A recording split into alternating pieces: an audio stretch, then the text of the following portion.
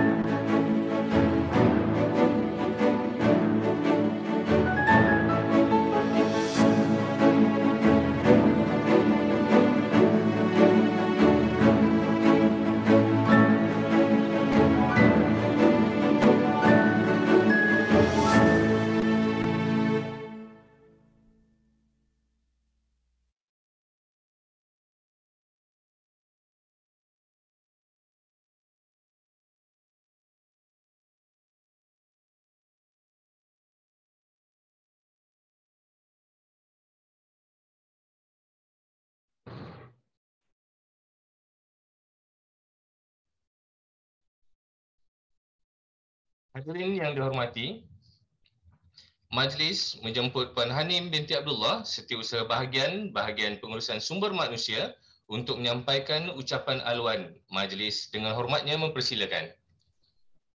Terima kasih Encik Azhar, Tuan Pengacara Majlis. Bismillahirrahmanirrahim. Assalamualaikum, salam sejahtera dan selamat pagi. Yang berbahagia Datuk Ravi Mutaya, KSU Kementerian Perusahaan Perdagangan dan Komoditi, semua SUB, ketua unit serta tuan-tuan dan puan-puan yang dihormati sekalian. Terima kasih di atas kehadiran dan kesudian yang berbagai datuk KSU, tuan-tuan dan puan-puan menyertai hari terbuka PSM, PSM2U secara online pada pagi ini. Alhamdulillah, setelah terpaksa menangguhkan program ini pada tahun 2020 disebabkan oleh kekangan SOP pencegahan COVID-19, tahun ini kita berpeluang untuk melaksanakan program ini walaupun secara online. Sepanjang 2021, banyak sesi perkongsian ilmu, webinar, pertandingan dan pelbagai program lagi telah diadakan bagi memastikan warga sentiasa aktif dan berprestasi tinggi walaupun dalam suasana BDR dan lockdown. Penglibatan semua juga amat menggalakkan. Sebab itu kami ingin mengucapkan setinggi-tinggi perhargaan kepada yang berbagai Datuk KSU, TKSUK dan TKSUP serta semua warga kementerian termasuk juga agensi yang sentiasa menyokong penuh program-program anjuran BPSM KPPK. Semoga kerjasama era ini terus berpanjangan Terima kasih Daun Keladi. Untuk makluman semua juga, semasa merancang program ini, kami telah mengadarkan satu soal sidik kepada warga kementerian berkenaan isu-isu PSM yang ingin mereka tahu lebih mendalam. Selain itu, kami juga mengambil kira isu berbangkit di agensi-agensi Justru pihak BPSM telah merangka program hari ini dengan tiga sesi taklimat daripada JPA. Diharapkan semua peserta dapat mengambil manfaat serta janganlah segan silu untuk bertanya soalan kepada penceramah-penceramah jemputan kita ya. Jangan lupa juga untuk menyertai kuis PSM 2U di hujung program petang nanti. Hadiah-hadiah menarik ada disediakan untuk peserta yang menang. Okay, sekian, sekian dahulu ucapan dari saya. Wabillahi taufiq wal hidayah. Wassalamualaikum warahmatullahi wabarakatuh. Terima kasih. Terima kasih diucapkan kepada Puan Hanim binti Abdullah di atas ucapan aluan sebentar tadi.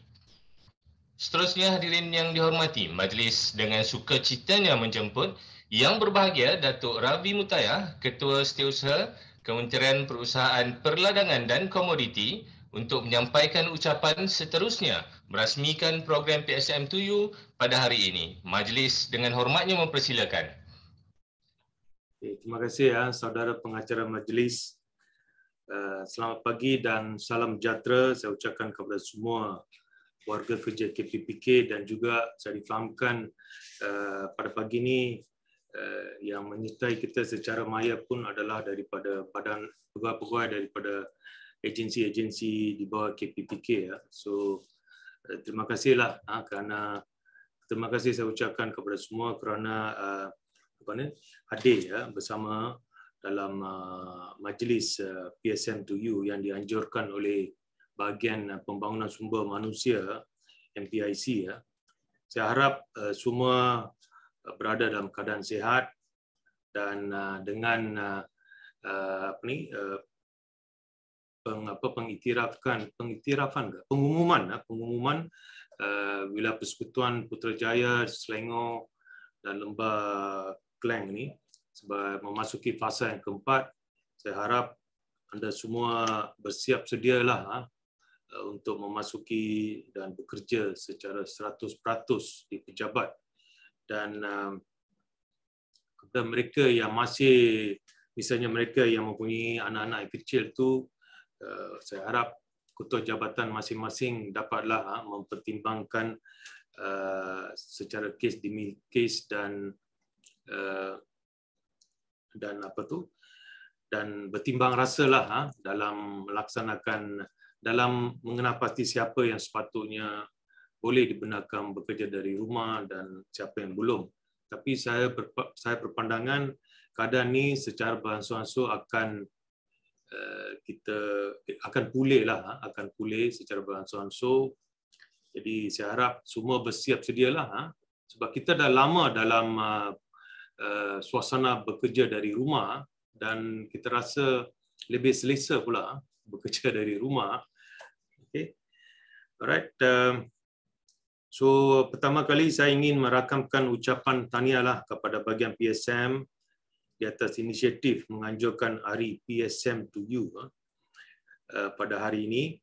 Program yang berkonsepkan hari terbuka ini merupakan acara tahunan bahagian PSM dan antaranya adalah bertujuan untuk memberi peluang uh, kepada warga kementerian uh, termasuk agensi-agensi mendapatkan khidmat nasihat melalui penyampaian secara langsung berkaitan dengan pelbagai aspek yang melibatkan pengurusan sumber manusia dan pekeliling-pekeliling baru uh, dan pada masa sama meningkatkan semangat kekitaan dan keseronokan bekerja lah uh, melalui penglibatan dalam aktiviti-aktiviti yang dianjurkan. Uh. Memandangkan kita masih dalam masih berada dalam tempoh pandemik, maka Hari PSM PSM2U pada tahun ini dilaksanakan secara dalam talian dan melalui temu janji bagi semakan buku perkhidmatan kerajaan. Namun saya percaya bahagian PSM telah menyediakan pelbagai pengisian eh, yang bermanfaat kepada eh, warga kementerian. Selain takliman oleh pihak JPA, turut diadakan kuis secara dalam talian dengan tawaran hadiah menarik. Ya. Jadi jangan lepaskan peluang untuk mengikuti agensi aktiviti-aktiviti yang telah disediakan. Dan untuk memenangi hadiah ni saya rasa penyertaan kena sepanjang tempoh yang ditetapkan oleh PSM lah. Hmm, tak adil lah tu. Ha. Tuan-tuan dan puan-puan. So, Pertubuhan Kesihatan Sedunia WHO telah memberi amaran Ha, bahawa kesan pandemik COVID-19 akan berlarutan untuk jangka masa panjang terhadap dan ini memberi kesan terhadap kesihatan mental kita. Terdapat dalam kalangan kita yang terkesan dengan pelaksanaan PKP sehingga menjejaskan kesejahteraan psikologi diri. Ya. Uh, jika tidak diurus dengan baik, ia akan memberi impak negatif kepada diri dan prestasi kerja. Jadi apa-apa keadaan yang kita lalui, nasihat saya adalah kita kena satu, kita kena must what do you call that? We must accept the situation. Ha? Kita mesti menerima keadaan itu berlaku dan kita mengambil uh, langkah-langkah yang sepatutnya. Don't don't pretend that the the situation is okay. We must accept. First kita kena accept, terima keadaan itu. Lepas tu cari jalan bagaimana mengatasinya. Ha? That is uh, kalau bagi mereka yang masih ada nyawa, ha, kita kena uh, apa tu berusahalah mengatasi apa juga cabaran dan masalah yang dihadapi sama ada di pejabat atau dalam suasana keluarga lah. Ha.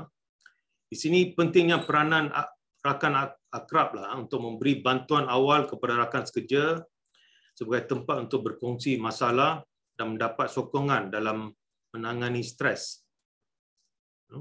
Mungkin ada dalam kalangan rakan-rakan kita yang terjejas sumber pendapatan keluarga atau menghadapi masalah untuk mengimbangkan kerja ha, dengan keluarga semasa BDR. Jadi bantuan psikososial amat diperlukan oleh mereka untuk meneruskan kelangsungan hidup. Sekiranya tidak dapat diselesaikan di peringkat akrab, maka pegawai boleh terus berjumpa dengan pegawai psikologi kementerian atau pegawai kaunseling lah ni ya, bagi mendapatkan bantuan selanjutnya. Sebagai penjawat awam perlu untuk mengambil cakna, cakna urusan perkhidmatan sendiri kerana maklumat-maklumat ini penting sebagai profil diri dan penentuan kelayakan menerima kemudahan-kemudahan yang disediakan oleh kerajaan selain bagi memudahkan urusan persaraan. Antara perkara yang harus diberi perhatian adalah pengisytiharan harta, cuti, urusan naik pangkat, SKT dan LNPT. Ya. Saya difahamkan selepas ini ada juga taklimat yang berkaitan dengan LNPT. Ya. Alright. So, saya harap siapa-siapa yang ada soalan tu tanyalah. Ha. Kalau bagaimana kalau kita tidak puas hati dengan LNPT ni? Sepatutnya LNPT ni dia mesti di kita kena bertemu bual dengan pegawai bawahan kita ha, dan bertanyakan uh, berkongsi mengenai prestasi masalah apa yang perlu di diperbaiki ditambah baik kelemahan pegawai masing-masing? So itu itu that's the real LNPT lah tetapi yang di, di perkhidmatan awam ni hmm, uh, kita lebih suka memberi markah yang tinggi-tinggi lah sembilan dan sepuluh. Kalau lapan tu walaupun dia kira baik juga kan. Cemerlang ke baik? Baik kan? Dia kira baik tetapi kita rasa lapan tu macam dah dah jatuh lah. Ha? Kalau lapan lah. Ha? Itulah saya pun kadang-kadang kalau ada lapan tu, ah, you all watch out lah. Bukan kerana baik ah. Lapan tu maksud dia dah jatuh di bawah uh, peringkat cemerlang lah. Kita kena sentiasa cemerlang lah dalam melaksanakan tugas kita. Then that should be the we should practice that memberi perkhidmatan yang cemerlang. Okay. Sejajar dengan era pendigitalan, GPA, GPA telah menambah baik lima submodul di dalam Hermes yang boleh diakses melalui aplikasi Hermes Mobile iaitu My Hermes Cuti, My Hermes uh, Profile, My Hermes EGL, uh, My Hermes Self Check dan My Hermes Care. Namun kemudahan ini tidak akan dapat mencapai objektifnya jika kita tidak uh, menggunakannya dengan sebaik mungkinlah. Justru saya menggalakkan tuan-tuan dan puan-puan untuk memanfaatkan kemudahan ini bagi mengemaskini dan menyemak maklumat perkhidmatan masing-masing. Okay, Hermes tu memang uh, apa tu dia memudahkanlah bila, bila berlaku kecemasan uh, waktu malam tu uh, nak pergi pejabat dapat surat tu susah. Jadi yang itu lebih senang keluarga kita pun boleh juga pergi sendiri kalau nama mereka ada dalam Hermes kan. Jadi selaras dengan konsep keluarga Malaysia yang diilhamkan oleh Yang Amat Berhormat Perdana Menteri, saya menyuruhlah ha, semua warga kementerian untuk cuba memahami nilai dan ciri-ciri yang telah digariskan oleh kerajaan dalam merealisasikan konsep ini. Mesej yang mungkin disampaikan melalui konsep keluarga Malaysia adalah untuk menerima persamaan dan perbezaan berlandaskan perlembagaan Malaysia dan eh, rukun negara. Konsep ini juga sesuai dilaksanakan di peringkat kementerian apabila kita terbuka untuk meraihkan perbezaan dan menerima persamaan pendapatan. Eh, sorry, menerima persamaan pendapat persamaan tu okeylah semua akan kata okey je yang biasanya pendapat yang bertentangan yang berbeza yang apa tu kadang-kadang eh, it threaten ah kadang-kadang mengancam pula ah mengancam pegawai-pegawai atasan atau pengurusan atasan tu biasanya kita susah nak terima ah. so itulah sesuatu kadang-kadang eh, better be the drastic idea is a good idea but kalau too drastic pun dia dilihat sebagai mengancam kestabilan organisasi lah. Ha? So, tapi kita kena amalkan budaya apa ni menerima pandangan yang berbeza khususnya daripada pegawai dan kaki tangan uh, di bawah kita. Bagi meraihkan uh, perbezaan ini, semangat kekitaan perlu ada dalam diri setiap warga negara. Saya percaya ramai di antara kita yang belum ah, mengenali satu sama lain. Berikutan pertukaran keluar masuk pegawai yang tinggi dan pelaksanaan SOP pencegahan COVID-19 yang membataskan perkaulan. Ah. Untuk kementerian ini, amalan saya adalah saya akan jumpa dengan setiap pegawai. Pegawai dan kaki tangan sokongan dari peringkat grade terbawah hingga teratas lah Eh, kecuali KSU lah. Kalau KSU datang, saya kena keluar.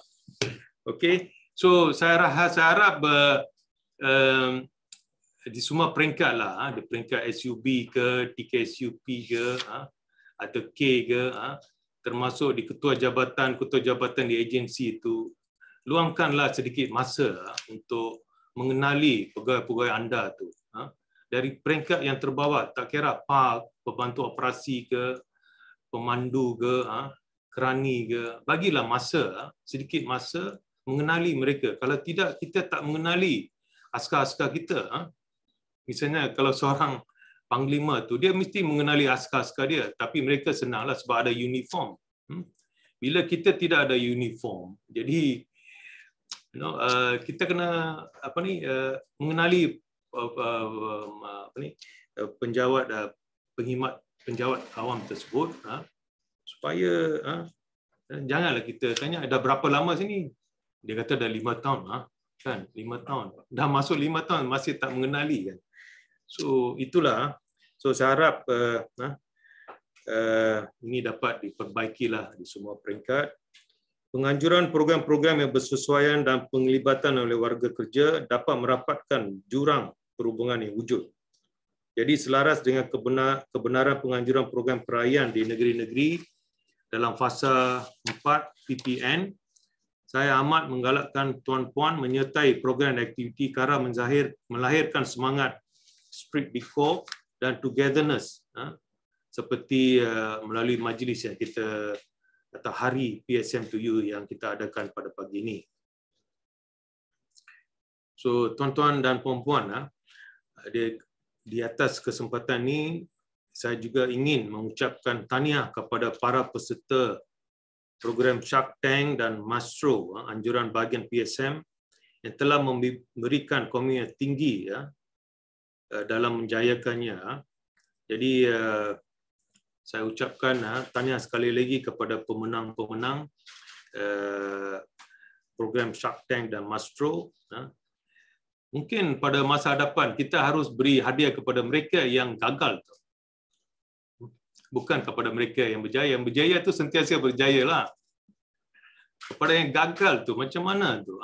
Kegagalan tu bukan maksudnya gagal. Dia adalah dia akan membina satu tangga ke arah kejayaan. Ha?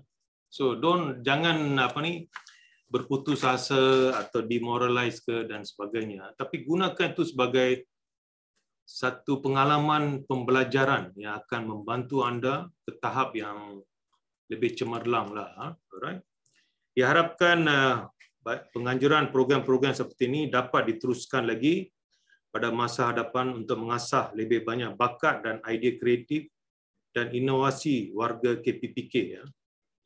Jadi idea kreatif dan inovasi ini hanya akan wujud kalau ha, kalau kita mempunyai pandangan yang berbeza. Pandangan berbeza itu tidak maksud pandangan yang bertentangan dengan apa ni kepentingan organisasi dan sebagainya. Tetapi ha, kalau kita nak memperbaiki sesuatu keadaan, dia memerlukan langkah yang berbeza.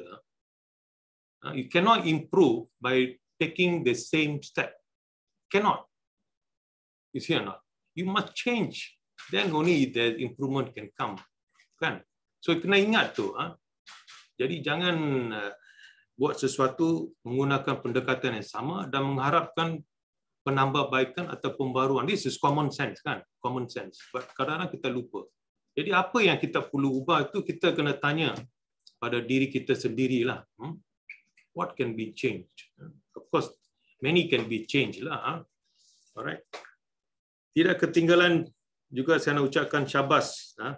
kepada tokoh-tokoh akrab tahun 2021 yang telah dipilih oleh warga kementerian berdasarkan kriteria yang ditetapkan. Arkab ni considered mentor-mentee kind of thing lah. Ha. Tapi di matrik kan, ikut pengalaman matrik, mentee tidak mengenali mentor. Jadi, so so jadi ha, dia approach dia lain. Ha. uh, mentor tidak akan mengenali mentee, hmm dan tapi menti mengenali mentor. Jadi menti ni akan memilih mentor-mentor yang dirasakan dia rasa dapat uh, membangunkan diri mereka lah. Ha. So that is quite interesting. Tapi a little bit of different different concept lah. Ha. Kadang-kadang kita tapi kadang-kadang kita bila dengar suara pun dah tahu kan. Ha. Suara atau kadang-kadang mereka tidak bercakap dia melalui email saja. So, let's try out that kind of mentor-mentee lah. Kadang-kadang kita kena bagi peluang untuk pegawai bawahan dengan uh, kaki, kaki, kaki tangan sokongan tu uh, juga kemukakan surat layang, bukan melalui surat layang lah, email layang kepada KSU juga. KSU, we must be able to see the different views from the bottom. So saya haraplah semua pengiktirafan ini uh, akan memberi motivasi kepada ahli akrab untuk terus memberi sumbangan kepada organisasi secara sukarela. Right. One bukan saja untuk ahli-ahli akrab lah. Saya rasa semua pegawai kementerian mesti ada rasa rasa membantu antara satu sama lain. Ha? Tak kisahlah sama ada bidang itu melibatkan you atau tidak. Ha? so the organization the organization need uh, everyone to work as one unit one unit to move together kita tak boleh ada semua orang nak jadi kepala. Ha? Semua orang nak jadi kepala, then semua kepala akan bergolek lah. You know, kalau ada satu kepala, semua badan semua ikut, ha? kaki, tangan semua ikut ke arah satu uh, uh, matlamat lah. Jadi uh, dan uh, bagi tujuan tersebut, uh, saya rasa matlamat itu tak boleh ditetapkan oleh satu pihak sajalah. Uh, alright. So hmm, memang kalau saya nak bercakap ni diberi peluang nak cakap lama lah. Tak apa, hari ini kita ada banyak program. Jadi, akhir kata sekali lagi saya mengucapkan uh, tahniah kepada bahagian PSM yang diterajui oleh SUB kita iaitu Puan Hanim Abdullah. Syabaslah banyak juga program-program, saya lihat banyak program-program yang dilaksanakan peringkat, peringkat PSM lah uh, bagi membina upaya pegawai, uh, membantu pegawai menyesuaikan diri dalam uh, suasana kerja di kementerian ini saya ucapkan uh, terima kasih kepada bahagian sumber manusia lah dan juga khususnya atas penganjuran hari PSM to you pada hari ini. Saya menyuruh agar tuan-tuan dan puan-puan mengambil peluang ini untuk menambah ilmu berkaitan sumber manusia dan bergaul mesra lah sesama rakan setugas ketika menyertai ha, aktiviti hari PSM to you. Ha? So dengan kata-kata itu saya merasmikan Hari PSM to you uh, bagi tahun 2021 ha? dengan hashtag PSM Prihatin. So uh, sekian, uh, terima kasih.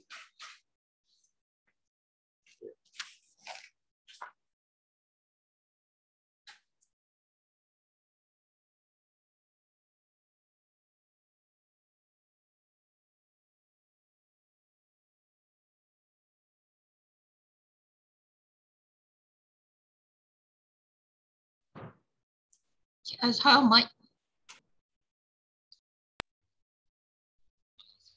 Terima kasih diucapkan kepada yang berbahagia Datuk KSU atas kesudian merasmikan program PSM7 sebentar tadi. Hadirin yang dihormati, bagi meneruskan agenda pada pagi ini, kita akan ditayangkan video info Hermes untuk tontonan bersama. Mari sama-sama kita saksikan.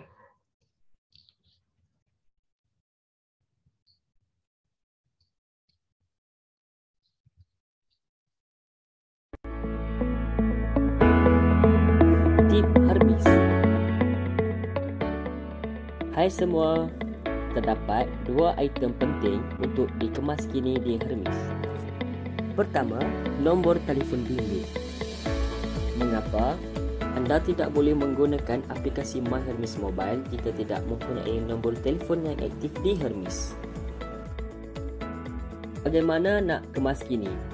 Di menu utama Hermes, pilih rekod pribadi. Seterusnya, pilih fungsi kemas kini rekod pribadi, pilih tab data pribadi, kemas kini nombor telefon bimbit anda dan klik hantar. Kedua, alamat email. Mengapa? Anda tidak boleh menggunakan fungsi tukar kata laluan menggunakan email sekiranya tidak mempunyai alamat email yang aktif di Hermes. Bagaimana nak kemas kini? Di menu utama Hermes, pilih rekod pribadi, Seterusnya, pilih fungsi kemaskini rekod pribadi. Pilih tab data pribadi. Kemaskini alamat email anda dan klik hantar. Terima kasih dan jumpa lagi.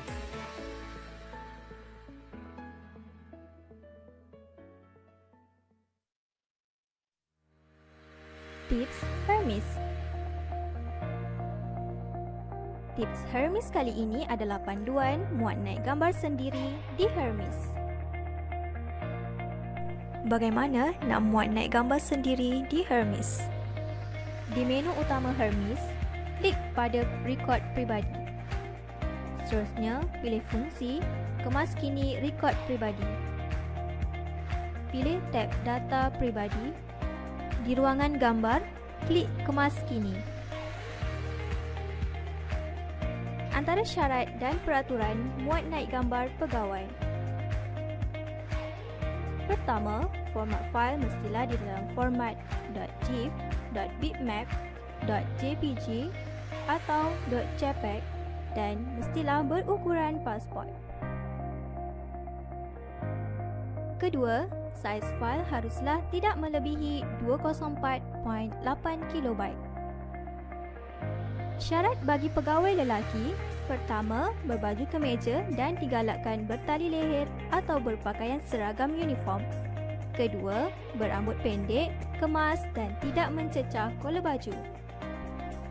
Syarat bagi pegawai wanita Pertama, berbaju kurung atau berpakaian seragam uniform Kedua, berpakaian yang bersesuaian dan tidak menjolok mata Berikut adalah contoh gambar yang diterima dan tidak diterima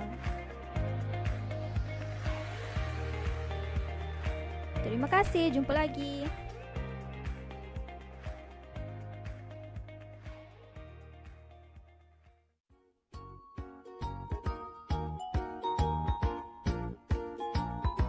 Video tips kali ini ialah aplikasi My Hermes Mobile. Ini adalah contoh situasi di pejabat. Kan senang kalau semua aplikasi mobile Hermes dalam satu aplikasi saja. Ha, kini aplikasi mobile Hermes lebih senang dengan One Integrated Apps. Ciri-ciri My Hermes Mobile Antara ciri-ciri aplikasi My Hermes Mobile adalah gabungan aplikasi utama Hermes, pendekatan holistik, paparan kemas dan menarik, saiz aplikasi lebih kecil dan jimat ruang storage. Cara muat turun My Hermes Mobile Terdapat empat platform untuk muat turun My Hermes Mobile iaitu Play Store, App Store, galeri aplikasi mudah ahli kerajaan Malaysia iaitu Gamma dan Huawei App Gallery. Berikut adalah paparan hadapan My Hermes Mobile. Terdapat enam menu utama iaitu menu profil, menu EGL, menu cuti, menu self-check, menu keluar pejabat dan menu care. Paparan bagi setiap menu My Hermes Mobile. Paparan menu profil, paparan menu EGL, paparan menu keluar pejabat, paparan menu cuti, paparan menu care dan paparan menu soft chat. Terima kasih dan jumpa lagi.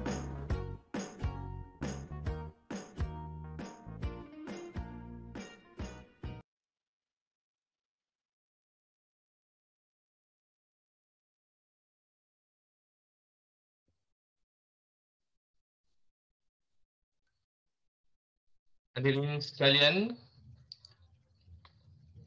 sebelum meneruskan acara pada hari ini, izinkan saya menerangkan serba sedikit tata cara pengendalian sesi secara maya melalui aplikasi Zoom ini.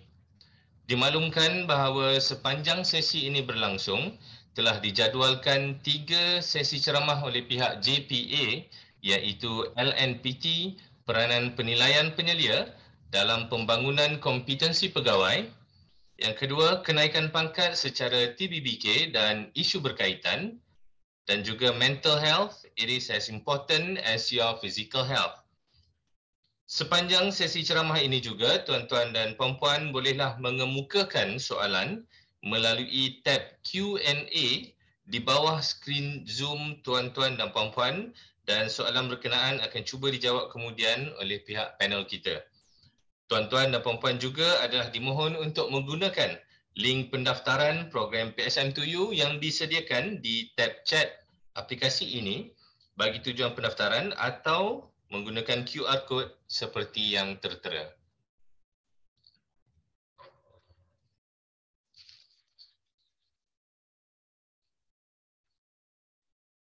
Hadirin sekalian, tanpa membuang masa, majlis akan diteruskan dengan sesi ceramah yang pertama iaitu LNPT peranan penilaian penyelia dalam pembangunan kompetensi pegawai dengan penceramah dari uh, iaitu Ketua Penolong Pengarah Bahagian Perkhidmatan JPA iaitu Puan Syahira Nur binti Zulkifli.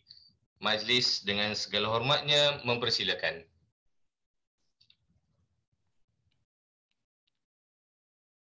Um, terima kasih um, Cik Azhar, Tuan Pengerusi Majlis. Boleh dengar ya? Okey. Um, yang bahagia Datuk uh, KSU, KPPK, uh, Puan Hanim Abdullah, uh, SUB, uh, PSM KPPK, uh, SUB, SUB, ketua-ketua unit uh, dan juga uh, warga KPPK dan juga agensi.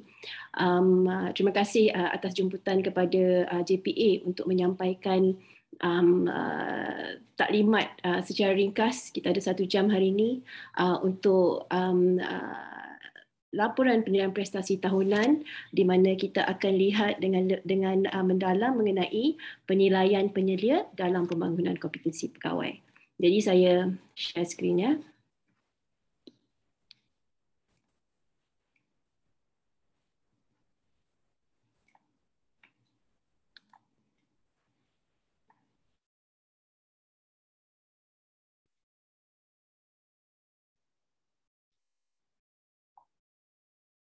Okey, jadi boleh nampak skrin? Okey.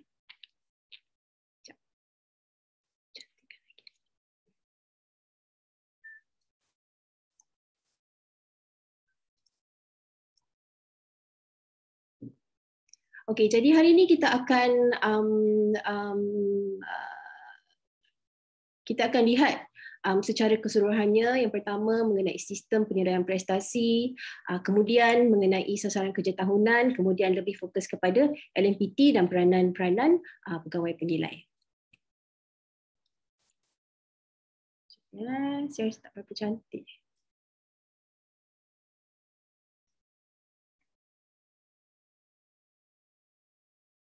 Okay. Jadi bila kita bercakap pasal um, mengenai sistem penilaian prestasi, ia adalah satu sistem menyeluruh yang mana kita gunakan untuk merancang, melaksana, mengurus dan juga menilai menilai pencapaian prestasi anggota dan juga matlamat organisasi itu sendiri dalam tempoh satu tahun.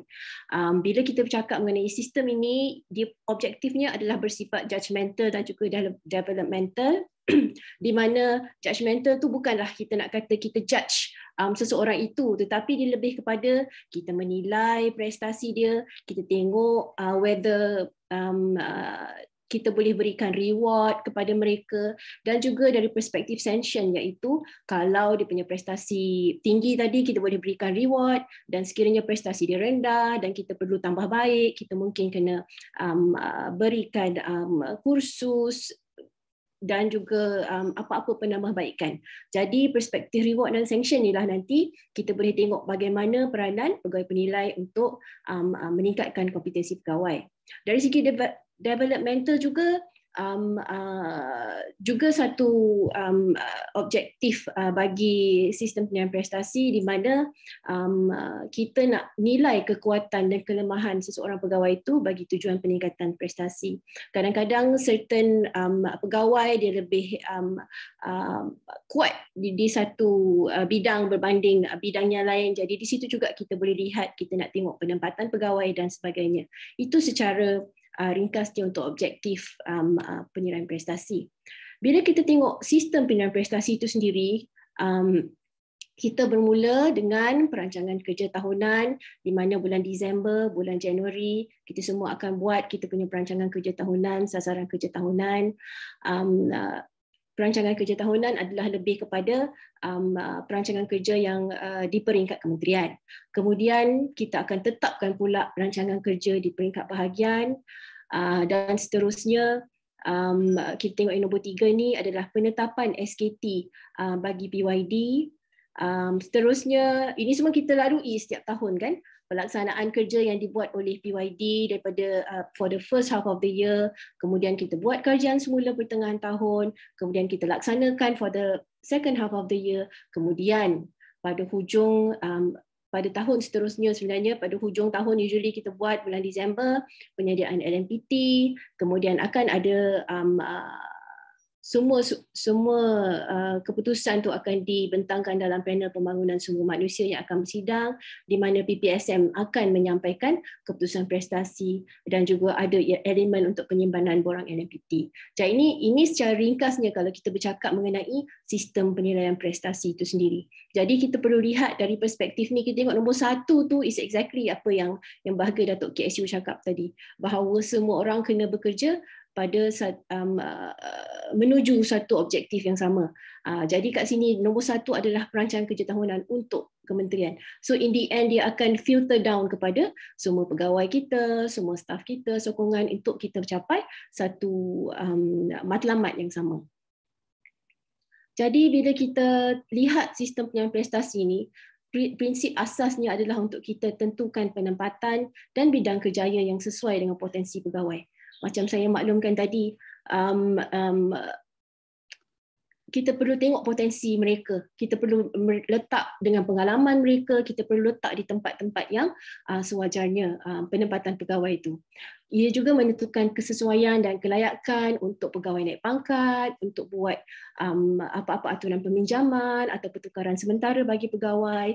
Ia juga akan menentukan kelayakan atau kesesuaian untuk pergerakan gaji.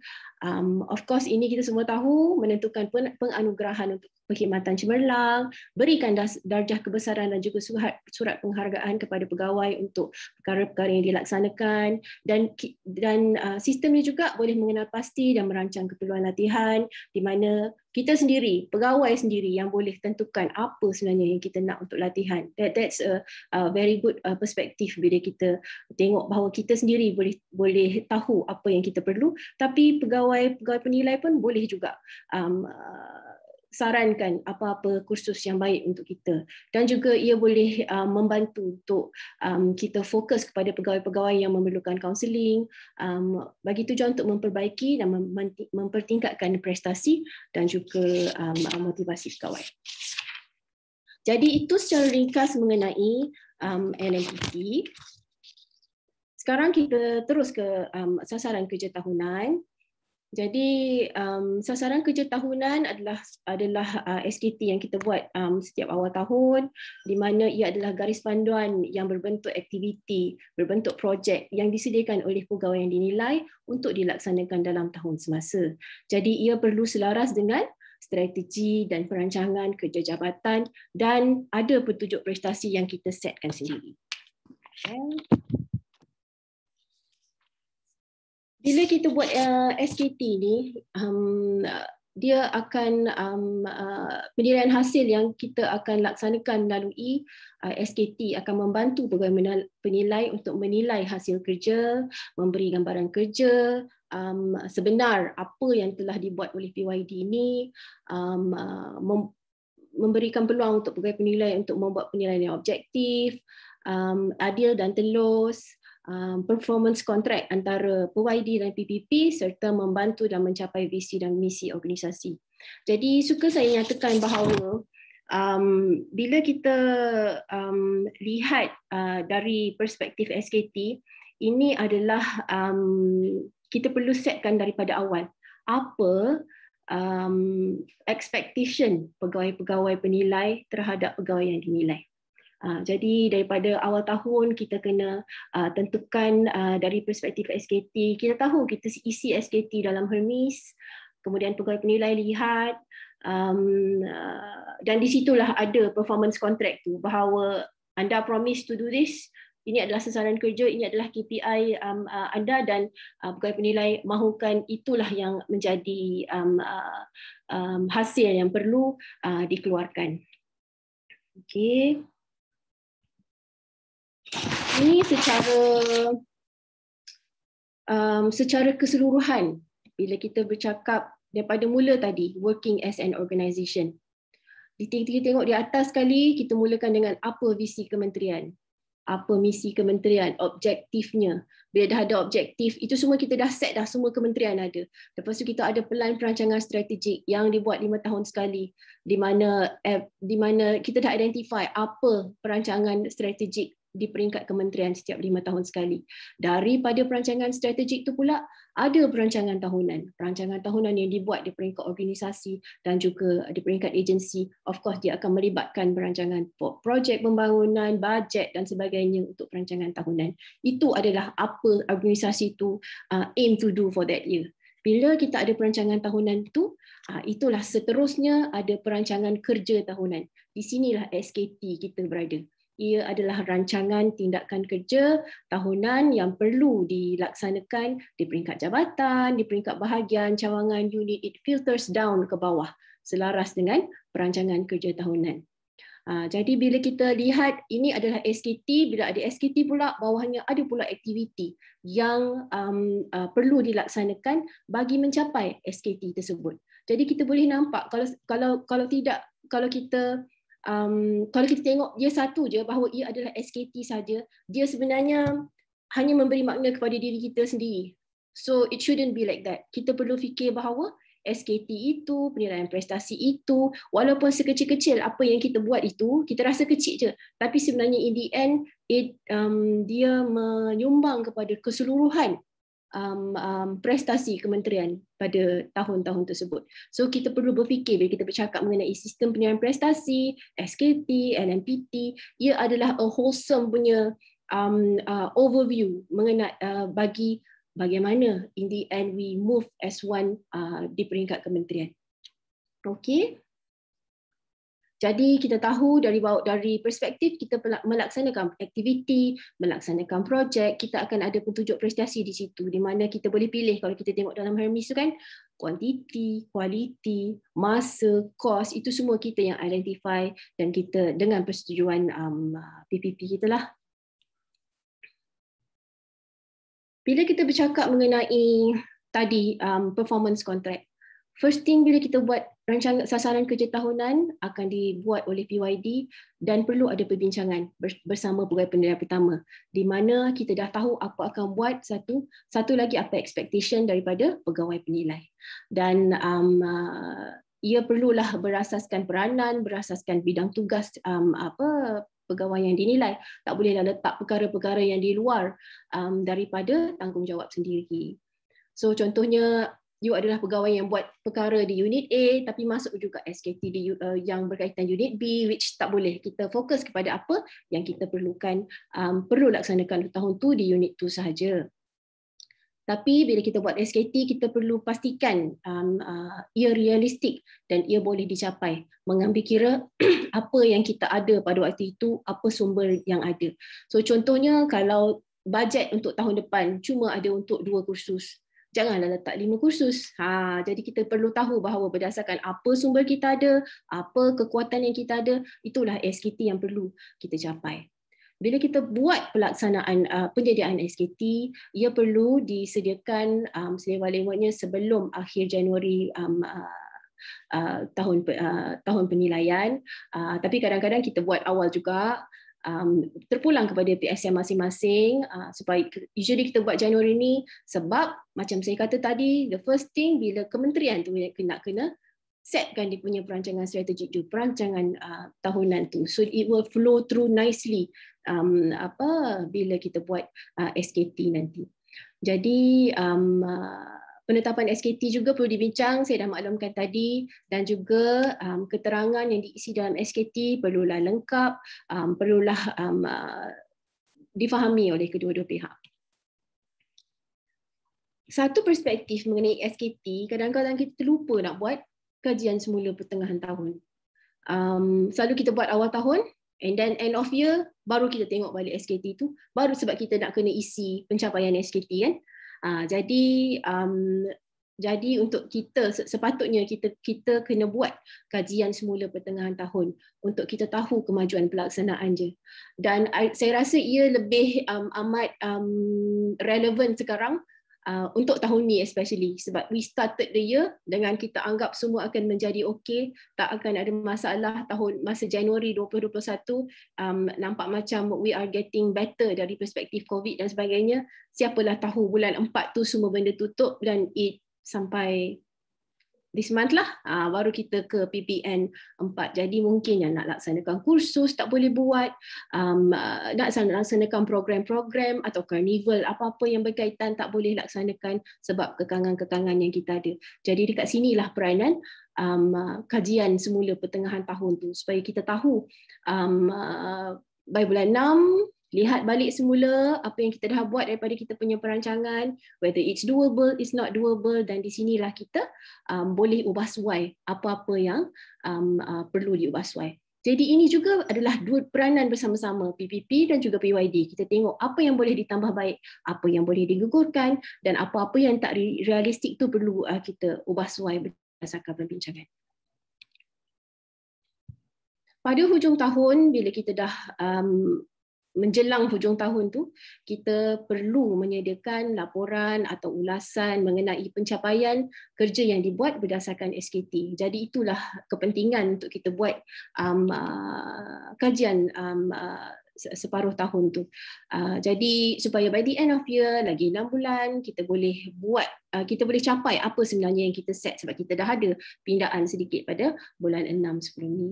Um, dan SKT yang tak tercapai tu kita perlu pula nyatakan kenapa ia, ia tidak tercapai. Contoh kursus kita perlu buat 10 kursus tapi kita mampu buat 6 je sebab restriction itu, restriction ini dan sebagainya. Um, contoh sekarang kewangan pun mungkin ada perspektif yang perlu dilihat semula. Um, banyak program-program uh, yang kita dah setkan um, kewangannya tapi since tak boleh buat semua benda buat online so ada penjimatan di certain places. So uh, itulah um, semua perkara yang kita perlu nyatakan juga dalam pencapaian SKT kita. Takut dia mempengaruhi bila kita buat perbelanjaan yang um, ialah tak tinggi lah tak banyak penjimatan Okey. Jadi kita dah sentuh sistem keseluruhan, kemudian the first perspective of SKT, sekarang ni kita terus ke uh, LNPT. So dari um, bila kita lihat LNPT ni, banyak isu-isu lazim LNPT yang um, selalu kita gusar dan uh, pegawai-pegawai lah fikirkan macam mana kita nak selesaikan uh, certain certain issue. Memang sometimes dia tak tercatat di mana-mana tapi kita kita lihat um, uh, kegusaran biasa pegawai so ini adalah isu lazim yang kami biasa lihat dan dengar. Uh, penilaian tidak merujuk kita tengok yang pertama penilaian tidak merujuk kepada SKT iaitu tidak menilai berdasarkan pencapaian sebenar pegawai. Uh, walaupun tengok basically kalau SKT contoh SKT dia rendah tapi dia masih dapat sembilan patutnya dia buat lima projek pada tahun itu yang boleh laksana dua saja tapi dia masih dapat sembilan, dia masih dapat sepuluh markah. So itu adalah um, uh, um, tidak selaras lah maksudnya um, SKT tidak dicapai tapi masih juga markah tinggi. So kita perlu lihat SKT itu perlu menjadi basis untuk kita buat penilaian NMPT penilai tidak berbincang dengan pegawai uh, yang dinilai dan tidak memaklumkan prestasi kepada BYD. Um, sekarang ni um, dalam Hermes tu dia dah dah ada kan dalam uh, link tu bahawa perkara ini telah dimaklum kalau kita adalah pegawai penilai pertama dah tulis di situ perkara, perkara ini telah dimaklumkan kepada pegawai yang dinilai. Jadi elemen tu walaupun dah ada sometimes ada orang tak buat. Uh, jadi kita perlu buat um, perkara itu sebab pada awal tahun pun kita setkan sama-sama SKT kita. Jadi um, bila dah akhir tahun kita we must uh, it must be justified lah untuk kita um, um, berikan markah ini saya telah berbincang dan ini adalah markah yang saya rasa wajar beri kepada anda. Uh, jadi itu adalah peranan uh, pegawai penilai. Kedua-dua pegawai penilai pertama dan pegawai penilai kedua pun boleh juga laksanakan penilai terlalu linian iaitu memberi kecenderungan member, uh, kecenderungan memberi markah yang tinggi. Ini exactly apa yang Datuk KSU cakap tadi. Um, kalau 8 dah teruk dah. Uh, 9 dan 10 ah itulah aimnya. Hanya 9 dan 10 je aimnya. 8 uh, dianggap adalah markah yang teruk. Tapi nanti kita akan lihat sebenarnya bagaimana konsep pemarkahan tu. Um, uh, kenapa kita letak 9, kenapa kita letak 10. Kita bukan anggap bahawa 8, 10 dia perfect, 9 dia ada lacking sikit, 8 lah paling rendah saya boleh kasih dia. Uh, it should not be like that bila kita menjadi seorang pegawai penilai. Seterusnya adalah halo effect. Halo effect adalah memberi markah berdasarkan kepada tahun-tahun lepas. Uh, so um, walaupun tahun ni dia tak berapa okey tapi dia dah lima tahun dah kerja dekat sini tahun pertama dengan tahun ke sehingga tahun keempat dia memang okey. Ha, jadi um, dan saya memang sentiasa kasih dia contoh 93 94. So tahun ni kalau dia um, apa uh, walaupun dia ada banyak perkara yang dia tak capai, saya masih nak kasih dia um, um, markah yang sama sebab kesian. Nanti nampak sangat turun markah dia daripada 93 saya kasih 87 contoh. Uh, jadi it should not be like that. It should be um, pemberian markah perlu berdasarkan SKT. Kembali kepada SKT dan kembali kepada tahun ini juga bukanlah tahun-tahun lepas atau bila-bila masa kita kenali dia. Seterusnya adalah pegawai yang sedang cuti, contoh cuti sakit lama, cuti bersalin, diberi markah rendah hanya kerana dia cuti. Jadi contoh dia cuti kita cuti bersalin tiga bulan, uh, jadi sebab you berkhidmat um, 9 bulan je, jadi I kasih you markah 87 sebab ada tiga bulan dia tak buat kerja pun. So it should not be like that lah. Uh, kita perlu menilai pegawai berdasarkan mas, um, tugasan yang dipejabat dan bila cuti sakit, cuti bersalin, itu semua perkara yang uh, tak diminta, especially cuti sakit, tak diminta. Uh, jadi itu adalah leeway-leeway yang diberi oleh kerajaan untuk kita um, uh, beri kemudahan-kemudahan itu. Jadi seseorang pegawai tidak boleh dinilai um, berdasarkan dia cuti maka dia perlu dapat 88 atau 89 dia tak boleh dapat 90 sebab dia cuti sakit so it cannot be like that Contrast effect adalah prestasi dibuat dengan membandingkan dengan prestasi orang lain. Contohnya dalam satu unit, anda adalah pegawai penilai pertama untuk tiga orang. So tiga orang tu pula different level. Walaupun grade yang sama, contoh semua adalah grade um, uh, semua adalah grade 19, tapi orang A dah kerja 10 tahun, orang B baru kerja 2 tahun, orang C mungkin kerja 7 tahun. So you tak boleh nak um, samakan bahawa mereka, sebab tugas mereka semua berbeza. Semua SKT adalah berbeza. Maka kita perlu lihat objectively kepada SKT itu instead of bandingkan orang A kepada orang B kepada orang C. Ah, dia ni hebat, so kita naikkan dia sikit. Ah, dia ni ni, so kita turunkan dia sikit. That should not be the way. Okay, so kita nampak benda tu kadang-kadang kita tak perasan kita buat tapi mungkin kita cuba, kita dalam mind tu mungkin orang ni memang lagi bagus ni, aku tak patut kasih dia tinggi tapi kalau dia capai semua SKT dia, apa salahnya memang kita boleh laksanakan. Tidak melaksanakan penilaian SKT pada pertengahan tahun. Inilah yang saya nyatakan tadi, um, kajian tu perlu dibuat untuk pertengahan tahun. Memberi markah kepada kegiatan luar yang tidak disenaraikan kita tahu dia aktif untuk berlari, maraton dan sebagainya. Setiap minggu kita nampak posting dan semuanya banyak medal dan uh, dekat pejabat ke. Tapi tak tersenarai dekat dalam uh, dalam dalam apa dalam borang dalam borang kita tu. Jadi bila tak tak disenaraikan maka kita boleh beri markah um, uh, untuk perkara yang tak disenaraikan. Seterusnya adalah penilaian berbeza-beza mengikut cawangan menyebabkan um, markah LMPT pegawai uh, di sesuatu cawangan berbeza. Jadi mungkin um, sektor A average orang dapat 90, sektor B average orang dapat 88, sektor C um, average orang dapat 95.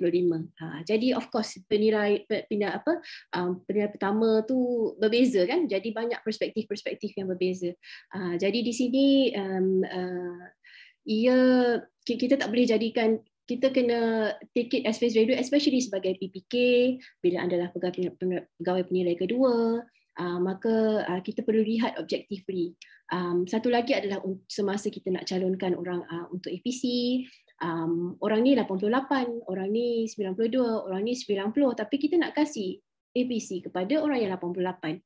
Uh, sebab bukan semata-mata LMPT saja bila kita nak buat penilaian untuk uh, APC tu. Jadi ada banyak lagi faktor-faktor lain.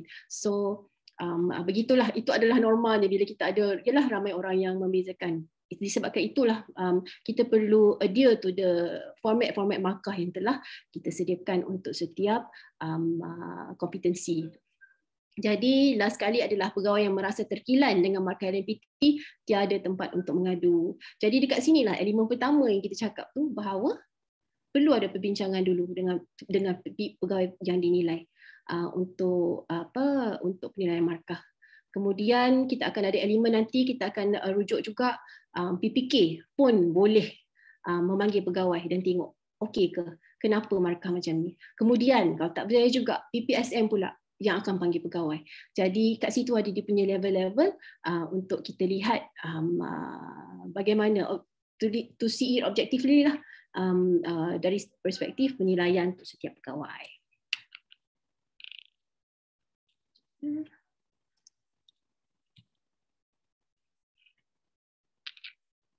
Okey, ini adalah um, saya rasa dekat dekat fikir insyaallah tak ada masalah but um, uh, secara ringkas je bagaimana kita nak tentukan PPP, PPK um, uh, dan juga uh, pegawai dinilai lah kita tengok dari perspektif ni. Untuk kita menilai prestasi, um, sistem penilaian prestasi itu sendiri telah menetapkan tiga peringkat penilaian. Yang pertama adalah PPP, kedua PPK, kemudian ketiga panel pembangunan sumber manusia. Ha, jadi boleh lihat di sini PYD di bawah, yang bawah tu pegawai penilaian pertama dia adalah yang di atas dia, pegawai penilaian kedua adalah yang di atas lagi. Jadi ia tak bolehlah um, uh, cross unit, cross sector, you tak report kepada uh, orang tu tapi orang tu yang menilai you, should, ya perkara tu tak tak sepatutnya terjadi. Pegawai penilaian pertama adalah pegawai atasan atau penilai yang terdekat kepada pegawai yang dinilai dan mempunyai hubungan kerja secara langsung atau orang yang mengawasi kerjanya. Walaupun kita nampak benda ni simple, tapi sometimes it is not adhered to. Ha, jadi kita kena pastikan orang yang menilai PVP tu perlu adalah orang yang mempunyai hubungan kerja secara langsung dengan PYD. Seterusnya pegawai penilai kedua, uh, pegawai atasan yang terdekat dengan kepada PPP dan juga mempunyai hubungan kerja dengan BYD. Tapi jika ada hanya satu peringkat penilaian, maka penilaian boleh dibuat oleh PPP sahaja. Ini lebih kepada contoh setiausaha pejabat yang report to the boss sahaja. Jadi dia ada satu je lah pegawai penilai dia. Uh, jadi ada keadaan ya, ada keadaan di mana contoh dia apa um, pegawai itu dia adalah um, uh, contoh dia adalah SUB di suatu tempat tapi dia nak jadi PPK untuk semua pegawai dia. Uh, walaupun orang tu tak report dekat dia, walaupun orang tu rendah daripada tu. So those kind of thing um, pernah didengari. Um, so um, harap ia tidak terjadilah. Uh, jadi sebab kita perlu adhere to the perspective of PPP, pegawai atasannya, atasnya lagi adalah PPK. Jadi untuk kita menentukan PPP dan PPK ni, um, uh, mereka pastinya perlu uh, mempunyai hubungan kerja dan penyeliaan secara langsung di antara PYD dan PPP. Kedua adalah tiada hubungan kekeluargaan yang terdekat di antara PYD dan PPP atau PPK. Jadi contoh dia adalah abang, adik, tiba-tiba jadi satu kementerian, satu kementerian pula tiba jadi satu bahagian, lepas tu kita report pula, so itu semua um, uh, tak boleh lah um, that's why juga kadang-kadang BPSM bila tengok ada some kind of relationship tu dia akan asingkan daripada dari apa di bahagian berbeza apa di bahagian ini dan bahagian ini husband dia bahagian ini dan uh, wife di bahagian ini jadi uh, untuk kita kurangkan um, apa perspektif ni supaya ia tak ia tak tidak terjadi Tempoh penilaian tidak kurang daripada enam bulan dalam tahun penilaian.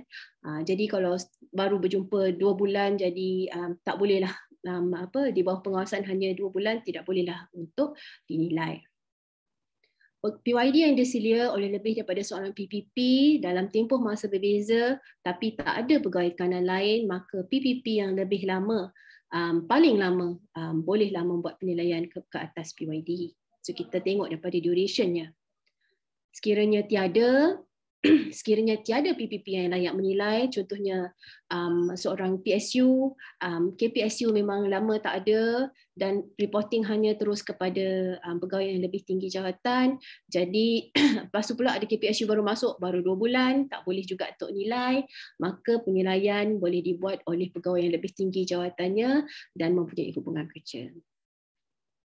Dan yang terakhir, um, jika uh, LMPT tidak disediakan oleh PPP yang telah bersara atau PPP itu meletak jawatan atau tak dapat dikesan, maka laporan bolehlah disediakan oleh PPK.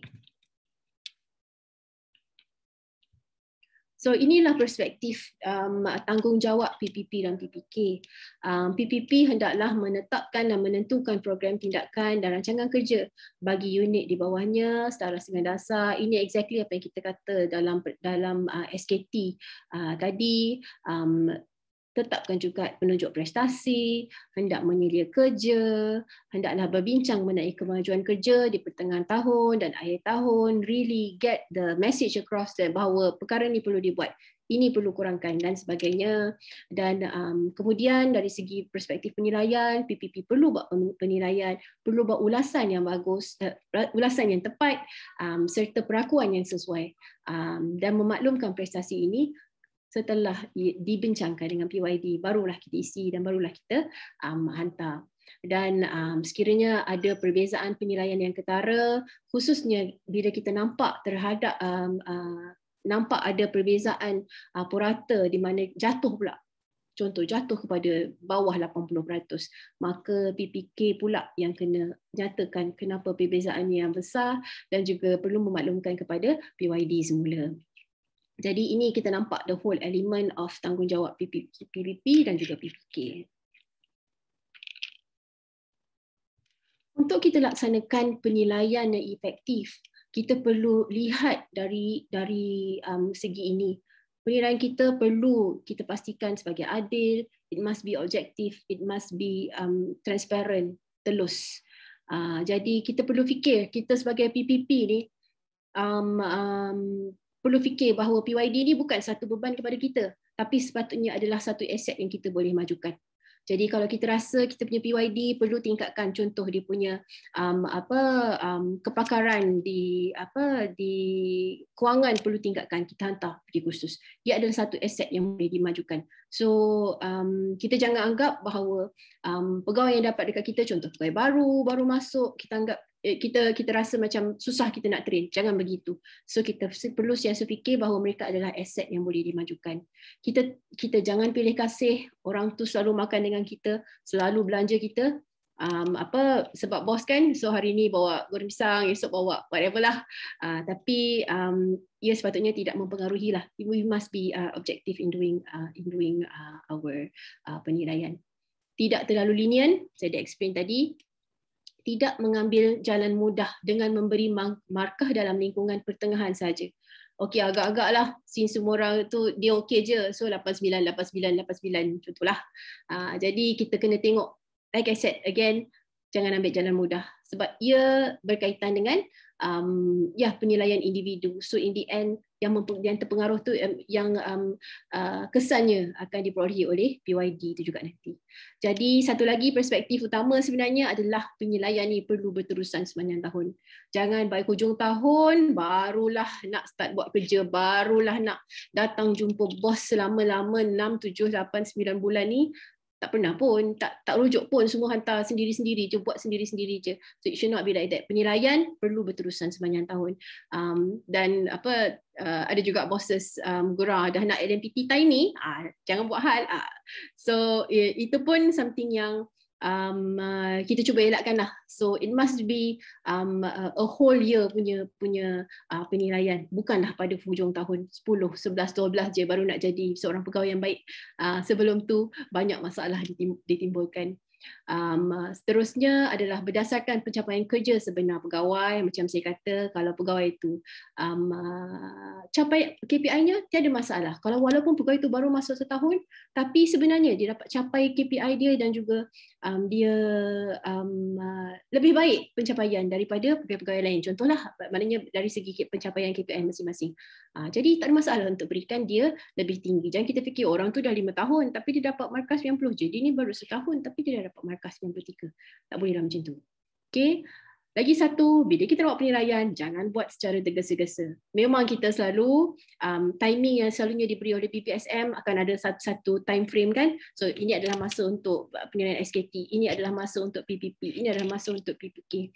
Jadi kita adhere to the time, so usually the time given pun is quite apa um, uh, boleh memudahkan lah um, uh, the duration uh, that is given by BPSM peringatan-peringatan tu um, boleh dibuat kepada semua PPP dan PPK uh, supaya ada time proper. Jangan pada hari tu um, kita bad mood. Contoh tim bola kalah malam tadi so hari ni bad mood so tak nak so semua orang yang dinilai tu adalah dapat markah sebab bad mood. Ah jangan macam tu.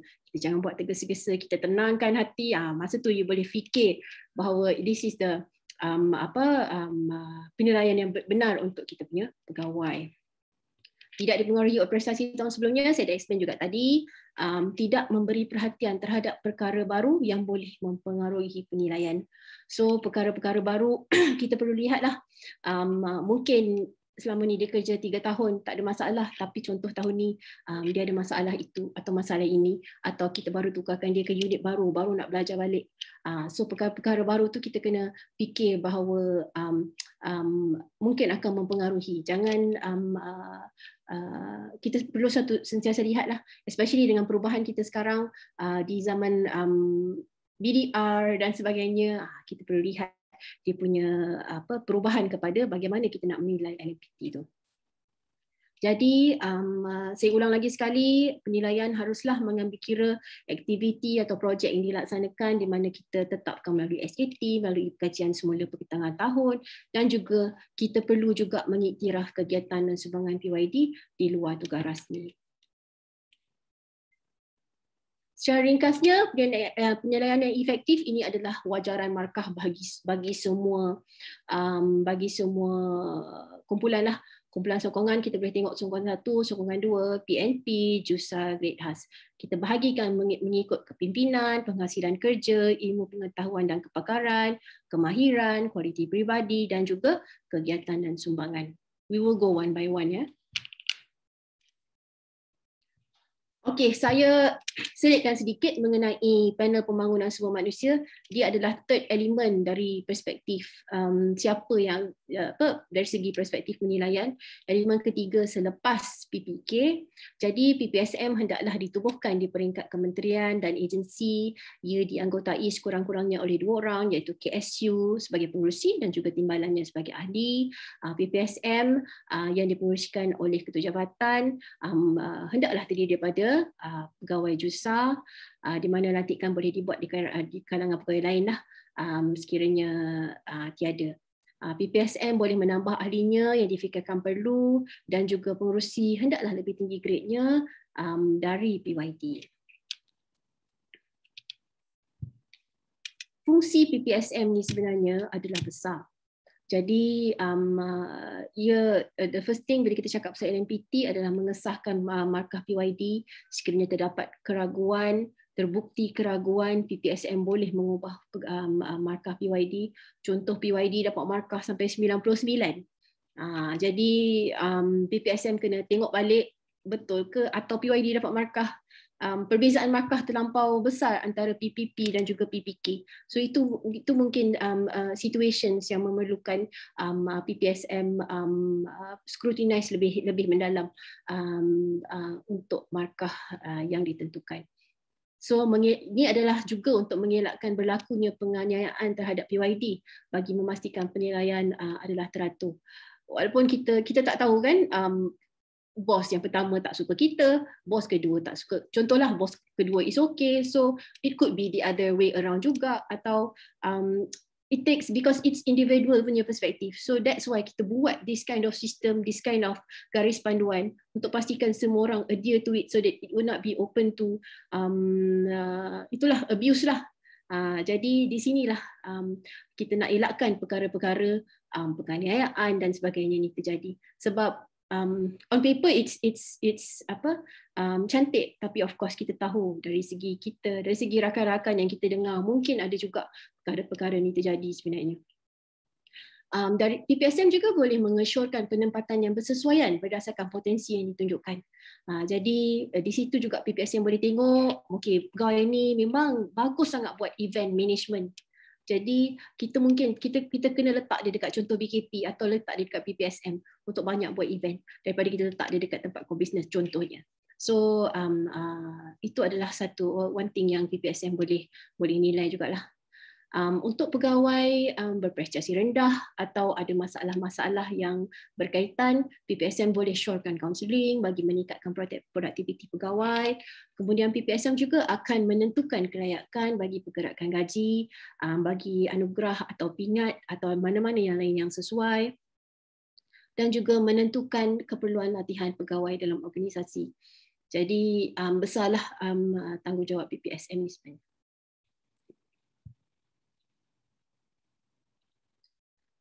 Keputusan bila telah dinilai secara objektif of course PSM lah BPSM lah selalunya yang akan jadi urus setia bagi PPSM um, keputusan panel uh, pembangunan semua manusia adalah muktamad kecuali jika dapat dibuktikan keputusan itu telah dibuat berasaskan kepada maklumat yang salah.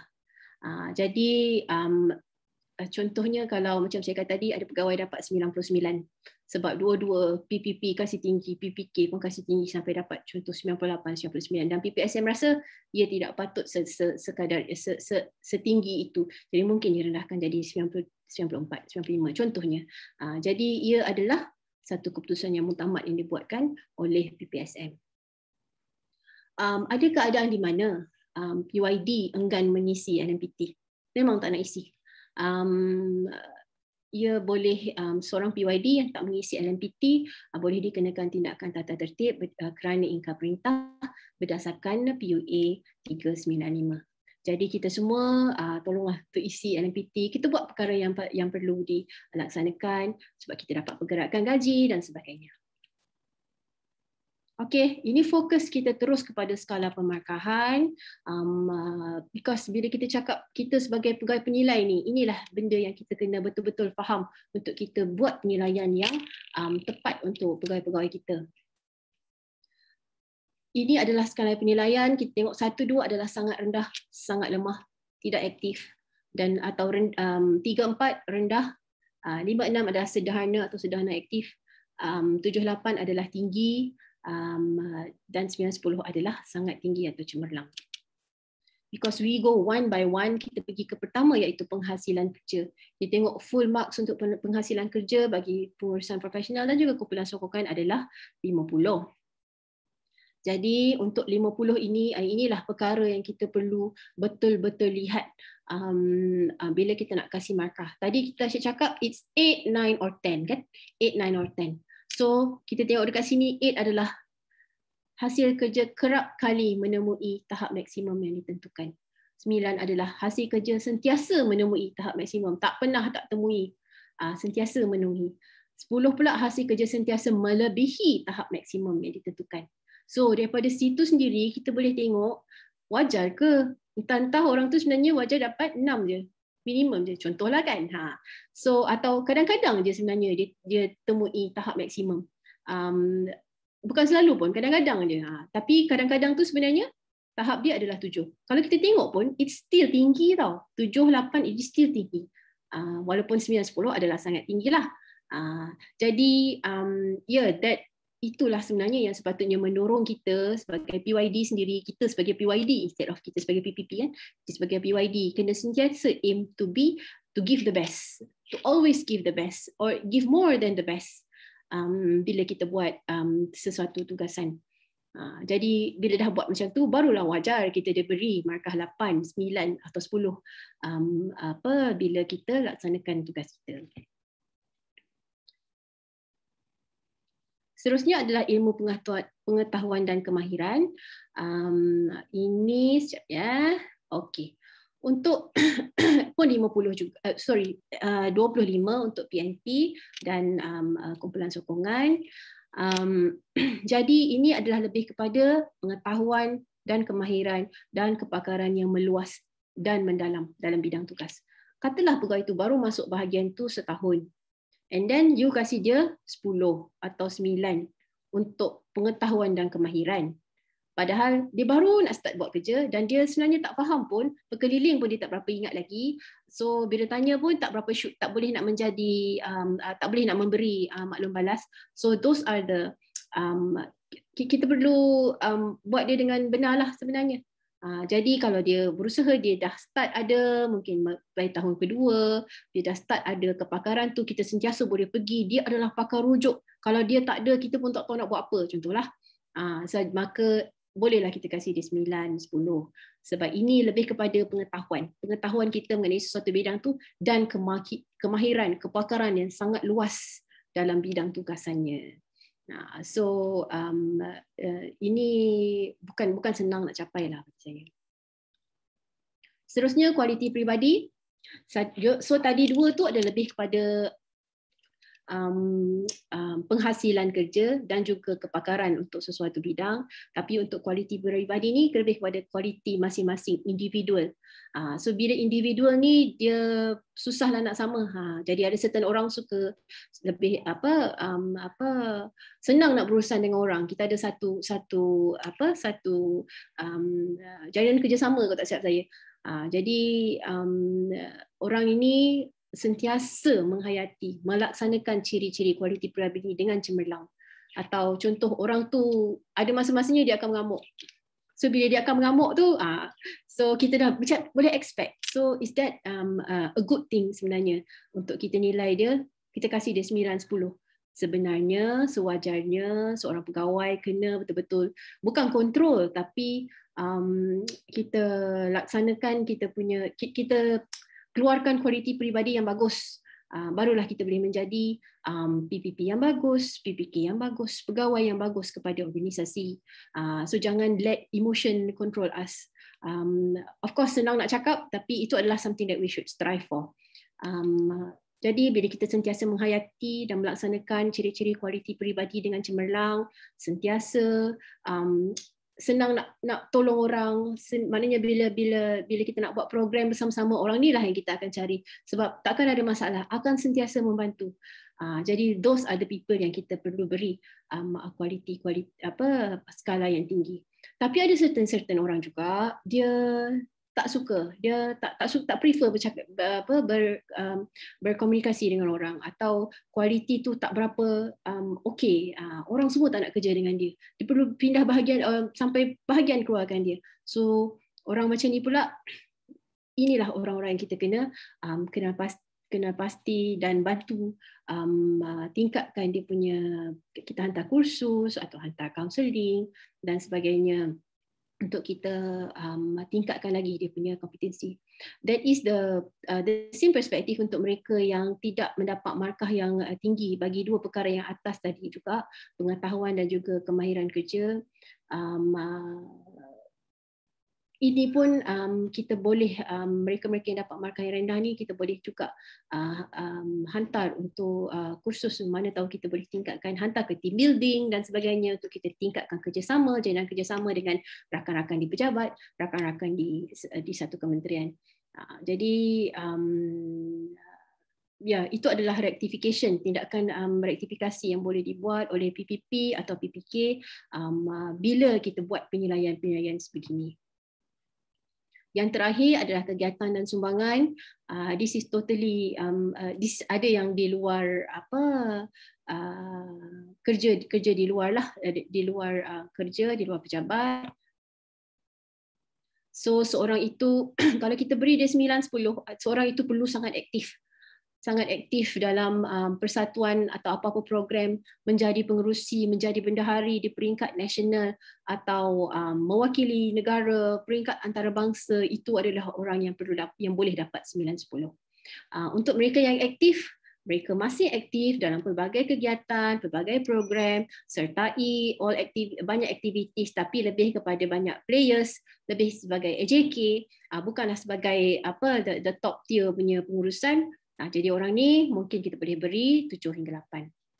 Untuk orang yang sederhana, sederhana aktif, um, dia cuma terlibat je kita boleh senaraikan um, apa jawatan kuasa macam ahli surau dan uh, jawatan kuasa di, di bahagian, di pejabat. Jadi itu kita boleh anggap dia sebagai sederhana, sederhana aktif.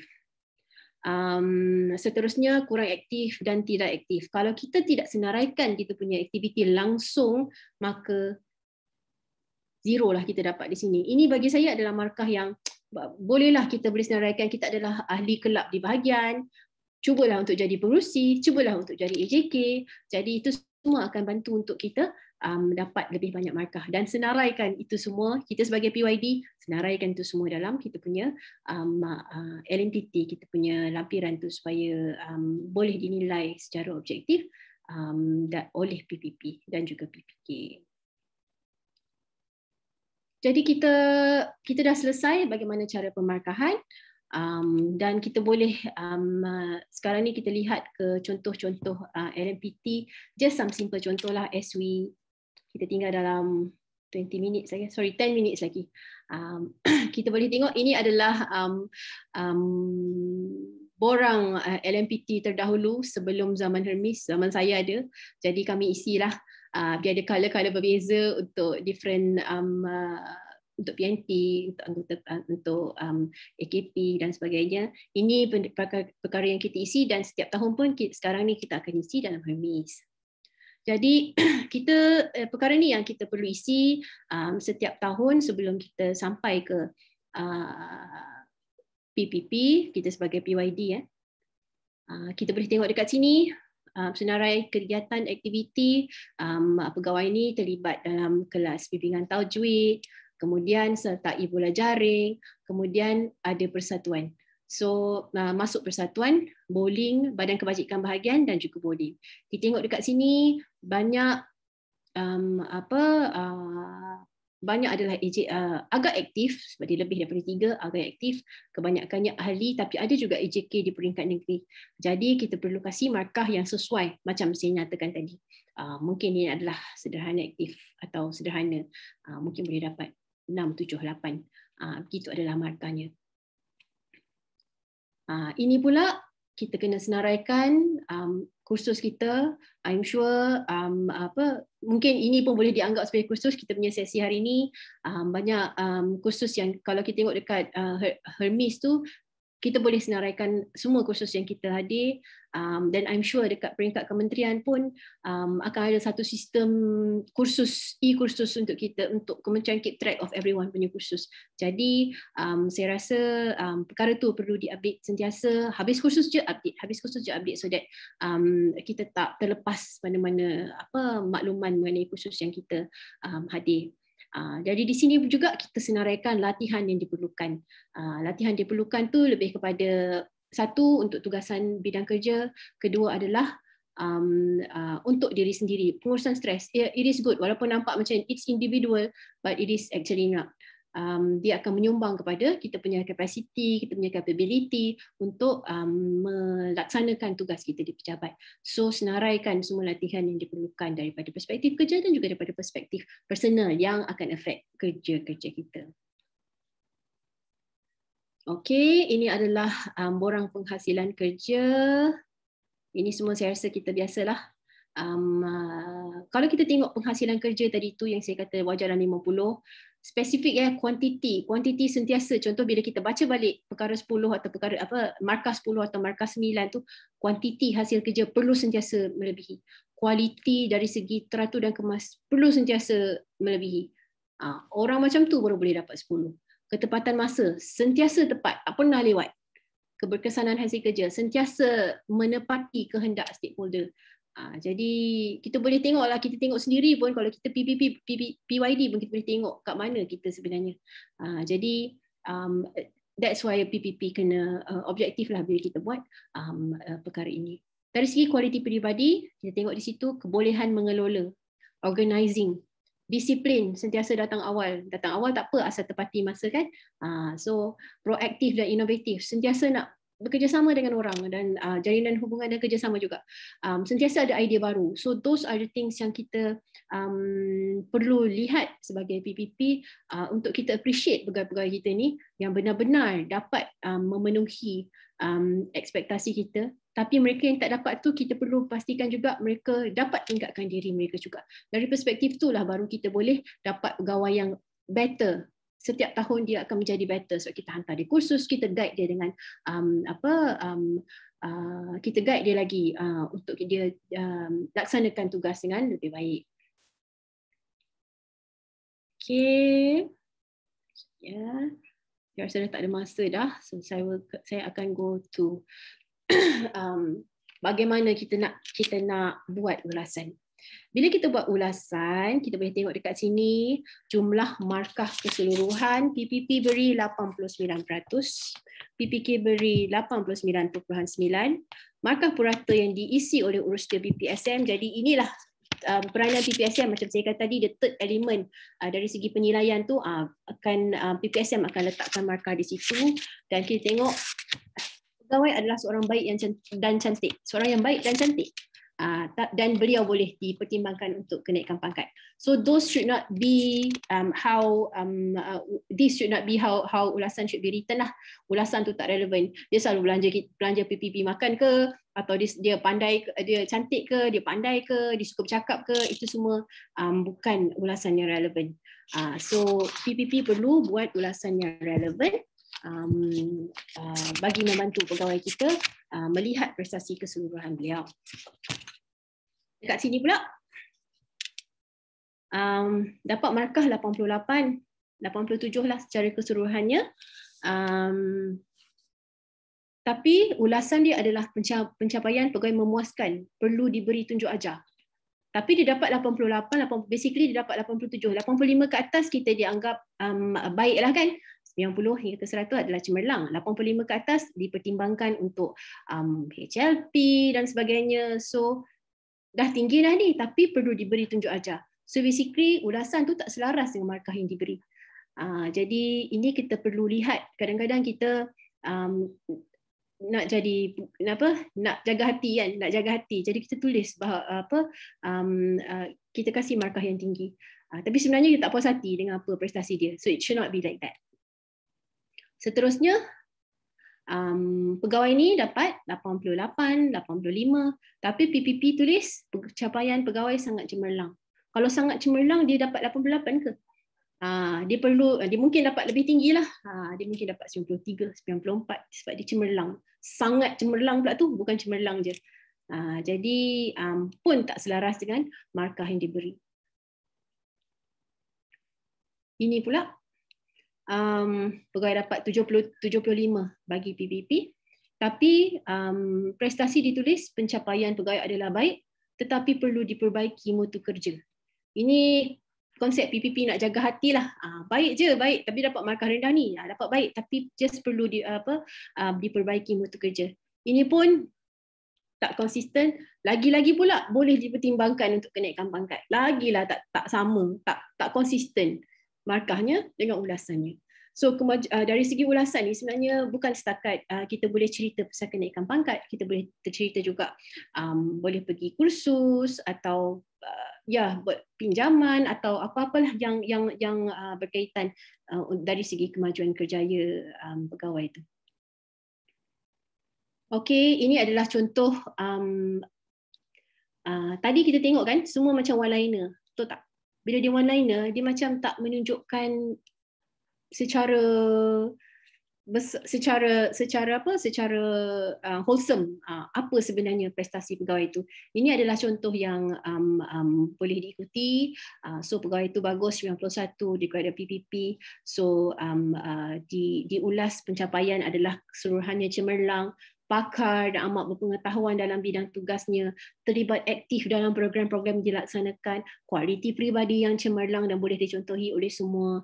Kemudian dari segi kemajuan kerjaya pula, um, mempunyai kepakaran yang tinggi, um, perlu dipertimbangkan untuk kenaikan pangkat. Uh, itu adalah elemen yang kita perlu sebut uh, sebagai um, untuk untuk ulasan uh, uh, sebagai PPP atau PPK. Okey, ini yang saya nyatakan tadi adalah disahkan bahawa prestasi pegawai telah dimaklumkan oleh PYD. Kalau kita tengok dalam Hermes penyeborang pun dah ada dah di situ. Jadi, um, we must make sure that kita telah telah maklumkan kita punya uh, PYD um, mengenai um, markah yang kita berikan. Okey, untuk pegawai penilai kedua pula, um, jadi um, kadang-kadang um, PPK ni tulis um, seperti ulasan PPP isi judi like that lah. Uh, so mungkin dia jauh ke, uh, itu saya tak sure lah. Tapi um, uh, boleh juga diulas, PPK boleh ulas uh, dengan lebih um, uh, as an overview, pegawai prestasi pegawai adalah baik, perlu diberi peluang untuk mengikuti kursus yang berkaitan, memantapkan pengetahuan atau meningkatkan contoh um, uh, apa kepimpinan ikuti kursus kepimpinan untuk tingkatkan apa uh, perspektif kepimpinan dan juga untuk kenaikan pangkat. So ini barulah dia jadi wholesome, baru dia jadi um, tepat untuk um, uh, dipertimbangkan. Okay, ini yang terakhir, tinggal seminit lagi. But ini just untuk uh, as a recap lah sebenarnya. Bila kita bercakap kita punya LMPT ni bila ia adalah 90 hingga 100% ia adalah berprestasi cemerlang. Mereka ini mempunyai kualiti kepimpinan yang cemerlang yang mana um, apa yang boleh memastikan fungsi dan objektif organisasi tercapai dan ada kemahiran yang tinggi, kualiti peribadi yang cemerlang.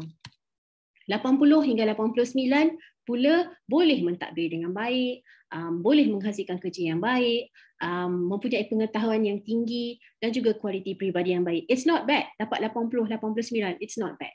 Uh, so it's actually baik. Okay? Jadi untuk 60 hingga 79 adalah yang berprestasi sederhana, baru dimulakan. Maksudnya dia dia perlu banyak lagi perkara yang perlu ditingkatkan. Uh, semua adalah sederhana bila um, apa bila penilaian dibuat. Dan yang terakhir adalah berprestasi kurang mem- mem- uh, memuaskan 50 hingga 59 uh, usually 60 ke bawah ni um, kita akan teruslah ke exit policy dan adalah aturan-aturan lain yang um, perlu uh, dibuat bila pegawai mencapai 60% ke bawah kurang memuaskan prestasinya tidak sering kali tak capai tahap minimum dan um, even kualiti pribadi tak memuaskan dan juga disiplin pun tak memuaskan. Yang terakhir adalah berprestasi lemah. Semua perkara tak tak tak okey lah sebenarnya. Uh, so semua bukan pada tahap yang diharapkan.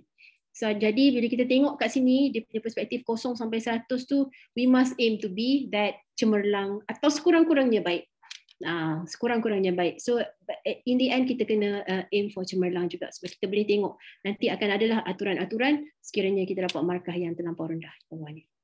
Jadi setakat itu saja um, refresh um, refresh and recap of uh, LNPT dan juga um, peranan uh, pegawai penilai pertama, pegawai penilai kedua dalam meningkatkan uh, kompetensi pegawai. Terima kasih. Baik, terima kasih Puan Syahirano binti Zulkifli atas penerangan terperinci yang telah diberikan sebentar tadi. Baik, kita tanpa membuang masa, saya akan cuba bacakan beberapa soalan yang telah diajukan melalui tab Q&A ni. Sebenarnya sepanjang tempoh Puan Syahira bagi talk tadi pun ada beberapa soalan yang telah dijawab apa ni, secara bertulis lah oleh Puan Syarifah Ratina juga daripada JPA, dan juga Puan Raha pun ada uh, cuba menjawab soalan-soalan tersebut. Jadi saya cuba fokus kepada uh, soalan yang masih belum dijawab lah. Ya.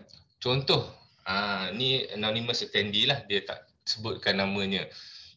Uh, boleh bagi perbezaan sentiasa, kerap kali dan kadang kala. Ai, dah macam cerita Piramli.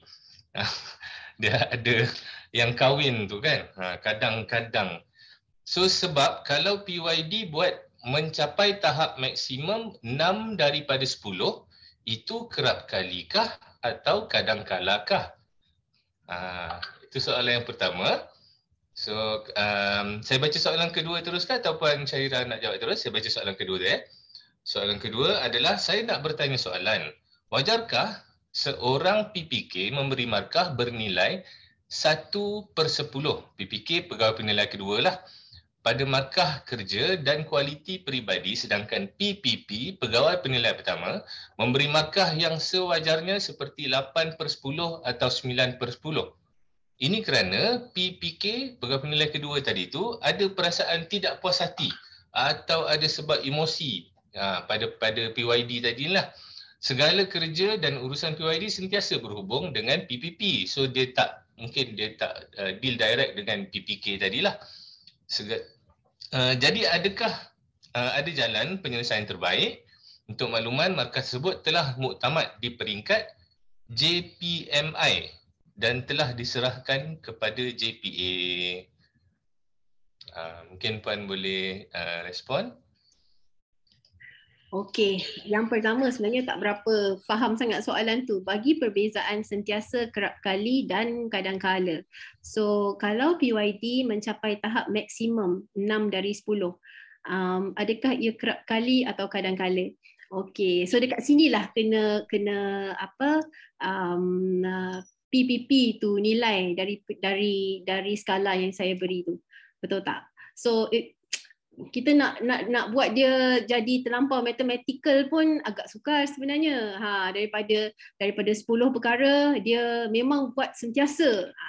so uh, memang agak objektif. That's why kita kasih this kind of scaling. Dia kena terpulang kepada bukan terpulang PPP perlu menilai sebenarnya bagaimana. Um, so kalau kerap kali kalau kalau kalau tengoklah macam mana kerap kali uh, atau kadang-kala tu. Um, lebih banyak daripada lebih banyak tepati daripada kurang uh, mungkin ia adalah kerap kali. Uh, tapi in the end dia akan terpulang kepada PPP itu juga. Dia sendiri akan ada feeling berdasarkan um, apa skill yang kita kita beri itu tapi kalau ikut tadi tu adalah apa adalah um, 6 daripada 10 kan. So definitely it's not 9 to 10 lah. Betul tak? It's definitely not 9 to 10. Ha, dia mungkin adalah antara 7 hingga 8 je. Ha, sebab dia telah capai tahap maksimum tapi um, bukan sentiasa dan kadang-kadang tepati atau kerap kali tepati. Okay. So itu yang pertama. Yang kedua tadi, sekejap. Kedua, okay. Um, okay, dekat sinilah elemen yang saya kata tadi. PPP kita sebagai PPP, kita sebagai PPK ada tanggungjawab to be um, tanggungjawab tanggungjawab kita sebagai PPP to PPK um, atau PPK. Jadi jangan biarkan apa jangan biarkan emosi menghantui diri. Itu sebab kita ada kita ada semua skala-skala penghasilan kerja dan sebagainya. Um, so kita perlu ikut skala ni. Jadi ini dia punya dia punya urusan macam saya kata um, kalau ada pertembungan antara um, basically kita tahu benda dia terjadi. Um, contoh PYD dan PPP tu ada pertembungan. PPP kasih terlampau rendah, PPK nak kasih terlampau tinggi. So dekat situlah ada peranan PPK di situ. PPK perlu lihat balik, tengok balik, tanya PPP, kenapa sebenarnya, why is this like this, why is this like this. Tetapi kalau di peringkat uh, PPK pun um, tidak dapat laksanakan dia, so dekat situlah pula peranan PPSM. Uh, jadi PPSM pun ada apa ada kuasa untuk memanggil semula pegawai um, apa yang dinilai kenapa ia begini untuk menilai semula wajar ke tak sebab in the end kita nak buat apa kita nak pastikan tiada tiada penganiayaan kepada pegawai itu. Uh, kita nak itu juga terjadi. Of course at the at the first time at the first place kita mahu um, apa uh, sasaran organisasi tercapai but not at the expense of uh, our officers juga. Uh, dekat situlah timbal balik atau apa uh, ya timbang tara yang boleh dibuat uh, oleh PPSM untuk pastikan um, tiada tiada masalah sebeginilah terjadi. Okey, saya rasa dua terjawab. Okey. Baik, terima kasih Puan Syairah. Okey, ada satu lagi soalan tambahan ni. Assalamualaikum. Waalaikumsalam. Adakah keperluan PYD juga membuat penilaian pada prestasi PPP dan PPK-nya uh, dia nak bagi penilaian dekat bos-bos dia pula lah. Hal ini kerana PYD juga dipengaruhi oleh kepimpinan PPP dan PPK. So dia kata mungkin dia kata saya ni tak bagus sebab bos saya pun tak bagus. Ah contoh macam tu. So kalau Puan Syahira boleh bagi uh, sedikit penjelasan atau pencerahan lah sekiranya ada. Terima kasih. Okey. So untuk ini setakat hari ini setakat sekarang kita tak ada perspektif untuk PYD menilai PPP dan PPK di peringkat bawah. Tetapi kita ada sistem 3 360 kalau tak silap ya. Um, so that penilaian itu kalau kita lihat itu adalah untuk um, our jusa lah, jusa si ke atas kalau tak silap saya. Uh, jadi um, mereka ini memang dinilai oleh bosses uh, dan juga orang keliling dan juga orang bawahnya. Uh, jadi um, nanti as, as you um, apa mungkin akan ada keadaan tuan-tuan dan puan-puan juga terpilih untuk me- membuat penilaian kepada um, PPP atau PPK tuan-tuan dan puan-puan bila tuan-tuan puan-puan disenaraikan uh, dalam apa penilaian 360 uh, mereka. Jadi ada perkara tu ada, elemen tu ada telah di, di, dimulakan um, apa di peringkat uh, tertinggi. Uh, jadi kemudian saya pun ada juga keadaan um, apa apa dah ada peluang untuk untuk menilai uh, bosses. Jadi ia memang ada tapi mungkin um, uh, belum lagi di peringkat bawahan. Okay. Saya rasa menjawab soalan-soalan yang diberikan diajukan sebentar tadi itu Um, setakat ini tiada soalan tambahan. So jadi Puan Syahira nak open lagi ke atau Okay, kita boleh teruskan pada sesi yang next ni sebab kita pun nanti yang next ni pun mungkin ada soalan-soalan juga yang akan ditanya, bakal ditanyakan. Baik, terima kasih banyak kepada Puan Syahira Nur binti Zulkifli. So ada nak share Twitter ke, Instagram ke kalau ada orang nak follow, tak ada eh. Okay. Baik, terima kasih banyak. Kemudian hadirin sekalian. Ya, okey, terima kasih. Hadirin sekalian, majlis akan diteruskan dengan sesi ceramah yang kedua iaitu bertajuk Kenaikan Pangkat Secara TBBK dan Isu Berkaitan. Uh, penceramahnya juga daripada JPA, uh, Ketua Penolong Pengarah daripada bahagian perkhidmatan JPA iaitu Puan Raha binti Hamidun. Dengan segala hormatnya dipersilakan. Okay, terima kasih kepada apa um, MC. Uh, Assalamualaikum dan selamat pagi kepada semua. Uh, jadi tanpa melengahkan masa lah sebab apa hari ni hari Jumaat kan. Okey, saya share screen. Saya.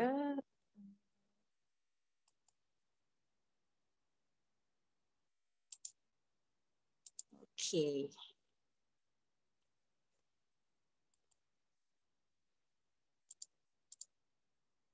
Okay. Alright. Okay, so hari ini uh, saya akan uh, memberi taklimat berkaitan dengan kenaikan pangkat secara time base uh, berasaskan kecemerlangan bagi pegawai kumpulan pelaksana. Okay, uh, so macam mana kita tahu uh, TBK ni hanya untuk kumpulan pelaksana lah. Uh, unfortunately untuk apa PNP ni tak adalah kecuali guru. Uh, guru tu dia adalah TBK dia kan. Okay, So untuk TBK ni punca kuasanya adalah Perkeliling Perkhidmatan bilangan 10 tahun 2017. Uh, okay, ini antara uh, kandungan taklimat saya. Tapi tak apalah, kita go to apa uh, kepada latar belakang. Okay, pada 1 Julai 2009, kerajaan telah melaksanakan kenaikan pangkat secara time base bagi pegawai kumpulan pelaksana yang telah berkhidmat 15 tahun uh, dan lebih dalam uh, skim perkhidmatan semasa secara khas untuk penyandang. So pada tahun uh, 2013 pula kita tambah baik TBK ni daripada 15 tahun ke 13 tahun. Uh, dia pada lapisan yang pertama lah. Uh, okay. Uh, lapisan pertama grade lantikan uh, ke lapisan uh, grade lantikan ke lapisan pertama naik pangkat. Okay. Kemudian pada Oktober uh, 2017 uh, kita perkenalkanlah uh, apa time base uh, kali kedua kepada semua. Uh, jadi maksudnya ada dua kali kenaikan secara time base. Okay. So kalau ikut uh, time base ni dia memang hadiah lah uh, sebagai hadiah kepada um, kumpulan pelaksana yang telah berkhidmat uh, dalam kerajaan tapi syaratnya kenalah cemerlang. Okey. So kalau kita lihat pada uh, Julai 2016 uh, kerajaan melaksanakan pula rasionalisasi skim perkhidmatan uh, di mana kita ada apa tambah lapisan grade untuk kumpulan pelaksana. Uh, sebagai contoh macam kita lihat di sini uh, pada grade 11 dan 14 uh, sebelum 2016 kita ada dua saja. So dia boleh naik satu apa satu kali je lah TBK kan. So pada 2016 tu kita upgrade, uh, kita tambah uh, grade 16 dan juga 18. Uh, jadi dia adalah tu uh, TBK keduanya. TBK keduanya iaitu 14 ke 16. Okay. Um, okay. Sebagai contoh, kalau macam orang tu dia dah naik secara hakiki ke 16, daripada 14 grade 14 ke 16 kalau kita lihat uh, dalam ni 14 ke 16 so ada tak TBK 2 untuk dia ha, tak adalah sebab TBK 2 ni grade uh, kenaikan pangkat lapisan kedua okay. so apa prinsip dasar baharu TBK ha, macam saya uh, mention tadi lah grade lantikan uh, untuk ke lapisan pertama grade kenaikan pangkat 13 tahun Ha, so lapisan pertama ni dia tak mohon hakiki. Dia memang dekat situ saja. So tunggu 13 tahun uh, lagi barulah dia dapat lapisan kedua grade kenaikan pangkat secara TBK 2. Okey, kalau kita lihat contoh ni uh, juru teknik komputer kan. Okey. So dia apa? FT19. Ah uh, tu grade lantikan. Uh, jadi bila dia nak ke TBK kali pertama dia ke FT 22. Okey, dengan dengan syarat kena tahap prestasi yang baiklah. Okey. Um, right. Kita lihat pula syarat TBK. Uh, walaupun uh, dia ni kita panggil sebagai hadiah, uh, dia ada syarat lah yang perlu kita patuhi. So siapa yang layak? Uh, yang layak ni hanyalah pegawai yang dilantik secara tetap. Okay dan memenuhi tempoh perkhidmatan 13 tahun atau lebih di lapisan pertama grade kenaikan pangkat dalam skim perkhidmatan atau selepas uh, 1 Januari 2018. Okay, ini saya akan ceritakan uh, lebih lanjut. So untuk pegawai dalam skim perkhidmatan bersepadu dilantik secara terus ke grade lantikan ke grade lantikan uh, yang setara dengan lapisan pertama grade kenaikan pangkat. Okay, Uh, ini contoh penerbit uh, rancangan dia dilantik terus ke grade B31 uh, atau pereka yang dilantik terus ke grade B21. Uh, ini nanti kita akan lihat contoh lebih uh, detail lah. Okay, pegawai yang meninggal dunia pada atau selepas 1 Januari 2018 dan telah berkhidmat uh, 13 tahun ke atas di lapisan pertama grade kenaikan pangkat. Uh, so maksudnya uh, kalau kalau dia meninggal pada 1 Januari tu memang kita akan uh, berikan dia ni lah dengan syarat dia dah cukup berkhidmat 13 tahun. Okay. Untuk yang tidak layak, uh, perkhidmatan tertentu uh, dalam yang diperuntukkan tempoh time base berbeza dengan uh, pegawai uh, uh, contoh macam pegawai perkhidmatan pendidikan uh, yang kumpulan pelaksana okey uh, so yang tu kita tak ambil kira untuk um, apa nama time base ni sebab mereka ada time base mereka sendiri okey kemudian pegawai yang bersara pada atau sebelum uh, 1 Januari 2018 uh, pun tidak layak TBK okey um, sebab kenapa 1 Januari 2018 tu sebab um, pekeliling ni memang efektif dia uh, pada tarikh tarikh ni lah. Okay. Alright. Tapi sebab semuanya um, pada pada tahun tu kira kebanyakannya dah selesai kan.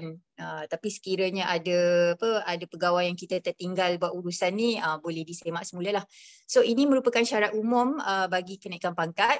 So telah disahkan dalam perkhidmatan diperaku oleh ketua jabatan uh, pastikan uh, ada isytihar harta uh, yang latest lah ya.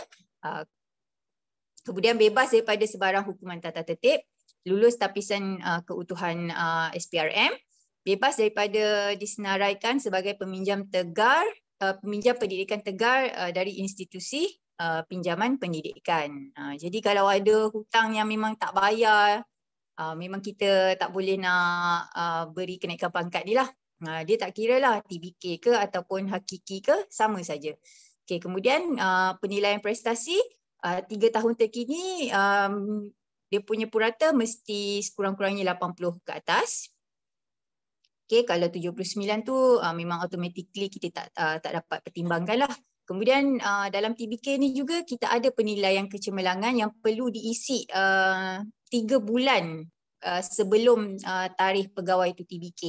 Uh, so pen, apa kira PP pegawai penilai uh, pertama kita kena menilai kita lah ya. Okay. Right. So dia kena baik atau cemerlang lah. Uh, selagi tak capai baik atau cemerlang, uh, ada caranya. Okay.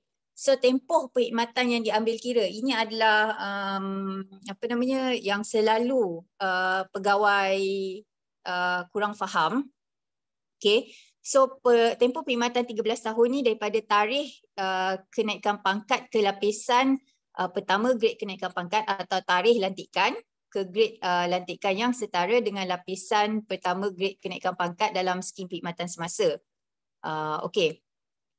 So tempoh tu uh, kalau pegawai ni dia um, dalam grade jawatan sebelum option pertukaran lantikan atas keputusan kerajaan uh, nanti kita ada contoh ke skim perkhidmatan yang sama atau skim perkhidmatan lain pada grade yang sama atau setara uh, maksudnya dia kena kumpulan kelayakan masuk yang sama lah maksudnya dia uh, kelayakan dia diploma uh, grade yang dia pergi tu uh, pun memerlukan diploma. Uh, itulah uh, contohnya.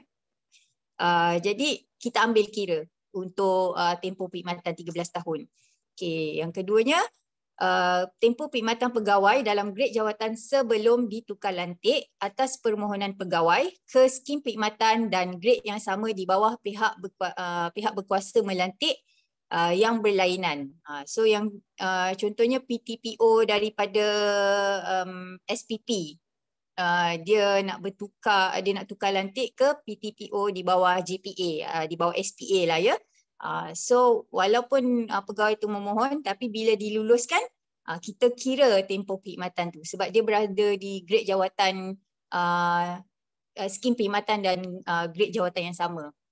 Okay, kemudian tempoh perkhidmatan pegawai uh, di jawatan pertukaran sementara atau peminjaman sebelum ditukar tetap Uh, ke agensi peminjaman di grade yang sama atau setara. Uh, ini sebagai contoh macam uh, saya ada jaga pegawai khidmat pelanggan. So pegawai khidmat pelanggan ni uh, dipinjamkan uh, menjadi uh, pembantu setiausaha pejabat uh, di di satu agensi yang lain lah. So kita pinjamkan dia. So uh, bila dah pinjam tu dia uh, apa agensi tu nak tukar tetap. Macam maksudnya nak ambil pegawai tu ber, berkhidmat di agensi tu terus. So kita buat tukar tetap. Jadi tempoh perkhidmatan pegawai uh, uh, diambil kira lah yang sebelum dia tukar tetap tu. Uh, jadi bila dia tukar tetap tu um, genap 13 tahun daripada tarikh apa tempoh perkhidmatan yang sebelum kita tukar tetap tu diambil kira. Kemudian tempoh perkhidmatan pegawai yang meletak jawatan dan dilantik semula ke skim perkhidmatan yang sama uh, dan grade yang setara dengan lapisan pertama grade kenaikan pangkat dengan syarat perkhidmatannya tidak terputus. Uh, tidak terputus tu maksudnya um, dia macam immediate punya um, dia letak jawatan dan dia terus dilantik. Uh, kira tu dia tak terputus lah ya. Okay.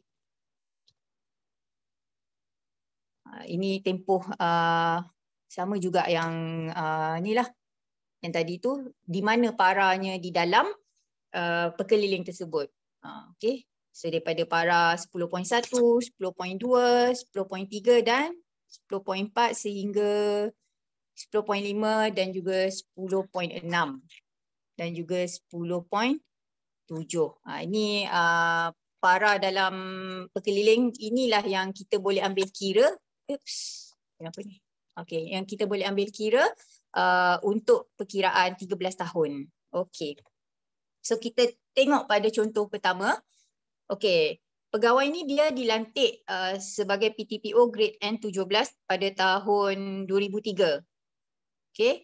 Uh, lepas tu dia ada pelanjutan tempoh percubaan dengan denda satu tahun. So bila kita ada pelanjutan tempoh percubaan ni, uh, kita punya kekananan tarikh lantikan tu akan berubah lah ya. Uh, so kita, dia punya tarikh, tarikh baru adalah 1 hari bulan 2 2004. Sebab dia setahun kan dia punya tempoh denda tu. So 2007 dia disahkan uh, dalam perkhidmatan. PSL ni uh, peningkatan secara lantikan lah. Okay. Kemudian dia dapat tawaran uh, PPT grade N 27.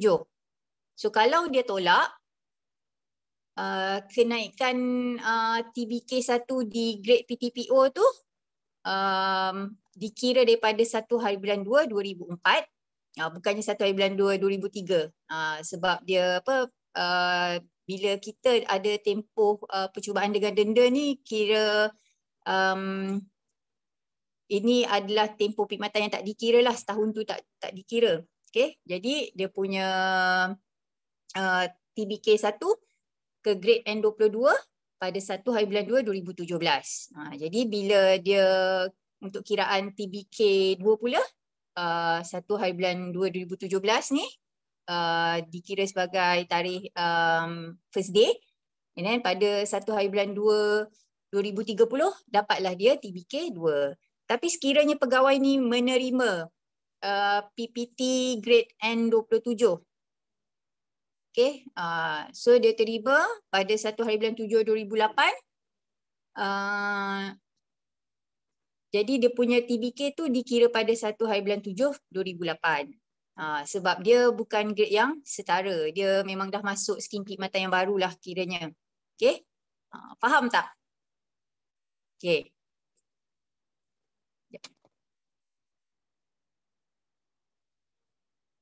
Okay.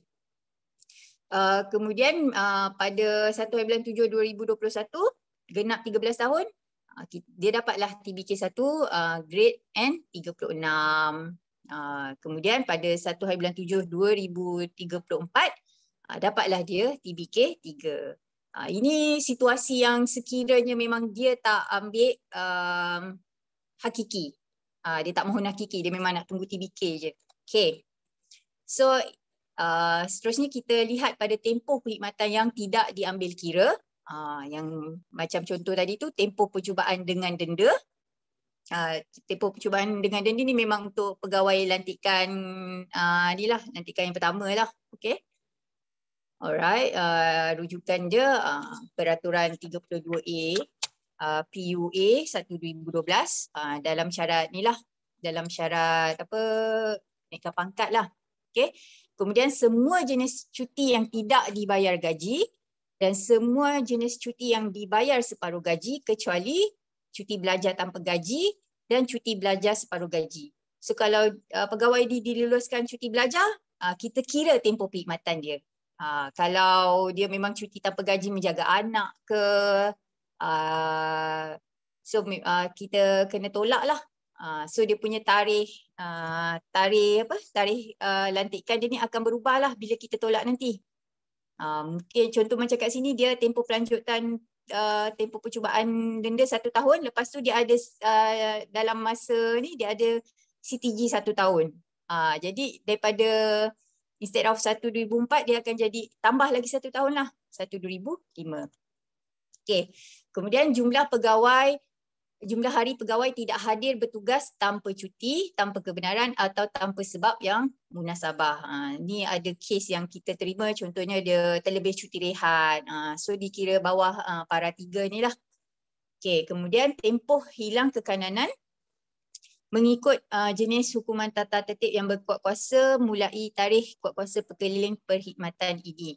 Um, uh, buat masa ni kita berdasarkan um, apa hukuman tata tertib Uh, tapi uh, JPA akan mengeluarkan uh, satu perkeliling baru jugalah. Uh, cuma bila tu kami tak pasti berkaitan dengan tempoh kehilang uh, apa hilang kekananan berkaitan dengan uh, tata tertib ni juga. Okay. So macam mana kita nak melaksanakan? Okay. Uh, TBK ni kita kena ikut perbekalan grade jawatan. Okay. So contoh di sini. Kalau kita lihat uh, pemandu operator jentera pemunggah. So H11, TBK 1 ke, uh, ke H14, uh, TBK 2 ke H16. Okay. Ni pun straight. Okay um, ini untuk pembantu setiausaha pejabat dan setiausaha pejabat uh, sebab uh, dan juga pembantu pegawai latihan vocational, uh, penolong pegawai latihan vocational, pegawai latihan vocational. So kedua-dua skim ni skim bersepadu. So maksudnya daripada grade 19 dia boleh naik ke uh, 29. Okay, jadi kalau untuk PSP, uh, PA ni, PSP yang grade N19, uh, untuk TBK 1 dia dia ke grade N22. Uh, so lepas N22 tu dia tak ada 26 28 kalau dalam perbekalan skim. So untuk TBK 2 dia akan dapat N20 uh, sorry N30. Uh, dia akan dapat N30. Maksudnya setara dengan grade lantikan uh, pada um, skim setiausaha pejabat. Okay. So contoh macam yang uh, apa DV ni, uh, macam saya saya memang jaga DV. So DV ni uh, DV 19 dia pun ada DV19 dan DV22 saja. Dia tak ada 26, dia tak ada 28. Okay, so TBK1 dia, dia pergi ke DV22. Sebab DV21 ni uh, lantikan lantikan ni lah lantikan baru tapi dia berada di grade uh, kenaikan pangkat. Kemudian uh, untuk ke TBK2 dia akan dapat DV30. Uh, tapi secara KUP lah. Uh, so itu lainnya antara skim bersepadu dengan skim yang sebelum tadi. Uh, PTPO ke sebab PTPO dia ada ni kan dia ada 19, 22, 26. So dia akan naik dekat situ sajalah. Tapi kalau untuk skim bersepadu ni dia memang akan melangkau ke uh, skim perkhidmatan yang berikutnya. Uh, okay, jelas? Alright. Okay, ini pula untuk uh, perkhidmatan beruniform. Uh, kita bagi contoh di penjara lah ya. Uh, so kalau kita lihat um, pegawai penjara dia ada apa uh, kenaikan pangkat yang berlainan lah dengan uh, dengan kita. Okay, so daripada grade uh, KA19 dalam masa 8 tahun dia dapat uh, ke 20. Kemudian 5 tahun kemudian dia ke 22. Uh, tapi dia tak ada TBK 1 lah. TBK 1 dia ni dikira yang 8 dan 5 ni lah. Okay. Uh, so untuk TBK uh, kedua daripada grade 22 ke 24 ataupun 24 ke 26. Uh, dia dia memang uh, very unique lah compared to us. Okay. Uh, so TBK 2 dia ni. Okay. Tak apa, ini maritim saya rasa tak perlu saya nak sentuh sebab uh, rata-rata dekat sini memang apa grade skim perkhidmatan NW kan. Okay. Bomba. Okay. So kita lihat macam mana kita nak buat penetapan uh, tarikh kenaikan pangkat. Okay. Uh, bagi pegawai yang tidak memenuhi syarat uh, markah LNPT. Okay. Uh, kita lihat kat sini. Tarikh kenaikan pangkat ke, ke grade N22 pada 14 hari bulan 9 2005. So tarikh genap 13 tahun dia sepatutnya pada 13 hari bulan 9 2018. Ha, maksudnya TBK dia patutnya 14 hari bulan 9 2018 lah kan. Tapi bila kita lihat pada markah LNPT 3 tahun terkini 2015, 16 dan 17 75% saja. Okay. So lembaga kenaikan pangkat um, bersidang pada 18 hari bulan 10 2018. So keputusan dia tidak berjaya kerana markah prestasi rendah. Uh, jadi kita tunggu lagi setahun. So kita bawa pula ke lembaga uh, dengan markah LNPT yang terkini 2016, 17 dan 18. 79%. Uh, tarikh uh, pertimbangan semula 5 hari bulan 3 2019. Tidak berjaya juga. Okay. So uh, kita bawa uh, ke tahun berikutnya. So kita ambil kira tahun 2017, 18, 19 sebab dia kena guna apa LNPT yang terkini kan. Uh, okay, so uh, dipertimbangkan semula oleh uh, lembaga kenaikan pangkat dan berjaya sebab markah dia 80%. Uh, so tarikh pegawai dia 1 Januari tahun pegawai mencapai prestasi yang ditetapkan atau 6 bulan selepas pegawai memenuhi tempoh perkhidmatan yang mana terkemudian. So kita kena ambil yang mana terkemudian lah. Uh, some sort of penalty lah because uh, kita, uh, pegawai tidak menunjukkan kecemerlangan.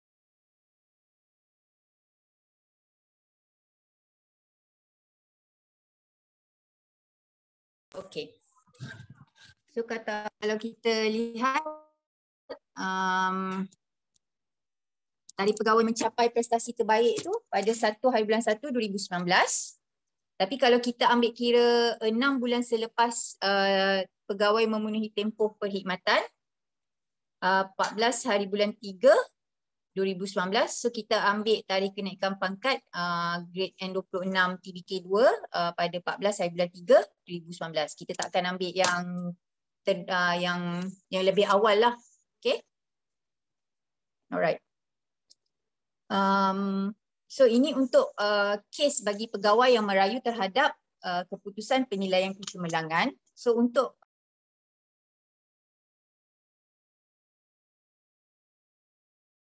baik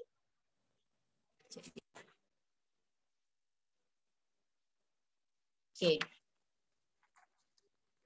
So proses PSM kena kemukakan keputusan penilaian kecemerlangan kepada pegawai. Uh, maksudnya bila apa? Bila pegawai tu um, dia punya peni, uh, penyelia memberikan keputus, uh, apa, penilaian kecemerlangan yang kurang baik lah for example, PSM uh, apa kena bertanggungjawab, kena serahkan kepada uh, pegawai supaya pegawai dapat membuat rayuan uh, bertulis kepada ketua jabatan dalam tempoh 30 hari dan ketua jabatan kena melantik uh, panel rayuan untuk uh, menilai semula. Uh, so ini adalah uh, apa namanya based on our findings lah. Uh, jarang apa bukan jarang kadang-kadang memang tak buat pun panel panel rayuan ni. Uh, terus je bawa masuk mesyuarat. Uh, sebenarnya tak boleh terus bawa masuk mesyuarat. Uh, sebab pegawai berhak untuk merayu. Okay. Uh, jadi kalau um, rayuan tu um, gagal, kira tamatlah. Uh, dia kena buat penilaian semula lah. Kalau dia berjaya, uh, PSM uh, kena angkatlah ke apa, lembaga kenaikan pangkat. So kalau kita lihat uh, di sini, so pegawai ni grade W22, uh, tarikh naik pangkat dia 10 hari bulan 1 2010.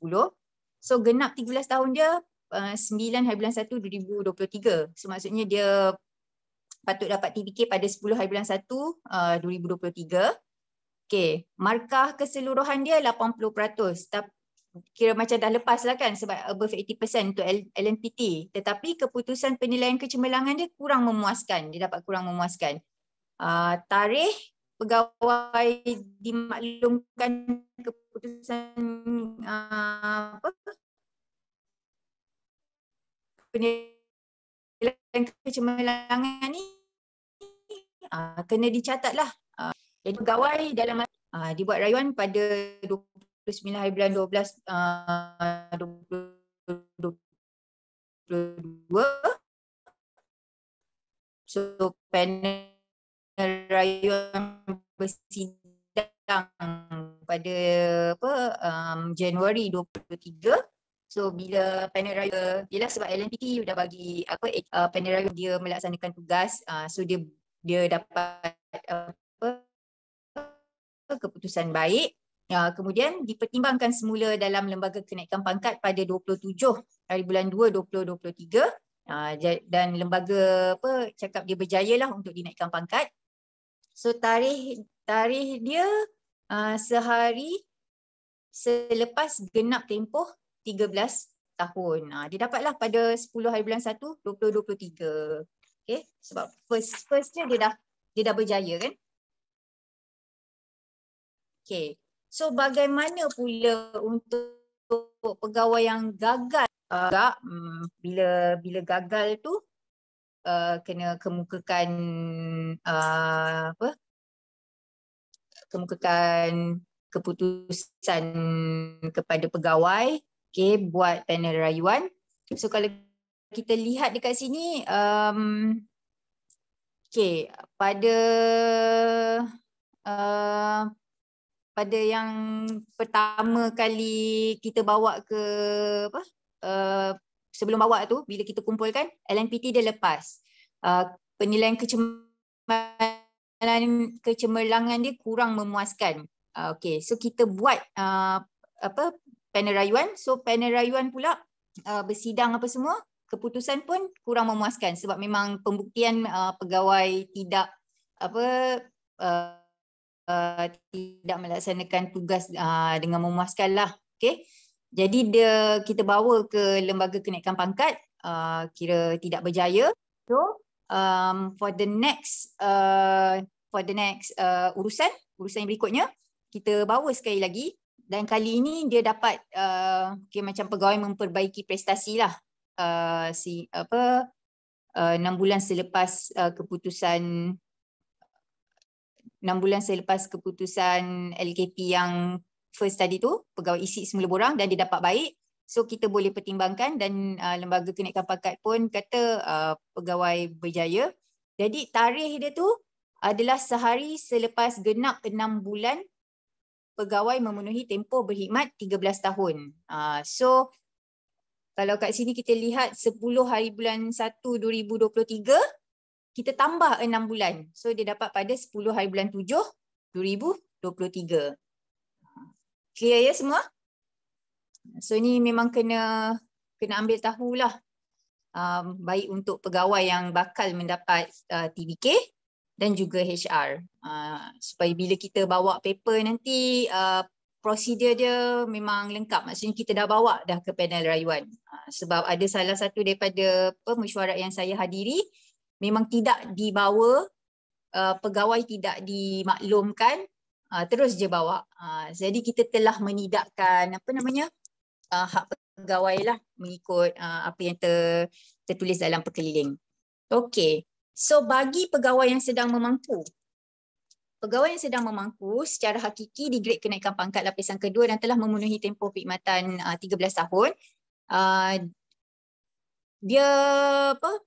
Dia kita boleh terus naikkan pangkat dia tanpa perlu memenuhi syarat tempoh pemangkuan. Okey? Uh, tapi tarikh kuasa naik pangkat dia adalah pada tarikh pemangkuan. Okey, so kalau kita lihat contoh di sini, dia grade N17 pada uh, 2 2005. Uh, kemudian dia memangku grade N22 pada 1 hari bulan 8 2017. So dia punya uh, dia punya genap uh, 13 tahun tu pada 2 hari bulan 2 2018. So kalau kita kira uh, in terms of pemangkuan untuk pelaksana 6 bulan kan. So 8, 9, 10, 11, 12, 1, 2. Ha. So enam bulan kan. So bulan dua tu patutnya kita dah buat untuk dia apa? Um, naik pemangkuan. Tapi kita boleh terus um, uh, perakukan pegawai untuk naik pangkat uh, dengan syarat dia melepasi inilah uh, SPR, tapisan SPRM uh, apa isytihar tu semua uh, apa lepas Uh, so kita boleh terus naikkan pangkat dia pada 1 hari bulan 8 2017. Maksudnya dia tak perlu cukupkan uh, tempoh 6 bulan. Hmm. Tapi contoh ni macam tak tak comel sangat sebenarnya. Kita saya, contoh kita bagi pada bulan 10 lah 10 2017 tu dia dapat uh, memangku. Uh, so 10, 11, 12, 1, 2. Bulan 3 sepatutnya dia cukup 6 bulan uh, tempoh pemangkuan kan. Uh, tapi kita dah boleh terus uh, bawa paper uh, untuk um, apa perakukan kenaikan pangkat dia. Uh, tapi kenaikan pangkat dia bukanlah pada tarikh dia TBK. Uh, kenaikan pangkat dia tetap uh, yang lebih awal lah uh, iaitu pada tarikh pemangkuan dia. Okay. Uh, tapi uh, keputusan penilaian kecemerlangan kena direkodkanlah dalam apa uh, kenyataan buku kenyataan pegawai. Okay. So ini uh, antara isu-isu yang selalu di apa ditanya lah ya. Uh, okay, sekiranya pegawai telah menerima kenaikan uh, pangkat secara TBK sebelum pemangkuan jawatan di grade yang uh, sama disiarkan, pegawai tidak layak memohon pemangkuan bagi jawatan berkenaan. Sekiranya pegawai telah diluluskan pemangkuan uh, sebagai calon berjaya pemangkuan tersebut adalah terbatal. Uh, so maksudnya macam dia nampak iklan ada iklan hakiki grade N22. Uh, dan dia sebenarnya dah TBK pun. Dia dah TBK uh, sebagai contoh dua tahun yang lepas dia dah TBK N22. Kemudian dia nampak iklan N22 hakiki dan dia nak mengisi hakiki itu. Jadi dia pun apply. Uh, jadi bila kita buat semakan, dia tak layak sebab dia memang dah dinaikkan pangkat uh, secara TBK. Jadi kalau uh, yalah kadang kita terlepas pandang uh, perkara-perkara itu. Jadi bila kalau dia diluluskan uh, pemangkuan tu memang terbatal lah uh, sebab dia dah naik TBK. Um, perkara ni memang dalam dalam minggu ni lah uh, ada yang kami terima uh, untuk PTPO. So kami tulis apa uh, sebab surat tu tulis pengisian kekosongan. Uh, tapi sebenarnya bukanlah pengisian kekosongan uh, pengisian kekosongan itu sebenarnya adalah untuk tujuan pemangkuan. Uh, jadi kami menerima banyak uh, apa persoalan daripada uh, pegawai-pegawai yang telah TBK ni kenapa tak tak tawarkan kepada kami. Sebabnya you all memang dah naik pangkat TBK. Uh, cuma apa? Cuma tidak uh, ditempatkan di grade hakiki. Uh, So macam mana nak apa? Macam mana nak apply? Okay. Um, pegawai yang dinaikkan TBK 1 atau TBK 2 masih tertakluk kepada penyeliaan pegawai yang mengisi uh, jawatan kenaikan pangkat hakiki berdasarkan struktur organisasi. Okay. So maksudnya macam uh, penyelia pertama dia N22 uh, dan dia pula TBK 22. Uh, jadi um, walaupun sama grade tapi dari segi apa struktur organisasi dari segi orang yang mempunyai kuasa adalah penilai pertama lah. Uh, jadi ini banyak juga yang apa berlaku lah bila dia dah naik TBK 22 dia merasakan yes you memang dah naik pangkat tapi dari segi pelaksanaan tugas uh, you adalah terikat kepada struktur organisasi. So nak tak nak you kena dengar juga um, apa N22 hakiki di tempat you yang menjadi penyelia apa uh, penyelia anda lah. Okay. Kemudian dari segi penempatan dan pertukaran, pegawai yang dinaikkan uh, pangkat secara TBK 1 atau TBK 2 boleh diarah oleh ketua jabatan atau ketua perkhidmatan untuk mengisi jawatan di grade kenaikan pangkat secara hakiki. Okay, ini ada dalam perkeliling. Maksudnya uh, sebagai contoh um, yang kami banyak terima, um, grade N22 hakiki uh, penyandang dia dah nak bersara lah. Macam lagi sebulan nak bersara lebih kurang macam tu. So kami memang ada terima apa permohonan daripada ketua jabatan uh, nak hakikikan pegawai yang berada di jabatan tersebut. Uh, pegawai pegawai yang nak dihakikikan ni pegawai TBK lah. Uh, jadi dia hantarlah surat permohonan. Okay, kami terdapat uh, bakal mempunyai apa kekosongan grade hakiki N22 uh, pegawai akan bersara. Jadi um, apa namanya? Um, kami ingin apa uh, meletakkan pegawai TBK uh, ke grade hakiki tersebut. Uh, jadi kita akan proses lah. Uh, dan ini yang diarahkan. So bagi mana-mana pegawai TBK yang memang teringin lah, teringin sangat nak duduk dekat hakiki ni, uh, dia boleh buat pertukaran. Uh, maksudnya dia nak tukar, dia dia tahu kat uh, ada ada kekosongan hakiki dekat satu tempat ni kan. Uh, so dia mohon dalam Hermes, so dalam Hermes tu kena nyatakanlah uh, mohon pertukaran ke jawatan hakiki. Uh, tapi bila you dah mohon uh, apa ke jawatan hakiki, um, pegawai tidak dibenarkan untuk kembali ke apa uh, ke grade TBK. Uh, maksudnya bila you mohon tu uh, as if you dah bersedia lah untuk menjawab jawatan hakiki ni. Sebab jawatan hakiki ni dia punya tanggungjawab lebih besar lah. Uh, kalau macam TBK ni kalau ikut dalam perkeliling uh, pegawai penyelia kena memberikan tugas tambahan uh, bersesuaian dengan kenaikan pangkat tersebut. Uh, tapi tugas tambahan lah. Uh, tapi dari segi yang hakiki ni memang tanggungjawab dia macam sisi lah kan kita tengok. Uh, memang tanggungjawab dia lebih uh, luas lah, lebih besar lah kan. Uh, jadi memang ada kes-kes pegawai yang uh, bila kita tempatkan dia hakiki dia tak dapat nak bawa uh, the weightage of the work tu. Uh, dia tak dapat, uh, dia merasakan tanggungjawab tu terlalu besar untuk dia. Jadi dia nak mohon uh, boleh tak kami kembali ke TBK. Uh, sebenarnya tak tak boleh lah. Uh, sebab uh, grade TBK yang you pergi, apa yang you sebelum ni dapat secara KUP kan. Jadi akan menyukarkan proses uh, di pihak HR lah juga kan. Uh, nak nak tukar balik. Tapi memang sebaiknya memang kami memang tidak benarkan lah. Memang kami tak akan benarkan lah.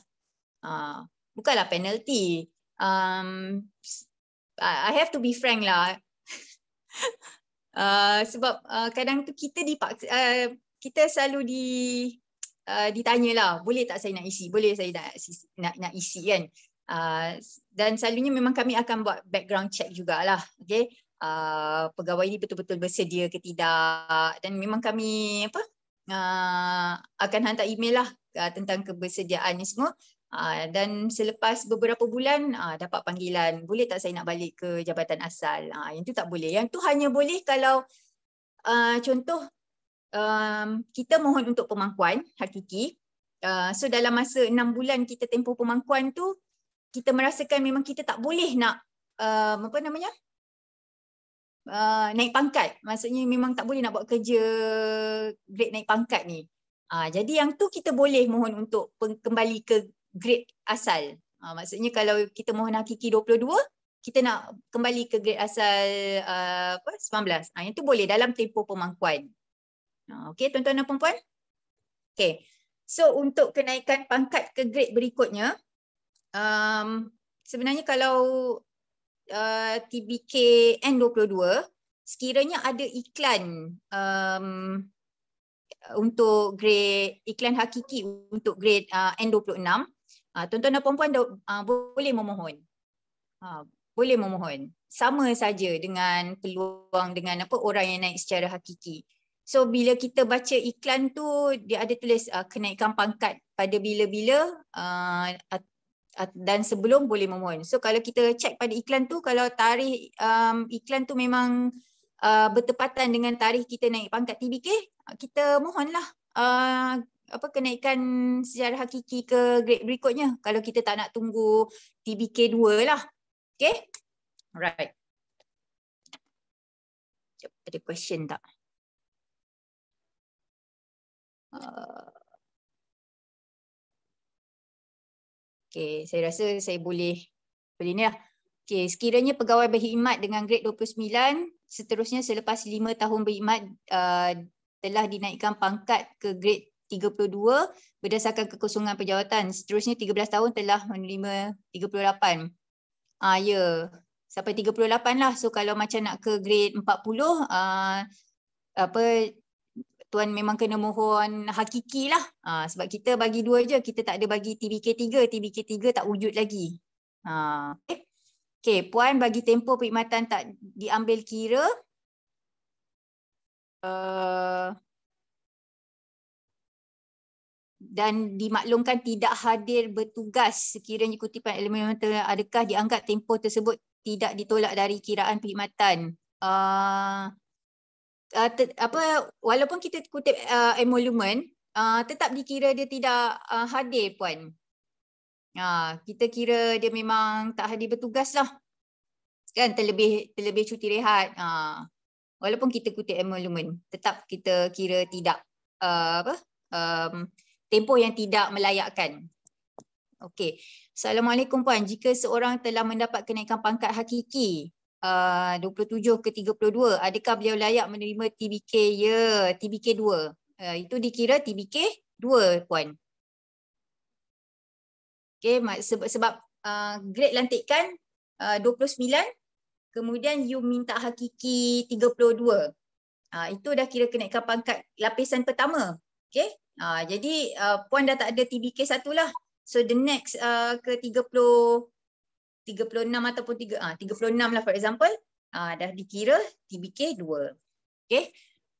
Okey, salam puan. Sekiranya pegawai telah berada di grade 38, grade hakiki bukan KUP pada 2008. Hmm. Adakah pegawai itu layak dipertimbangkan untuk ke grade 40? Uh, Okey. Uh, dia boleh ke grade 40 uh, untuk mengisi hakiki sahaja puan. Uh, dia tak layak untuk TBK 2 sebab 20, 38 ni dah kira TBK 2 lah. Uh, kan grade grade lantik uh, grade naik pangkat yang kedua, lapisan kedua. Ya, uh, ini nak kena tunjuk balik ni, tak apa. Okay. Puan, bagi pegawai yang telah dinaikkan dari W19 ke WA29. Oh, banyak soalan ni. Sebab itulah HR apa? HR cakap memang ini apa topik yang memang pegawai nak sangat. Okey. 29 KUP adakah pegawai tersebut harus memikul tanggungjawab WA29 atau beliau masih memegang tanggungjawab grade 19. Okey, ini memang apa hangat dibincangkan Uh, saya rasa daripada daripada saya masuk sini lah pada tahun 2018. Okey. Bil, sebab kita dah naik pangkat WA29 sebab kami, memang ada menerima lah cakap puan saya ni dah naik 29 uh, tapi saya masih lagi di tempat 19 so saya nak kena buat kerja 29 ke? Tuan-tuan dan puan-puan, tuan-tuan dan puan-puan telah dibayar gaji WA29 bukannya dibayar gaji 19. Jadi memang oh, memang menjadi tanggungjawab tuan-tuan dan puan-puan apabila diarahkan oleh ketua jabatan untuk uh, melaksanakan uh, tanggungjawab WA29 tuan-tuan dan puan memang kena buat uh, apa kerja tersebut mengikut arahan ketua jabatan. Uh, kira macam se apa uh, setaraf dengan kenaikan pangkat tuan-tuan dan puan uh, cuma saya fahamlah memang ada lagi yang berada di W19 sebab uh, masih belum ada kekosongan WA29 kan hmm. tapi dapat menjawab ya Okay, sekiranya pegawai baru yang telah berkhidmat salah satu di grade 41, adakah pegawai layak memohon grade 47 yang diiklankan? Oh, ini mana punya ya? Hmm, kalau untuk kekosongan hakiki, kalau dia dah oh satu tahun, satu tahun grade 41. Dia ber, um, dia bila kekosongan hakiki ni kita kena tengok iklan. Sebab macam contoh iklan di JPA memang kami ada buat penetapan uh, lantikan tahun berapa yang layak.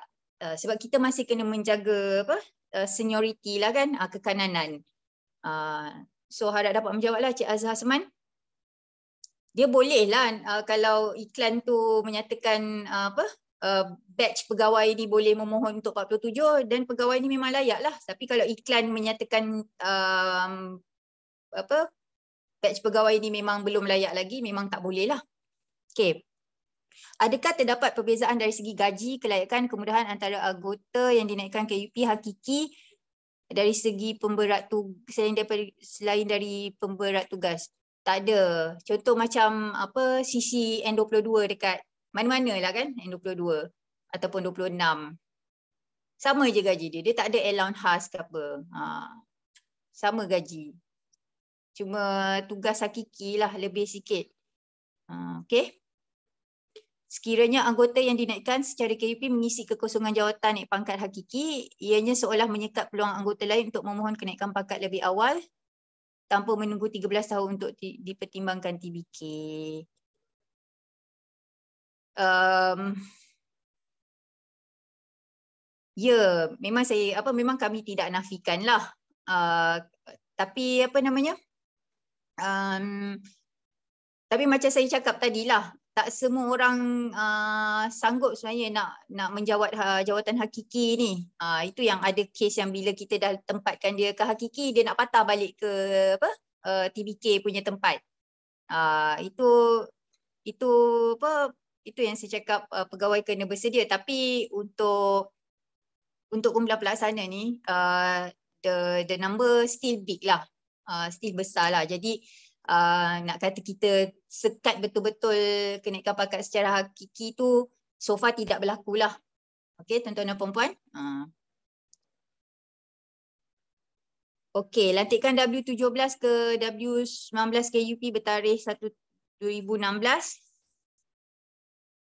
Ah, tak tuan, tak boleh sebab tuan tuan berada di jawatan W17 tapi body tuan sebenarnya uh, tuan apa KUP 29 tuan dah dapat 29. Ah uh, uh, boleh lah boleh untuk um, apa ke grade berikutnya lah. Uh, TBK 13 untuk W30 32 kan? Ah uh, 32 boleh lah. Uh, okay? Alright. So kaedah penyeliaan pegawai TBK, uh, inilah dia. Okay, pegawai penilai kedua, okay. PPP, pegawai atasan penyelia yang mempunyai hubungan uh, kerja secara langsung atau mengawasi kerjanya. PPK, um, jika terdapat satu peringkat penyeliaan sahaja, uh, boleh dibuat PPP. Maksudnya kalau dia tak ada PPK, PPP sajalah yang buat. Okay. So tempoh minimum penyeliaan seeloknya tidak kurang enam bulan. Dalam apa jua keadaan mesti lebih tiga bulan. Uh, okay. So kalau kurang maksudnya dia baru dia baru eh, dia baru sampai dan kurang daripada tiga bulan uh, dia kena mohon daripada penyelai lama je lah. Okay, ha, tuan-tuan boleh mohon daripada penyelai lama. Okay, so next. PPP berada di grade yang sama. Ha, ni yang saya ceritakan tadi lah. Okay, dia grade N19 so dia nak naik TB uh, eh bukan. Ha, dia grade N19 dia nak naik TBK uh, bukan dia TBK 22 uh, dan dia nak naik TBK 2 lah for example. Okay. So kalau kita lihat kat sini uh, penyelia dia 22. Kan? Uh, so um, walaupun sama ni TBK 22, ni hakiki 22 boleh boleh diisi oleh pegawai penilai pertama sebab kita melihat kepada struktur organisasi. Uh, kita bukan melihat pada pangkat uh, penilai pertama kita. Uh, cuma bila bila pegawai yang dinilai ni dapat TBK 2 N26, uh, janganlah besar kepala pula dengan penilai pertama anda sebab dari segi struktur organisasi masih lagi penilai pertama ni apa mempunyai kuasa. Uh, tapi kepada penilai pertama pula janganlah apa tunjuk lagak sangat kan. Maksudnya kita bila dalam bekerja ni memang kita kena work as a team lah. Uh, tak payahlah nak fikirkan pangkat ni semua tapi tak dapat dinafikan lah. Ada seseparuh tu memang ada berperang yang begitu kan. Uh, tapi apa-apa pun kita memang kena back to uh, struktur organisasi. Okay. Alright. So ini uh, contoh uh, yang pernah berlaku uh, di mana kita jumutkan perkhidmatan pembantu takbir rendah um, dan operasi mesin proses data ni. So kalau kita lihat um, dia dilantik pada 1 bulan 2 2003, 2006 uh, tempoh pelanjutan percubaan dengan denda satu tahun. Uh, so kekananan dia dah bergerak lah daripada 2003 tambah satu tahun 2004. So dia disahkan dalam perkhidmatan. So bila kita um, buat option tukar lantik ke PTPO N17 pada masa itu, uh, dia tolak. So dia tolak skim perkhidmatan dia ni nak jumut dah. Jadi dia dapatlah apa? Uh, dia duduklah dekat tempat tu secara KUP. Uh, cuma dia hanya dapat TBK 1. Okay. Sebab perbekalan kenaikan pangkat sehingga grade N14 hanyalah uh, satu sahaja. Okay, dia dapat TBK satu. Tapi sekiranya dia di, dia diterima um, pada 1 bulan 7 2008, so TBK 13 tahun dia dikira pada tarikh dia uh, tukar lantik uh, ni pada option tu. So 13 tahun se- se- selepas itu 1 bulan 7 2021 dia dapatlah naik ke grade N22 TBK 1. Uh, dan kalau dia tak memohon hakiki, uh, ah, 13 tahun berikutnya dapatlah dia TBK 2. Okay. So ini pegawai yang ditukar lantik dari pihak berkuasa melantik yang berbeza. Okay, kalau sini kita lihat uh, ah, SUK, dia PTPO grade N9 pada tahun 2003 ni, N9 dia punya ni. Kemudian pada 1 bulan 2006 disahkan dalam perkhidmatan. Uh, 1 bulan 12 2007 dia dapat naik pangkat grade N 22 kat SUK. So dia atas apa um, pertukaran pelantikan keputusan kerajaan uh, dia diarahkan uh, tukar lantik ke JPA. Okay, so dia tukar ke PT Kewangan W22 sebab dia kena setara dengan uh, grade, grade yang sama, grade yang setara lah. Okay, kemudian uh, sebab dia dah naik pangkat grade N22 lapisan pertama ni pangkat kan. Jadi dia hanya dapat uh, TBK 2. Tapi TBK 2 dia bukan dikira pada 1 hari bulan 7. Kita kira daripada 1 hari bulan 12 2007. Maksudnya kita mengambil kira um, apa um, perkhidmatan dia N22 tu sebelum dia tukar ni, tukar pelantikan. Okey, jelas? Okey. Tengok ni. Puan sekiranya telah memegang jawatan hakiki N26 setelah 13 tahun adakah boleh naik ke 28? Boleh. Eh, kejap.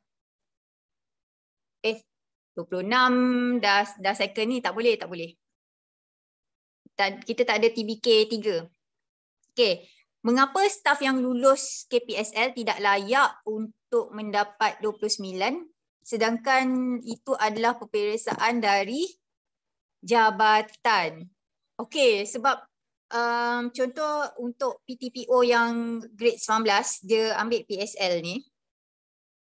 Um, dia bukannya guarantee yang you memang akan automatically dapat naik pangkat. Uh, you masih lagi kena apa namanya? Um, ber bersaing lah, uh, bersaing dalam uh, sesi uh, temuduga dengan apa namanya? Um, pegawai-pegawai yang yang mohon bawa SPA lah. Uh, okay. Uh, bukanlah tidak layak. Dia layak untuk memohon tapi uh, you lulus temuduga ataupun tidak lah. Uh, okay. Uh, sebagai contoh macam uh, perkhidmatan yang saya jaga untuk DV kan. So yang 29 hingga 3, hingga 40 ni dia memang ada PSL untuk naik ke grade 42. So uh, bila ada kekosongan uh, naik pangkat grade 42, um, memang mereka akan menggunakan PSL tapi masih lagi tertakluk kepada um, merit. Okay, merit dari segi kekananan, dari segi LNPT kita susun kan. Jadi um, walaupun ada PSL tapi kalau um, merit you rendah, memang you takkan mungkin jadi calon simpanan lah uh, ataupun tidak berjaya. Okay, uh, right. Okay. So ini antara apa um, soalan-soalan SISPA. Oh, okay, ada satu lagi. Hmm. Adakah keberadaan pegawai yang dinaikkan pangkat ke pejabat secara fizikal atau bertugas secara BDR mempunyai beza dari segi faedah yang patut diterima atas kenaikan pangkat tersebut? Hmm, tak ada tak ada apa-apa. Kalau dia BDR dia buat kerja dia apa faedah ekstra kita nak bagi? Sebab sebarang apa allowance apa semua ni kita kena dapatkan. Contohlah macam kita nak nak fight for allowance untuk CC kan? Ha, yang tu memang kena buat paper memang kena apa hantar kepada bahagian saraan JPA ha, boleh tak kita nak tambah uh, allowance untuk ni? Tapi kalau yang ni tak ada apa-apa selagi dia punch in punch out melalui sistem yang digunakan dia boleh menunjukkan apa hasil kerja yang telah di, diarahkan tak tak ada lah. tak ada tak ada tak ada beza ha okey hmm sebab saya faham masa PKP baru-baru ni memang kita ada apa uh, even latihan baharu uh, kita um, terpaksa juga buat sebab pegawai pun dah dah dah berhenti kerja kan. Jadi dah tertangguh dalam dua bulan, tiga bulan tak saya. Jadi nak makan apa kan dengan dia dah berhenti kerja dan kita tak panggil-panggil lagi untuk lapor diri. Jadi memang um, kita buat uh, lapor diri secara maya. So dia pergi ke jabatan terus. Um, so jabatan memang akan beri arahan melalui WhatsApp ke email ke sebelum dia dapat bergerak masuk ke pejabat. Ha, sebab masa tu memang totally BDR. So KPPA kata kena buat juga lantikan sebab kita tak boleh nak kita dah keluarkan surat tawaran. Uh, it's just a matter bila nak lapor diri. So uh, itu yang membuatkan kami buat uh, secara ni. Tapi um, apa namanya kalau macam dia naik pangkat dan dia patut uh, lapor diri secara fizikal tapi disebabkan ada PKP Uh, dia pegawai memang kena melapor diri pada hari yang sama ke HR melalui WhatsApp ataupun ni. So HR kena memainkan peranan lah yang itu memang pegawai dah lapor diri. So HR boleh bagi tugasan uh, contoh macam lantikan baru yang kami buat.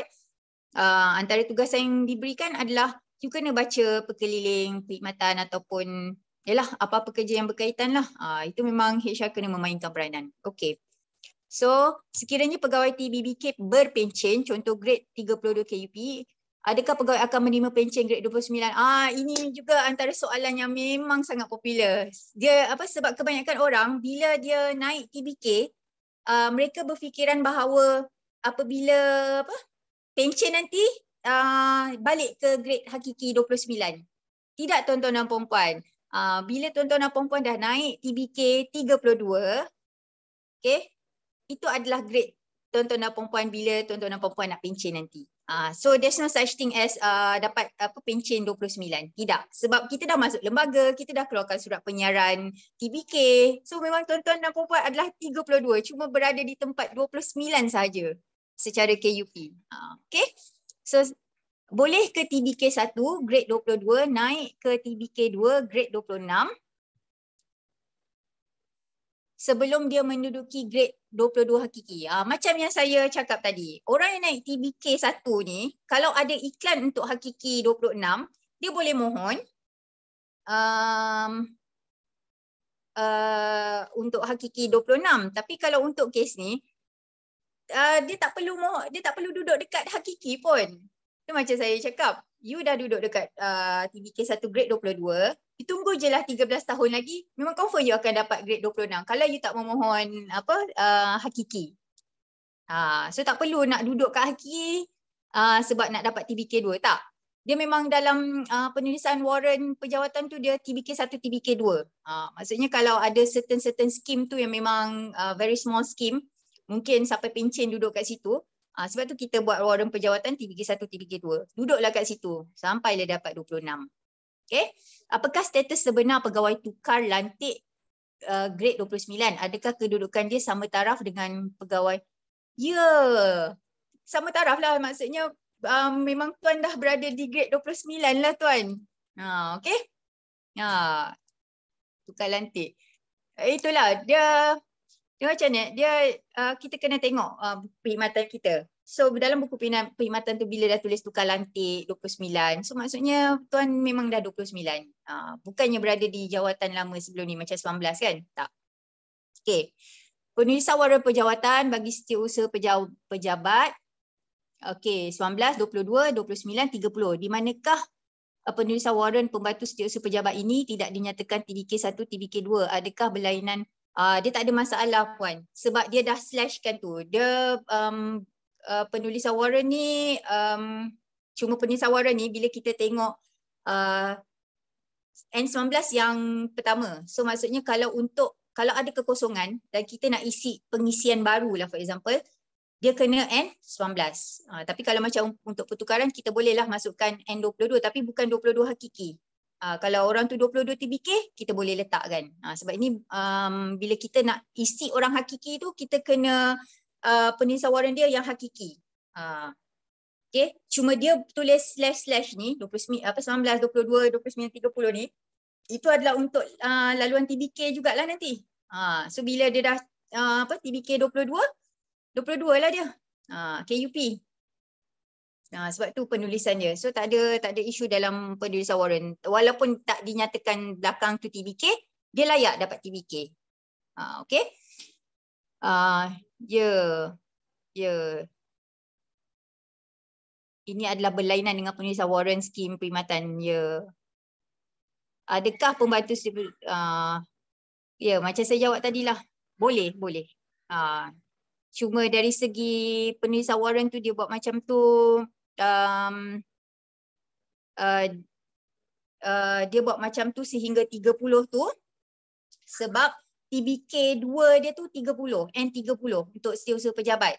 N30 ni dia dah uh, dia dah bukan pembantu setiausaha pejabat, dia setiausaha pejabat sebab tu dia buat slash macam tu. So bila kita apa bila warrant penulisan macam ni um, itu itu saya cakap bersepadu dengan uh, yang skim biasa ni dia berlainan. Ha. Okay. Ha, sebab tu dia buat sampai 30 tu. Ha, dia tak perlu mention TBK pun. Tapi kita boleh buat TBK untuk penyandang. Okay. Puan boleh ulang semula mengenai bayaran pencen. Ada, ada, adakah bayaran pencen mengikut grade terakhir? Ya, mengikut grade terakhir. Tak kira lah grade terakhir tu grade TBK ataupun uh, hakiki. Uh, so maksudnya kalau tuan 29, 29. Uh, eh bukan 29, sorry 29 grade lantikan. Kalau tuan 36, 36 lah. Uh, walaupun tuan berada di, uh, tuan tak pernah berpindah lah for example. Memang daripada 29 dekat situ je, tak pernah bertukar lah kan. Uh, jadi uh, dia bukan kita kira 29 tu. Memang kita kira yang naik pangkat. Sebab dah dah, dah keluar surat penyiaran. Okay. Sekiranya jabatan tiada jawatan 32, tetapi ada ramai pegawai grade 29 yang dah berkhidmat lebih dari 15 tahun, adakah mereka harus dinaikkan daripada TBK 1? Ah yelah, dah apa 13 tahun dah boleh buat TBK 1 dah. Ke 32. Tapi um, apa uh, cuba tengok dalam warrant tu sekiranya tiada uh, memang kena mohon kepada BPO lah untuk penulisan KUP. Tapi selalunya memang uh, grade uh, pelaksana ni memang kita dah um, jotkan dengan TBK sekali. Uh, so dah boleh proceed dah TBK apa? TBK 1 kan? Alright. Saya masih kurang jelas dengan KPSL. Dah lulus lama. Sekarang saya di grade N22. Boleh. Okay. P, uh, P, PSL ni puan. Um, untuk ke ke grade berikutnya puan. Dia bukan kita guna untuk grade uh, puan nak ke 26. Uh, sebab kalau ke grade 26, puan masih lagi mem, apa uh, berdasarkan merit LNPT. Okay. Uh, PSL ni biasanya kalau puan grade 22, puan nak memohon untuk 29. Ah, puan nak jadi PTP apa uh, PPT, ah, nak jadi EO. Ah, itu bergunanya PSL puan. Ah, macam macam kes saya, DV tu dia uh, DV 29, dia ambil PSL. Dia bukan je guna PSL tu untuk dia pergi ke DV 32, tidak. Dia menggunakan PSL 29 dia tu untuk ke grade PNP 41 42. Okey, PSL ni bukannya grade naik pangkat dalam skim yang sama tak. Untuk puan pergi ke grade uh, 29 dan ke atas. Itu uh, kegunaan PSL. Okey, uh, Cik Azhar, Cik Azhar. Uh, tuan, okey. Puan maaf tanya semula untuk pegawai yang dah ditukar lantik ke E29 secara KUP, adakah mereka layak E32 TBK 2 selepas 13 tahun? Okey. Uh, dia tukar lantik 29 daripada 19 kan. So 19 um, dia dah kira um, grade 29 lah. 29 ni lantikkan, grade lantikkan. Jadi kalau 32 tu TBK 1 puan, dia bukan TBK 2. Hmm, okay. Untuk makluman masalah TBK ini jadi tak adil kepada grade hakiki. Ramai yang menolak untuk jawatan kenaikan pangkat grade hakiki dari segi tanggungjawab dan tugas grade hakiki berat berbanding TBK. Apa yang saya nampak tak ada kelebihan pun grade hakiki. Tak ada perancangan ke untuk lihat uh, balik perkara ini. Uh, sebab tu macam saya cakap tadi, sekiranya persatuan ada nak memohon untuk apa penambahan allowance kan untuk apa grade-grade hakiki ni, uh, boleh boleh hantar ni lah permohonan kepada bahagian saraan. Uh, sebab kita tahu weightage tu apa memang lebih lah sepatutnya kena ada allowance lebih lah. So bila ada allowance lebih orang memang akan go for grade hakiki lah kan. Uh, tapi saya rasa um, benda ni masih apa benda ni di bawah jurisdiction um, apa uh, bahagian saraan.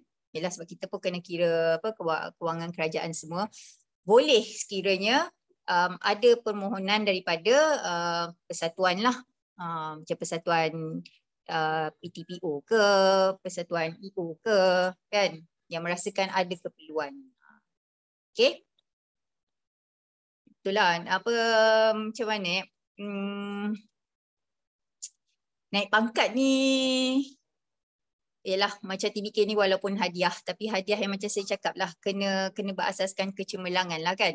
Uh, jadi um, apabila kita diarahkan untuk membuat kerja uh, lebih uh, seharusnya kita kena buat lah sebab uh, apa sejajar dengan kenaikan pangkat kita dengan gaji yang kita dapat. Uh, ini kalau dah naik TBK tapi masih lagi nak buat kerja N19 tak boleh lah. Jadi itulah peranan apa ketua jabatan untuk um, menjalankan uh, tanggungjawab dia untuk memastikan gaji yang pegawai terima tu uh, sejajar dengan uh, kenaikan pangkat tersebut. Okey, so kalau ini SISPA ni contoh-contoh lah. Okey. Okey, dia menolak kenaikan pangkat secara time base. Bolehkah seseorang pegawai uh, menolak keputusan kenaikan pangkat secara time base 13 tahun oleh lembaga kenaikan pangkat. Ini kerana perakuan dibuat oleh ketua jabatan tanpa permohonan pegawai.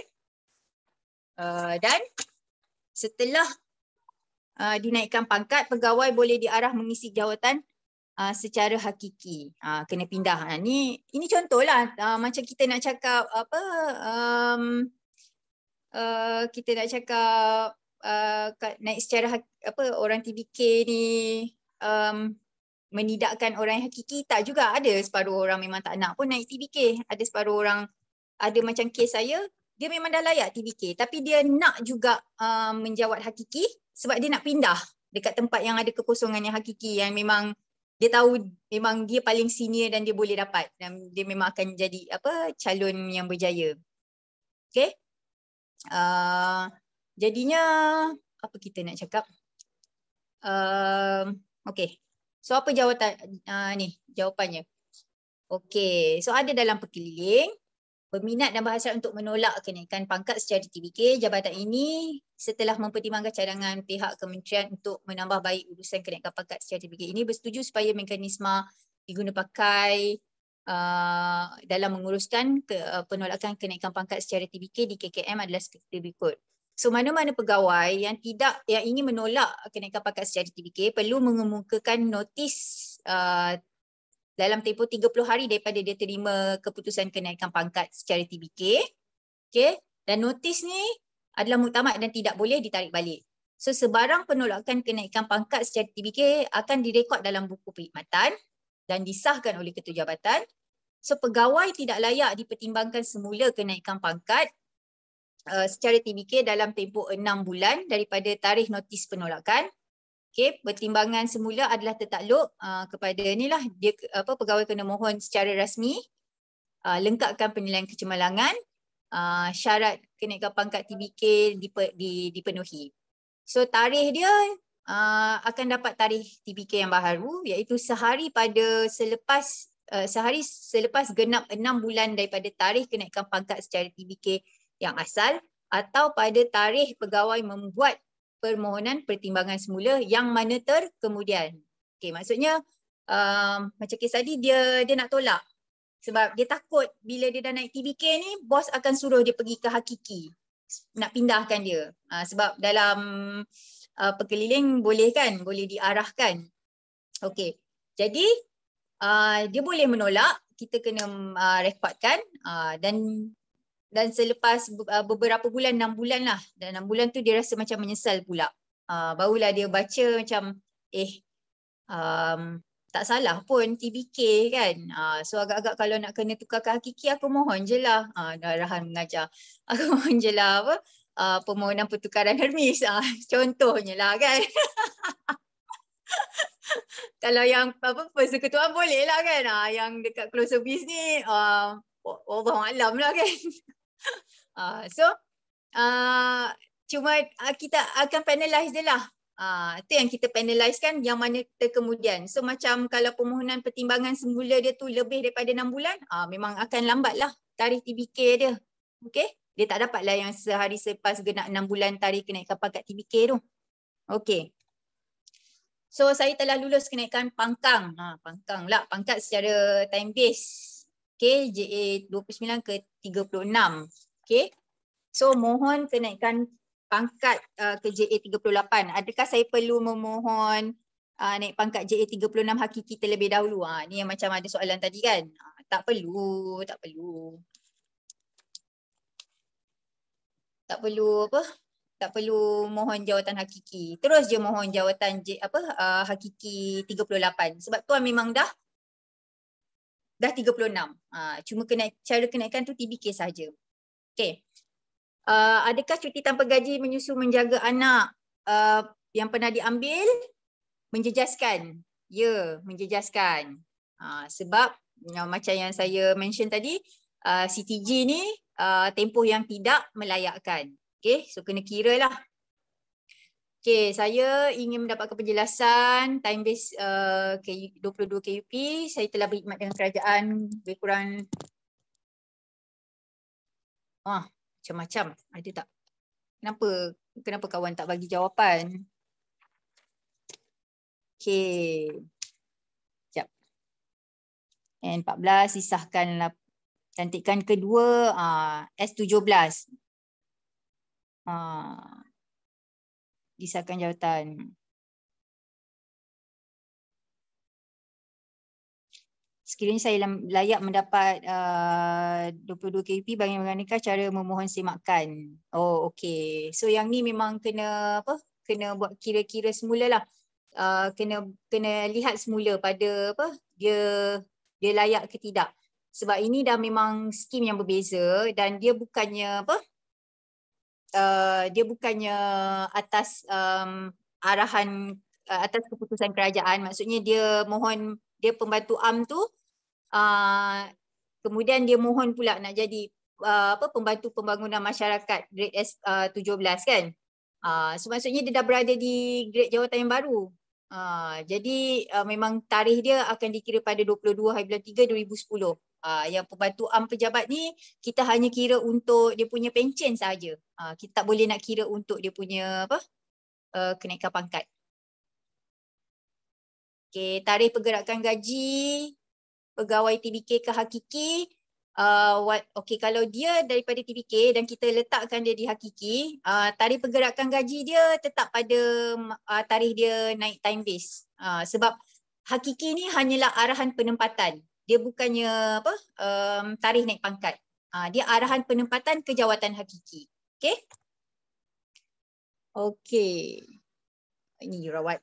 Uh, yang ni tuan-tuan dan puan boleh ni lah. Uh, tak, okay, tak ada elang pemangkuan untuk pegawai TBK. Uh, sebab kelebihan TBK ni tuan-tuan dan puan tak perlu uh, menunggu enam bulan untuk uh, naik pangkat sebab memang dah automatik naik pangkat tu pada apa uh, sehari selepas genap 13 tahun. Uh, dia bukan tempoh pemangkuan. Okey. Puan, TBK 1, TBK 2, adakah tempoh dibuat melalui tarikh pemangkuan atau tarikh pengesahan jawatan? Okey. Untuk uh, grade lantikan, uh, untuk grade lantikan, tarikh tarikh dia dilantik lah. Uh, bukan tarikh sah jawatan, tarikh dia dilantik. Tapi setelah tolak sekiranya ada cuti tanpa gaji lah. Uh, kalau dia tak ada cuti tanpa gaji memang tarikh dia dilantik lah. Tapi kalau untuk uh, TBK 2, dia bukan, dia macam kumpulan pelaksana ni um, sebab masih lagi backdate. Dia bukan macam PNP. PNP, uh, contoh macam saya naik pangkat hari ni, uh, so saya kena memangku setahun, So tarikh naik pangkat saya bukannya tarikh uh, saya start memangku. Tarikh naik pangkat saya tarikh setahun kemudian. Ha, dia tak ada backdate. Tapi untuk pelaksana, dia dia masih lagi backdate. Ha, okay, so dia tarikh dia hari ni. So selepas enam bulan, uh, kita buat urusan naik pangkat dia. So back to uh, dia punya tarikh naik pangkat dia adalah tarikh dia memangku. Uh, okay. Hmm, dah habis. Ada apa-apa soalan? Okay, saya telah dilantik ke grade 41 dan sebelum ini saya dari 29 telah uh, disahkan jawatan. Adakah perlu melalui semua peperiksaan untuk pengesahan jawatan? Um, kalau untuk um, pihak kami, um, kami bukan bukan peperiksaan. Peperiksaan tak selesai memang kena ambil juga sebab you kena tengok pada skim perkhidmatan you. Um, kalau macam kami ni more tu macam uh, program transformasi minda PTM kan? So contohnya dia uh, daripada N19 uh, PTPO okay Kemudian dia ke grade uh, N29. Dia, uh, kira macam dia mohon lah. Dia mohon PSL. Dia berjaya dalam interview. Uh, dia dapat 29. So yang tu um, boleh uh, diberi pengecualian uh, daripada dia pergi ke PTM. Uh. PTM je lah. Uh, exam rasa saya kena ambil juga. Uh. Rasa betul tak? Syarifah Ratina dengan Syirah ada tak dalam ni? Tapi itu yang um, yang memang kami terima lah untuk apa ni sebab saya pun menjaga apa uh, urusan um, apa uh, pegawai pelaksana uh, yang nak pergi ke PTM so memang kami ada senaraikan nama semua sekali. Uh, ni pelaksana perkhidmatan persekutuan lah kan uh, PTPO, uh, EO, uh, PT Kewangan, pegawai, apa PSP, pegawai khidmat pelanggan. Uh, so memang kalau dia apa dia dah pernah dilantik lah sebelum ni uh, dan memang uh, dia tak perlu uh, pergi ke PTM lah dia boleh dapat lah dengan syarat uh, dia dapat uh, kemukakan apa um, pengesahan yang dia pernah uh, hadiri PTM tu. Uh, so barulah kami keluarkan mereka daripada senarai uh, daripada menghadiri kursus PTM. Hmm. Okay. So ada apa-apa? Okay. Sekejap. Saya rasa saya nak kena tunjuk contoh macam.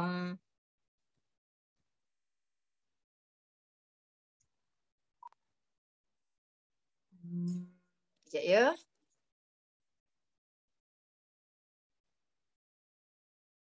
Okay. Hmm. So yang yang macam uh, kele, kelebihan um, apa pegawai uh, ni lah uh, pembantu setiausaha pejabat ni kan? Kalau kita lihat. Dia N19 so dia pergi ke N22 TBK 1 so N22 dia pergi ke N30 uh, TBK 2 okay? So daripada N30 ni dia dah berada di skim perkhidmatan setiausaha pejabat. Uh, dia memang dia masuk dia masuk servis memang umur yang apa? Umur muda lah kan? So mungkin dia boleh TBK 1 ke N32 ah bila dia genap 13 tahun. Ah, umur panjang umur ma, ma, apa masih muda. Ah so kebarangkalian dia untuk TBK 1 di grade uh, setiausaha pejabat tu ada. Walaupun dia duduk dia masih duduk di N19 dia boleh Ha, itu kelebihan apa uh, perkhidmatan uh, bersepadu. Sama jugalah macam saya punya apa 19 ni, DV ni. DV 19 pergi 22, 22 ke 30. Uh, 30 dia boleh pergi ke 36 kalau lah uh, dia masuk uh, servis awal. Uh, tapi macam DV ni sebab dia pendidikan so baru-baru ni memang kita ada satu lagi apa laluan kenaikan pangkat untuk mereka lah uh, apa um, kriteria kecemerlangan uh, KC. Okay. Tapi kalau KC tu memang dia kena buat pembuktian lah. Dia bukan 13 tahun lah. Maksudnya 30, 29 slash 30 ni ke 36 ni 8 tahun. 8, 8, 5 tak silap saya. Ha, 8, 8, 8, 8, 5. 8, 8, 5. Uh, tapi dia kena buat pembuktian lah. Uh, pembuktian dia dari sebab dia cikgu kan. Uh, cikgu DV ni memang mereka ada terlibat dengan apa pertandingan antarabangsa apa semua. So dia kena um, apa buat pembuktian tu. Uh, jadi jawatan kuasa apa kriteria kecemerlangan ni akan bersidang akan tengok uh, apa pegawai ni punya sumbangan dan sumbangan dia bukanlah sumbangan dia buat co-curriculum. Mungkin sumbangan dia dia ada buat co-curriculum untuk apa um, agensi swasta ke apa kan. Uh, so those are the things yang diambil kira lah untuk ni. Yang berkaitan dengan uh, skill mereka sebagai guru. Uh, itu kelebihan lah. Dia ada tiga kenaikan. Uh, dia boleh naik hakiki, dia boleh naik TBK, dia boleh naik kriteria kecemerlangan. So kriteria kecemerlangan ni pun lebih kurang macam TBK lah. Dia berada di tempat tu. Dia Kita akan KUP kan dia. Uh, okay. So saya dah boleh ni ke? Berhenti ke?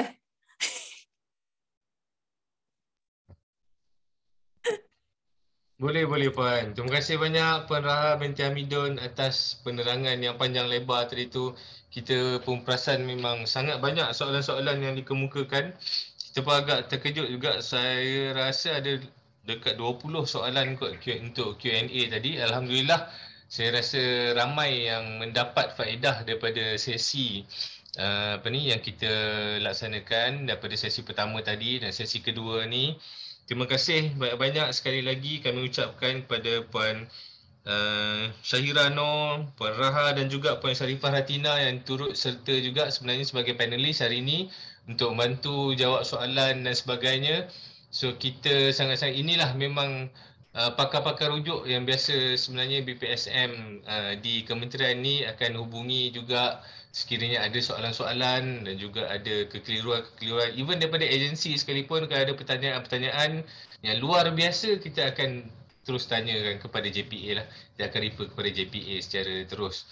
Uh, so nampaknya masa mencemburui kita untuk sesi uh, apa ni pagi ni.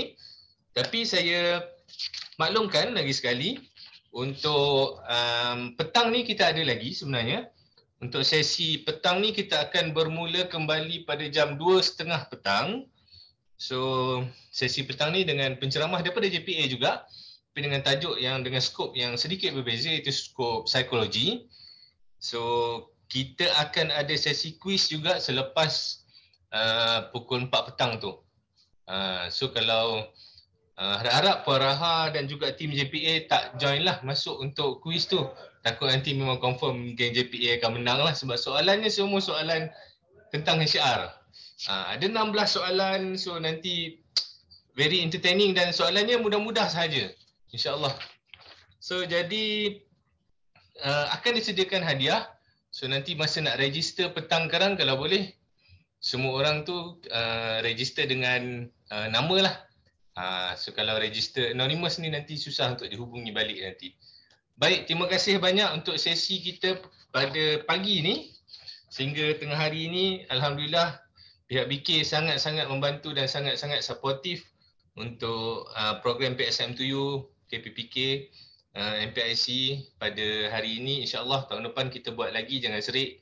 Kalau kami jemput lagi untuk jadi penceramah, Uh, dan mungkin mungkin juga nanti kalau ada agensi yang berminat untuk apa ni menjemput penceramah-penceramah daripada bahagian perkhidmatan ni untuk ada um, detail lagi tajuk-tajuk yang ingin dibincangkan ke apa ke ha, so boleh hubungi mereka lah. Baik untuk sesi pagi ni saya sudahkan dulu dengan Assalamualaikum warahmatullahi taala wabarakatuh. Kita jumpa balik pada sesi jam petang ni uh, jam 2.30 petang. Baik, terima kasih semua. Kasih Setia. Terima kasih para peserta.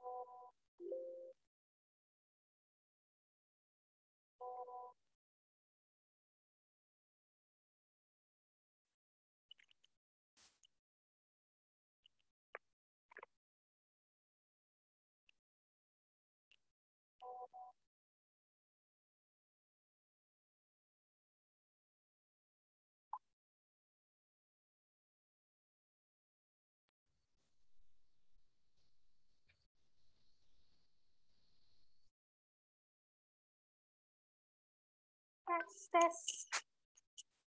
Boleh dengar suara saya ke? Ah, ah okay. Alright.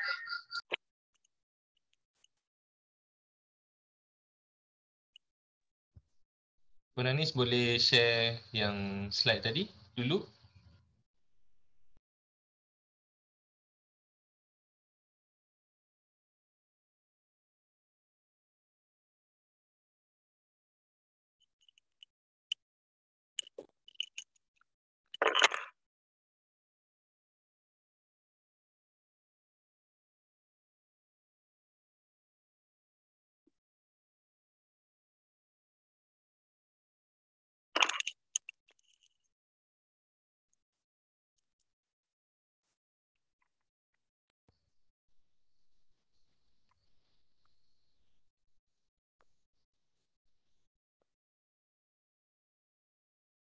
Baik, Assalamualaikum warahmatullahi taala wabarakatuh. Salam sejahtera, selamat petang, salam keluarga Malaysia.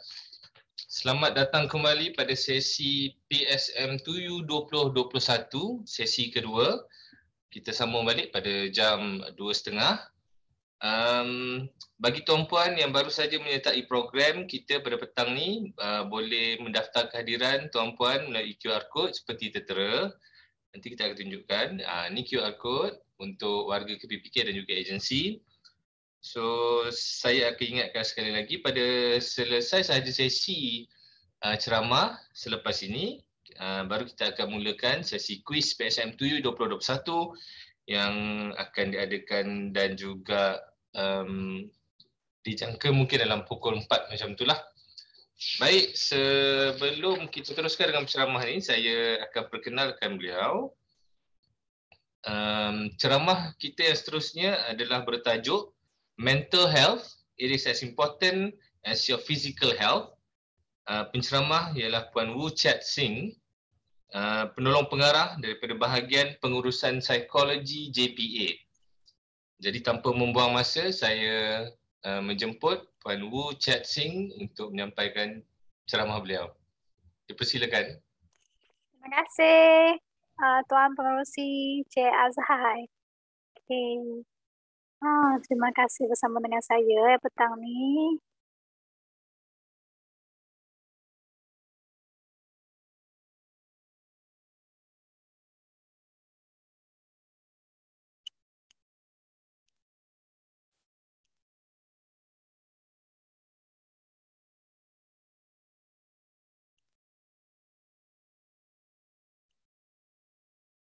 Hmm, okay. Hmm, tak okay.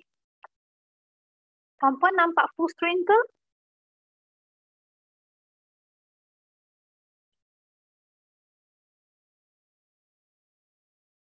Hmm. Tak full screen tuan. Tak full screen. Uh-uh. Hmm, ini benda baru. Okay. Okay.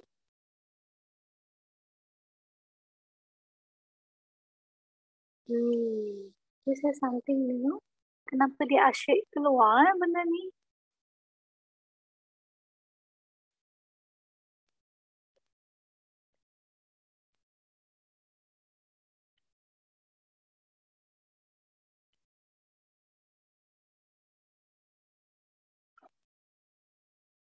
Ataupun saya boleh minta Puan Ananis share daripada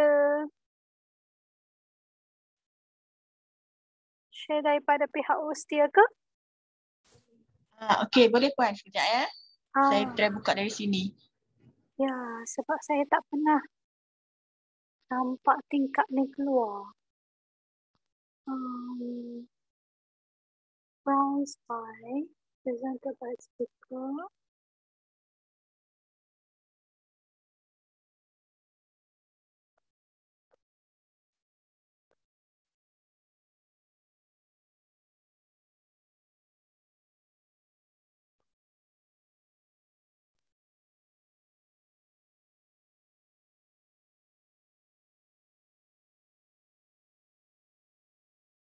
I can stop sharing you.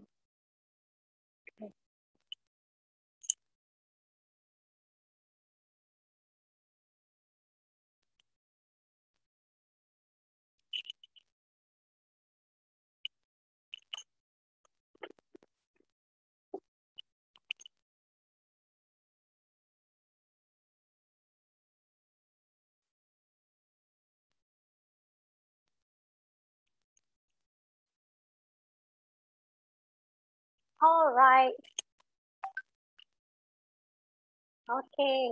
So, uh, minta maaf uh, sebab tak sempat nak test run apa semua kan. It was a very busy week for me. Ha, so, berdebar juga sebenarnya hari ini nak buat sharing sebab uh, it was a new title for me. Uh, dan ini sebenarnya idea masa saya bercakap dengan uh, Puan Ananis masa kami bincangkan uh, fenomena keadaan sekarang. Uh, so uh, bila kali kedua Puan Ananis jemput saya, dia minta pula saya uh, uh, bincang berkenaan dengan uh, tajuk ni mental health is just as important as your physical health. So uh, saya saya datang dengan tajuk ni saya semasa bercakap dengan Puan Ananis uh, idea ni keluar sebab saya perhatikan uh, ramai orang yang sangat concern about physical health dia. So contohnya setiap setiap tahun kita akan peruntukkan masa, kita akan peruntukkan duit untuk buat uh, blood test ataupun physical check up. Ha, kalaupun kita uh, hari ini macam demam-demam panas, especially lah sekarang time pandemic kan. Kalau tak ada pandemic dulu pun, uh, normally kita akan pergi jumpa doktor immediately ataupun kita akan straight away pergi ke pharmacist ke uh, alternative treatment ke untuk rawatan fizikal. Tapi when it comes to mental health, kita macam tak ada rancangan langsung. Ha, so kita tak tak terfikir setiap tahun kita nak pergi buat saringan mental. Ha, kalau uh, kita rasa macam mentally kita stress out, kita pun tak terfikir kita nak jumpa siapa-siapa untuk uh, untuk merawat ataupun uh, mendapatkan sebarang treatment. Ha, kalau bahu sakit, sakit badan, kita fikir tukang urut. But if we are mentally exhausted, when we are mentally um, tired and then kita rasa stress, we never thought of uh, to meet anyone untuk mengurangkan uh, tekanan tersebut. So apparently, uh, masyarakat kita mungkin dari dulu kita dididik uh, untuk lebih fokus kepada physical health and somehow kita terlupa sebenarnya mental health itu se uh, sama-sama penting. Dia uh, uh, is as important as kita punya physical health. So hari ini saya harap boleh bawa sedikit uh, info tambahan, kalau boleh bawa sedikit awareness kepada tuan-puan supaya in future kita boleh uh, equally bagi treatment yang equal kepada badan kita dan kepada minda kita juga. Uh, sebab dua-duanya sebenarnya uh, sama-sama penting untuk setiap individu. Okay, let's go to the next slide. Alright, so kalau kita ikut WHO, World Health Organization punya definition, so kesihatan tu sebenarnya menggambarkan satu kelengkapan, complete set of tiga aspek dalam kehidupan kita. Iaitu yang pertama physical health, yang second uh, adalah mental health dan yang ketiga adalah social well-being. So kalau uh, ikut trend Malaysia lah kita tak kata Malaysia. So generally kita ada physical health yang uh, awareness kita agak rata-ratanya agak tinggi sebab sistem kita consider very complete for our medical health punya system. Dari kecil, uh, masa mengandung lagi, uh, bayi dalam perut pun dia dah dijaga. Uh, dia akan make sure, klinik kita akan make sure ibu dia dapat uh, suntikan, dia dapat perhatian, dia dapat ilmu tentang uh, preparation untuk menyusu, untuk bersalin. Everything is in the package already. Ha, so physical health somehow in Malaysia is quite covered lah. Ha, so kita tak risau juga time uh, vaksin sekarang pun uh, uh, negara kerajaan usahakan. So physical health is quite well covered. Okay, But for mental health, sometimes I think generally we still put macam takut-takut bila dengar perkataan mental ni. Ataupun kita macam bila fikir mental saja kita akan kaitkan dengan benda yang yang uh, kita rasa aib, tak nak bercakap, okay, and then uh, it is different compared to uh, attitude kita, perception kita terhadap physical health kita. Ha. So for social well-being pula, for Malaysia, because we are Eastern punya culture, so kita hidup dalam uh, community, collectivism, so rata-ratanya kami jenis orang yang suka bersosial. Ha. Kalau sekarang uh, boundary apa cross tag dah buka pun tak sabar semua orang nak balik kampung. Uh, so bila lockdown tu rasa sangat sedih, tak boleh nak jumpa keluarga. So apparently social is uh, more well developed juga keperluan kita kita sedar dan kita akan me, me, menjaga social well-being kita.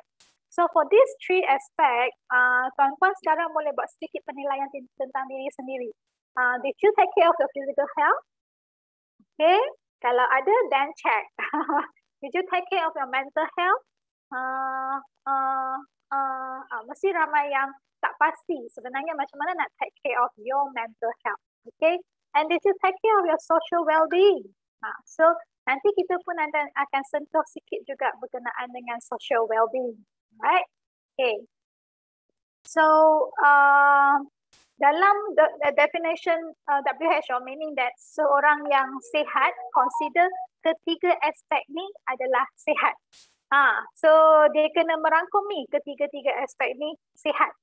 So kita nak tengok uh, macam mana kita nak jaga kesihatan mental dan kesihatan social being kita. Okay, so next slide. Okay, so kita tengok uh, tajuk, tengok balik tajuk kita dahulu. Uh, macam mana mental health tu sebenarnya sama-sama penting. Okay, Se seperti, penting seperti uh, physical health kita. Sebab yang pertama sekali, uh, mental health kita dia boleh uh, menjejaskan kesihatan fizikal kita, keadaan fizikal kita. Contohnya yang paling direct adalah setiap kali bila kita rasa tertekan, sebenarnya immune system kita jatuh. Hmm. So uh, bila selepas dua tahun ni kita mengalami pandemik kan, kita pun nampak kenapa ada je orang yang jangkit tapi tak ada simptom. Ada orang yang jangkit, uh, simptom sangat teruk. Ada orang yang jangkit, uh, macam-macam. Okay, virus still variant dia mungkin sama tapi kondisi side effect kita, simptom kita, dia berbeza. So it is largely depends on kita punya immune system. Ha, so uh, ada banyak benda boleh contribute kita, uh, kepada kita punya immune system termasuk kita punya cara tidur, termasuk kita punya uh, cara makan, okay, termasuk uh, cara kita menjaga kesihatan kita. Tapi one of the factor that contribute to our immune system is our psychological punya state. Uh, so kalau tuan-puan pergi uh, buat sesuatu yang gembira, berada di setting uh, kerja yang sangat puas hati, jarang-jarang kita sakit di perasan. Kalau lah tempat tu macam sampai hujung tahun, uh, apa nak review SKT dah, lepas tu uh, semua semua SKT kena siap, account nak tutup, uh, then you will find out inilah time yang kita sakit tekak, kita uh, apa lagi kita demam, uh, time ni lah yang kita sakit ni, sakit tu. Actually, all forms of sakit-sakit, migraine, gastric, uh, sakit otot, uh, apa lagi sakit belakang, it is uh, highly associated with kita punya stress level. Uh, so if you tend to show the symptom, kalau tuan-puan kerap menunjukkan simptom bahawa uh, tuan-puan uh, demam, lepas tu dah sembuh, lepas tu demam balik. Ataupun sel-sema, batuk, lepas tu dah sembuh, datang balik, datang balik. So that reoccurrence, reoccurrence of uh, illness might referring to kita punya immune system sebenarnya tak cukup kuat. Ha. So sometimes you makanlah supplement yang macam-macam tu semua kan. Pergi exercise, everything. But maybe you overlook.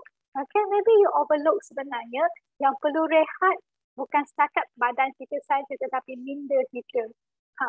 So first thing, uh, why is it that so important to your physical health is uh, dia akan menjejaskan immune system kita. Uh, so uh, bila kita sakit, kalau kita dalam keadaan yang positif pun, recovering cell uh, uh, apa uh, kadar sel kita sembuh, uh, dia akan lebih laju compare dengan orang yang dalam keadaan depressed ataupun anxiety. Uh, so that is very direct punya effect. Okay. So the second one. Okay. So your second one.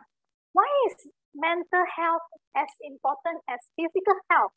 So the second one is your mental health affects your financial stability. So saya percaya dari dulu sampai sekarang kita lebih jaga physical health sebab kita akan fikir, oh kalau kita sihat baru kita boleh kerja.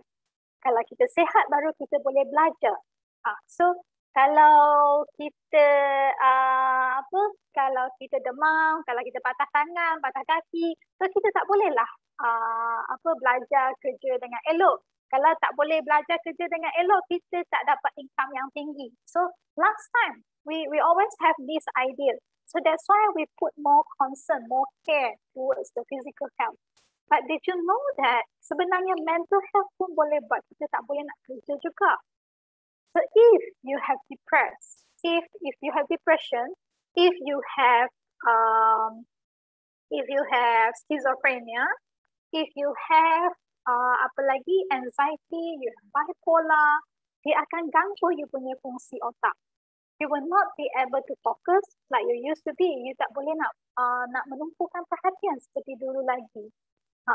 So bila seseorang tu ada mental illness dan you are not mentally uh, sound, dia akan affect you untuk buat perancangan, persediaan.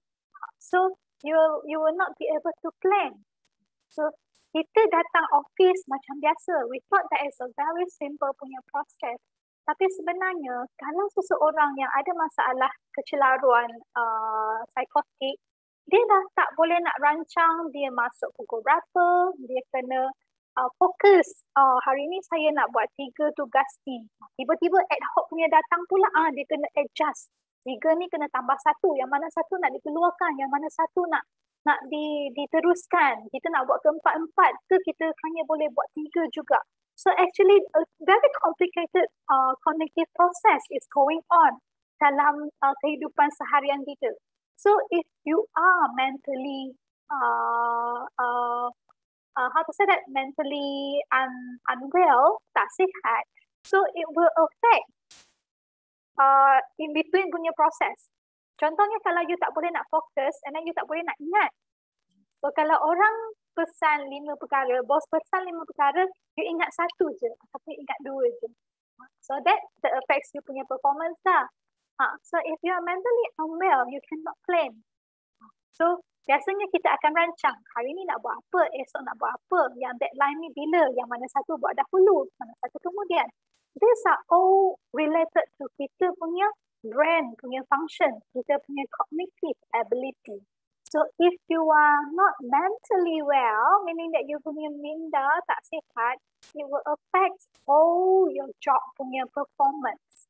Okay, so when it affects your job performance, uh, you akan mengalami risiko dalam pekerjaan lah, dalam kerjaya. So that will affect your financial stability too. In fact, kalau ikut kajian, uh, 40%, okay? People who suffer from mental illness earn 40% less than those in good mental condition. Ha. So kalau kita punya benda sihat, very motivated, uh, very enthusiastic, so you boleh kerja extra, extra hour. So bila you kerja extra hour, you dapat extra pay. Compared dengan orang yang sebab mentally ill, dia cuma mampu untuk kerja biasa saja ataupun dia terpaksa cut half dia punya working hour. So dia punya income pun akan kurang berbanding dengan yang mentally well punya person. Okay. So and then 200 million work days are gone each year due to depression. So this is uh, US punya statistic but uh, if according to WHO ratio kita lebih kurang sama. Just that population kita tak sebanyak di UK lah. So in UK 200 million days gone. Uh, so kalau tuan-puan ada rakan kerja yang tengah uh, dalam proses untuk recovery, you will notice um, uh, dia mungkin lebih kerap mengambil cuti Dan setiap kali dia cuti, orang lain kena cover dia punya kerja. Hmm. So, and then uh, kalau office hire 100 people and 30 people have mental problem, so maksudnya uh, office punya productivity dah kurang. So when office punya productivity kurang, staff selalu absent, then uh, income juga akan kurang lah. Uh, because your productivity reduce, so you need more resource untuk settlekan problem contohnya. So absenteeism actually uh, ketidakhadiran di tempat kerja sebenarnya membawa banyak kerugian kepada pihak majikan. That uh, uh, we can see dekat yang yang statistik yang ketiga sick leave due to depression and other mental illness cost total loss of 51 billion and 26 billions of medical fees. So bila kita perlu rawatan uh, psikiatrik.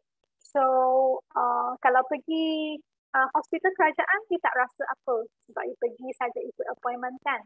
Tapi appointment dia akan mengambil masa yang sangat lama. If you go to psychiatric uh, treatment di luar private setting, one session will cost you about 350. Ha, so itu pun tak termasuk lagi ubat. So I pernah ada klien internet tu uh, daripada sesi sesi online. So bila dia tanya di mana dia boleh dapatkan rawatan. So contrast of uh, price tu sangat tinggi. Ha. So kalau kerajaan is zero, you bayar five ringgit upon uh, appointment saja. Every time you pergi, macam contohnya mentari dia ambil lima ringgit saja setiap kali. But kalau dekat luar is 350 ringgit. So imagine uh, how much cost uh, for a person to receive uh, psychiatric treatment.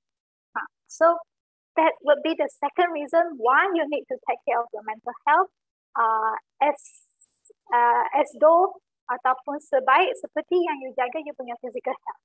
Okay, for the third one. Okay, so mental health can affect your family. Hmm. So, uh, setiap selalunya kita anggap physical health tu yang affect kita punya family. Hmm. Contohnya kalau kita lepas stroke, okay, so uh, mungkin half of our body lumpuh, okay, ataupun kalau kita dalam accident, uh, so uh, maksudnya kita rasa family kita terjejas bila kita sakit secara fizikal. Tapi sebenarnya kalau kita sakit secara mental, impact dia pun uh, agak besar juga. So bayangkan kalau ada sepasang suami isteri yang uh, salah seorang tu ada mental illness. Okay, so what would happen is maybe mother tu dia tak boleh tolerate dengan stress yang tinggi. So setiap kali dia menghadapi stres, dia akan jadi sangat cepat uh, marah, mungkin dia akan pukul, sampai mungkin dia akan mendera anak-anak. Sama juga kepada, kepada uh, pihak lelaki iaitu suami ataupun ayah. So you see many have because of stress out, financial problem, okay, so dia punya anger, dia punya kemarahan tu tak ada tempat nak nak luahkan. So they express symptoms of physical and then that will harm your children. Ha. So bila kalau you terlalu terlalu stres, terlalu tertekan ataupun bila kita ada kemurungan ataupun anxiety, you will tend to too focus on your problem. You akan asyik-asyik fikir masalah you sampai uh, macam klien saya cerita dengan saya kan, bila dia perasan yang depresif punya uh, simptom tu menyerang dia, dia duduk, dia tengok TV, tapi dia mata saja tak pandang. Dia tak tahu yang dalam TV tu sebenarnya cerita apa yang tengah dimainkan. So dia punya jasad saja bersama dengan anak-anak dia dekat sofa. Tapi sebenarnya dia dia tak dia rasa penat dan dia tak mampu pun nak nak ber, berkomunikasi dengan anak-anak dia. Uh, so when you are mentally ill, so you will shut down. Dia akan withdraw daripada social and then that will cause a negation, pengabaian. So anak-anak you yang inginkan kasih sayang, inginkan attention, you will not be able to provide to them. Uh, so when you dera you punya anak ataupun you you neglect dia, you tak jaga dia betul-betul, so what would happen to your child dekat sekolah? It's either they get very independent. So ada yang sebab mak ayah dalam keadaan yang sangat teruk, tapi anak punya uh, uh, apa survivalship dia jadi orang yang lagi cemerlang. Uh, but that is rare. that is rare peratus untuk seseorang tu jadi sebegitu dia kurang sikit. Most of them will tend to have misbehavior punya problem. Mereka akan menunjukkan tingkah laku-tingkah laku yang bermasalah di sekolah bersama dengan kawan, okay, ataupun lawan uh, orang-orang tua. So there, most of them will tend to have behavior problem if they did not get the attention and caring from parents. Okay, so bila anak masa kecil dia tak dapat attention, dia ada masalah. So bila dia besar nanti dia akan jadi macam mana? We cannot expect someone to be good when they have a very uh, dramatic ataupun pathetic punya childhood lah kan. Like for example macam yang simbol yang I letak di, di uh, slide saya. Uh, apa Joker punya simbol. So kalau yang yang tengok cerita Joker the latest one, dia dia tak adalah cerita yang apa yang Joker buat masa time dia besar tapi dia banyak cerita kepada childhood dia macam mana dia dibesarkan oleh ibu dia tak tahu ayah dia siapa sampai yang uh, mak dia yang mentally unsound uh, bagi tahu dia ayah dia adalah ayah kepada Batman dia ingat dia uh, abang kepada Batman. Uh, so a lot of uh, family punya origin punya isu sebenarnya menjejaskan dia punya uh, childhood dan benda ni telah terbawa bawa sampai dia besar. Sampailah dia depressed sampailah dia rasa kecewa sangat dengan uh, masyarakat ni dan dia dia menggunakan uh, akhirnya akhirnya dia dia buat something uh, bad to revenge to the society yang bully dia. Uh, so so is that what you want? Uh, so can you foresee or not? Ha, kalau you tak jaga you punya mental health sebenarnya dia punya kesan akan jadi satu impak dalam jangka masa yang panjang because we we live with uh, our community. Okay, so when you are mentally uh, unwell, so it will affect your financial issue. So everyone di sini tahu kalau kita adalah breadwinner, kita kita yang yang uh, mencari rezeki kan, cari kewangan untuk menampung uh, financial of the family. If you are sick, if you are not able to go to work, so what will happen to the family? So kalau family tak cukup duit untuk belanja, you cannot get a good education, you cannot afford to get a very good food, you cannot afford to get a very comfortable environment and then that will cause another series of problems. So the last thing would be kalaulah semua orang nak nak isteri dan suami yang ceria ataupun uh, lembut, penuh dengan kasih sayang, boleh mencurahkan kasih sayang kepada kita kan. Tak ada orang di sini kita nak minta pasangan kita uh, sedih, uh, muram, uh, dia mencabar kesabaran kita supaya kita boleh jadi orang yang lebih baik. Ya, tan tan kita doa, tan kita rasional balik, yes we can tell like that. But deep down, we hope that we have a healthy uh, wife, we have healthy husband. So if you are not happy, if you always sad, if you always depressed ataupun you selalu risau, then that will affect uh, the relationship between you and your your loved one also. Yeah. Okay, so that will be the third reason why you need to take care of your mental health. Let's go to the fourth one. Okay, so uh, untreated severe mental illness or instability that leads to danger. Uh, selain daripada yang kita sebut tadi, dia akan menjejaskan fizikal kita, dia akan menjejaskan financial kita, dia akan menjejaskan family kita, dia juga akan men- meningkatkan risiko kita untuk membuat sesuatu yang bahaya. Okay, especially uh, goes to youngster. Ha, sekarang kalau kita tengok uh, pemam, those yang um, highly perform in their academic performance, ha, uh, contohnya doktor, okay, ataupun uh, some of the courses yang memang sangat sangat stressful, um, sometimes they cannot find a way out and then they use uh, drug to to cope with the pressure.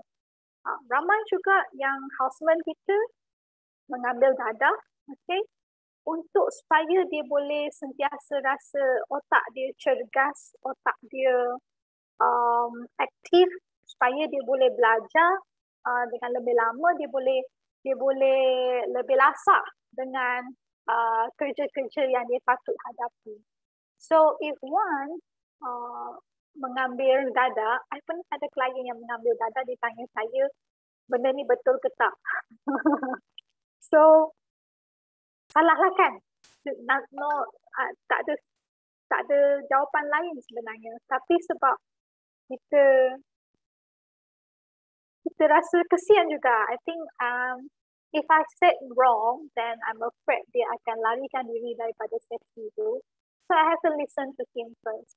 But um, the problem is I selalu cakap dengan dia. Okay, so we don't judge whether you take drug. So you orang jahat ataupun you penjenayah. But for me, it's my concern. If you start to take drug, dia akan ada risiko you akan ketagihan. Ha, sebab you menggunakan uh, dadah untuk mengurangkan tekanan, untuk merasa lebih lebih ringan, untuk berasa lebih gembira, untuk berasa lebih lebih lega. So you are depending, you ber- mengharap bergantung kepada ubat tu untuk memberi perasaan tersebut. So when you feel uh, lagi sedih, you perlukan lebih banyak lagi dadah tersebut untuk buat you lebih gembira lagi. So the moment you increase the dosage, uh, you punya biologically dia akan bergantung kepada dadah tersebut. So when you obsess, you addicted, uh, you addicted to the drug, then that is the problem. Bila you addicted to something, bukan drug saja kan. Sekarang kalau addicted to gadget, you akan menggunakan lebih banyak masa untuk layan benda tu For those yang tak ada duit, dia akan pergi curi, dia akan pergi merompak, menipu untuk dapatkan duit, untuk dapatkan drug. Sebab they feel like I cannot live without the drug. Drug is more important than any other thing. Sebab kalau saya tak makan benda tu, saya tak boleh nak buat benda lain. So that is the risk and the dangerous of drug sebenarnya. So kalau you tanya I, you betul ke, you salah ke, so it's too fast for me to say. But my concern is once you started to take that thing, when you addicted to that things and then it will ruin almost everything in your life. Okay, so jaga your mental health.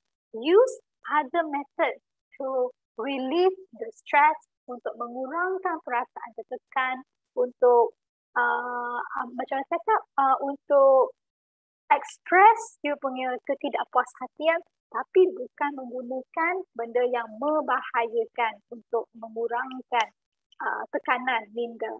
Okay. So the last one would be okay. So good mental health can give you a longer and happier life. Okay. So kalau perempuan menjaga kesihatan mental, maka you will have a good immune system. Ah, so when you have good immune system, then most likely kalau kita sakit pun recovery kita akan lebih laju berbanding dengan orang yang ada mental health punya problem. So if you have good mental health, so you can earn more money. Sebab you are sangat motivated, you are very energetic, so you will get chances untuk uh, untuk dapat uh, kerja-kerja yang extra. Uh, contohnya, uh, so Puan Ananis jemput saya untuk memberi ceramah. Uh, so I get extra pay today. Uh, so, but if because I was so test and then I rejected tak nak lah tak nak lah tak boleh tak mampu pun ni so dekat orang luar dia jemput saya pun uh, tak nak tak nak saya tak mampu so uh, then I will get less opportunities lah uh, so if you are very energetic dengan uh, talent yang you ada you can do more things beyond what you are doing now so you will get uh, live longer, happier and uh, richer, uh, lebih lebih kaya dari segi rezeki lah. Okay, so if you are good, uh, you have a good mental health, so you will be able to love people and accept love from people. Hmm. I think most of us overlook this thing. Bila kita tenang, bila kita confident, bila kita um, uh, kita kita ada banyak kesyukuran, baru kita boleh uh, mencurahkan kasih sayang kepada orang lain. So if you you are at risk, kalau kita punya minda, kalau kita punya keadaan minda pun dalam keadaan yang risiko, so we would not be able to take care of other people punya well-being. Uh, so if you are mentally well, you can love people and you can accept love from people Ah, bayangkan kalau macam tu tak tak ke kita boleh hidup lebih tak ke kita boleh lebih panjang umur kalau kita boleh buat macam tu. Ah, so good mental health is one of the most important things that kita kena buat. So I tak cakap dia semua but it's one of the important things that we have to take care of. Okay. So Uh, kalau ada apa-apa uh, komen, kalau ada apa-apa yang saya cakap tu macam you agree with, you are not agree with, uh, so you can type dalam chat box. So nanti uh, bila kita maybe 3.30 kot, dan kita boleh break sekejap, boleh baca soalan, kita boleh baca komen sama-sama. So feel free to type in the chat room if you have something to tell me ataupun you have something nak berkongsi dengan peserta lain. Okay? Alright. So let's go to the next slide. Okay, so just now tadi saya terangkan lima uh, lima alasan, lima lima perkara kenapa uh, mental health tu uh, penting, sama-sama penting seperti physical health kita. So now we going to now I hope lah, I hope I hope semua orang mungkin ada rasa sedikit convince lah kot. Yelah betul lah apa yang Puan Puan ni cakap. So betul lah selepas ni saya kena jaga sikit my, my mental health. Uh, so but how? Uh, what should I do from now? Okay, uh, then I have no idea. Mental health tu, kalau physical health, kita tahulah kita uh, makan benda yang sihat, kita buat exercise. Uh, so macam mana kita nak jaga mental health pula? Uh, so Uh, after this, I will share some some tips, okay, uh, some method uh, untuk kita boleh apply dalam kehidupan kita untuk menjaga kesihatan mental kita. So before going to that, I think I need to clarify dulu sebab ada yang rasa uh, mental health tu eh dia sama dengan mental illness tak? Kalau saya hmm, kalau saya tak sehat, uh, kalau saya stres, adakah maksud saya saya ada penyakit mental? Ah, so I think many will will takut. Ha, ramai yang akan takut uh, uh, bila kita mengaku kita stres, orang akan anggap kita sebenarnya uh, gila ataupun mentally unsound ataupun uh, psycho ke apa-apa je lah yang yang istilah yang kita biasa dengar. Okay. So, but actually mental health and mental illness are two different things. So maksudnya kesihatan mental dan penyakit mental adalah dua keadaan yang berbeza sekali, sama sekali. Okay. So mental health sebenarnya satu keadaan baik yang kita nak nak mencari, nak mengejar, nak mendapatkannya. Ha, so macam physical health. Ha, so uh, mental health maksudnya dia adalah satu keadaan yang mana kita sihat dan kita fit dan kita cergas, cerdas untuk melaksanakan apa yang kita patut buat dalam kehidupan seharian kita.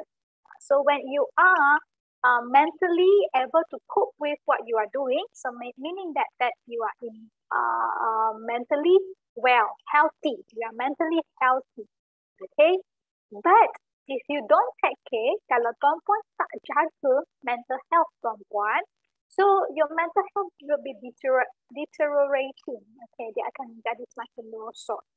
So maksudnya you akan rasa lebih terganggu bila you stress. So uh, maybe stress tu buat you rasa lemah semangat, you withdraw, tak naklah bergaul dengan dia orang sakit hati je. Uh, saya masuk, saya buat kerja aku, lepas tu aku punch out, aku keluar tepat pukul lima. Uh, sekarang tak perlulah tepat pukul lima.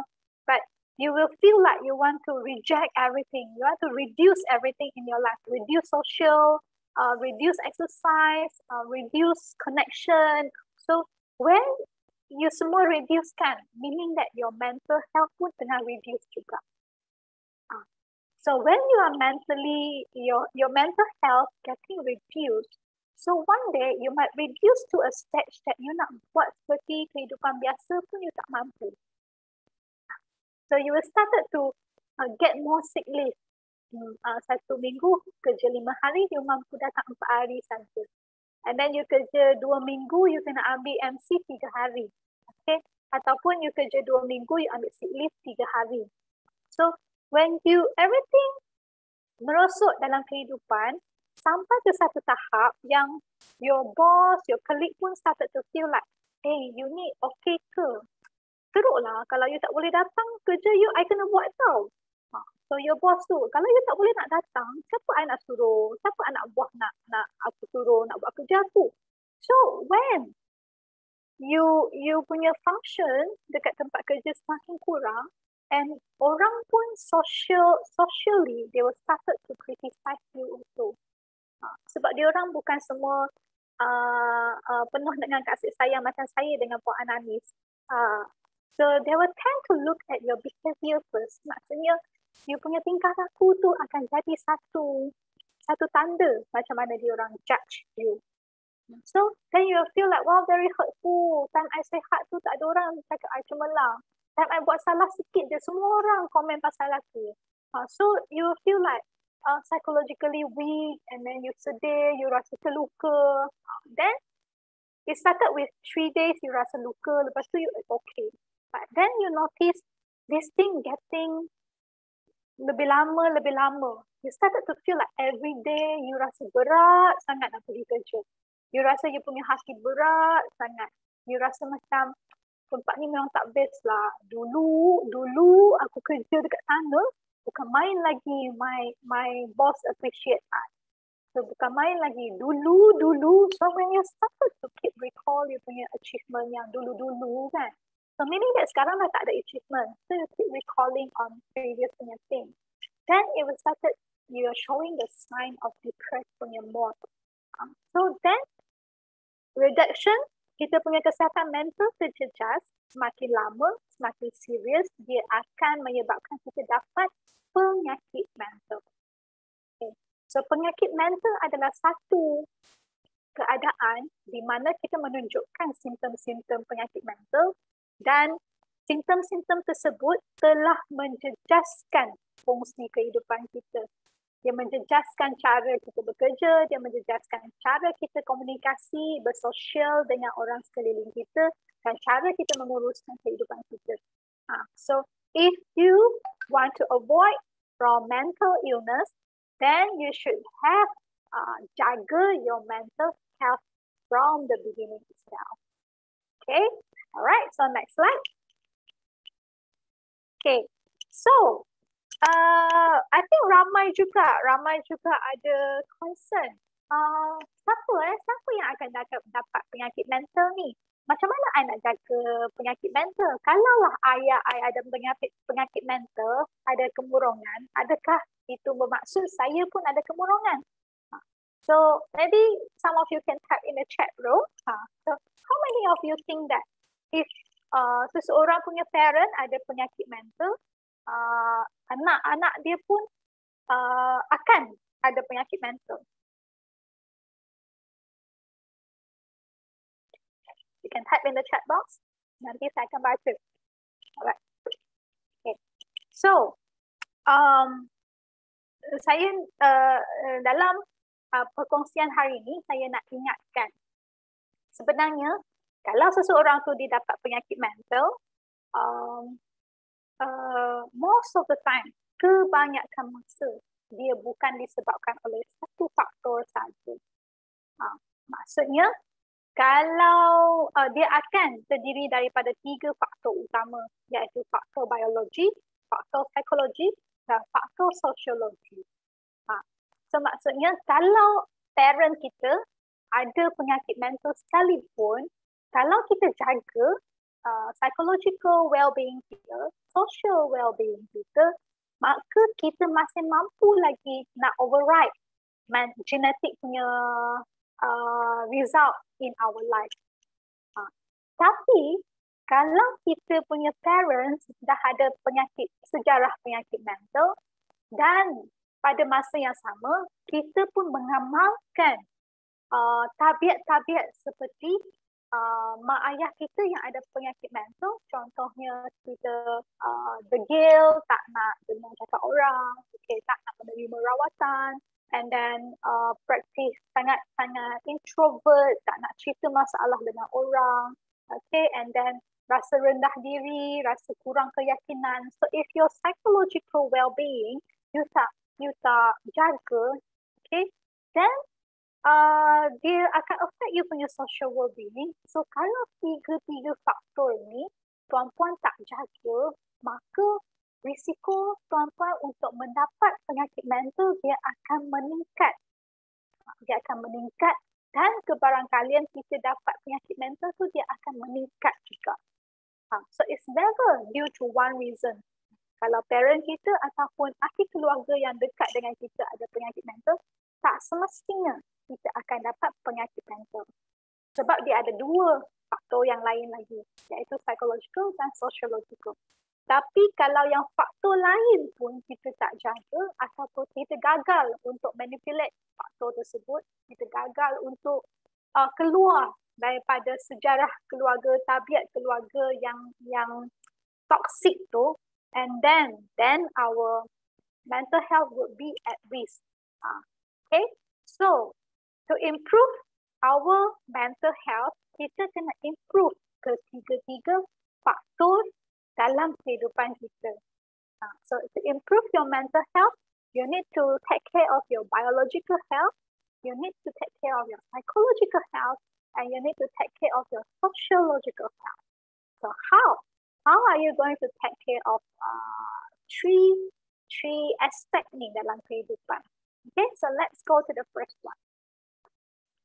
So how to improve our biological health?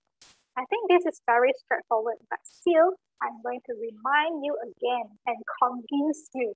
Okay, next slide. Okay, So physical exercise reduce risk of chronic illness. Okay.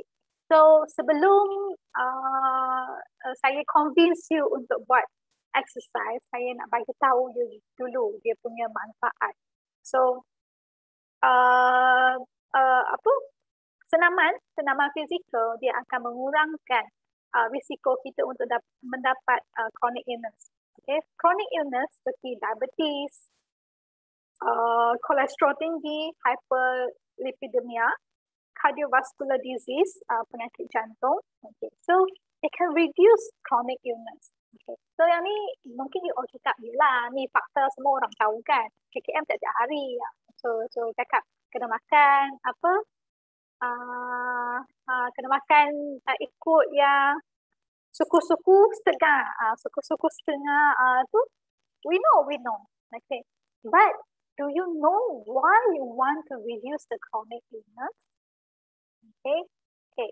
So ramai tahu dia boleh mengurangkan chronic illness, tapi ramai yang uh, tak cannot foresee the uh, impact of chronic illness.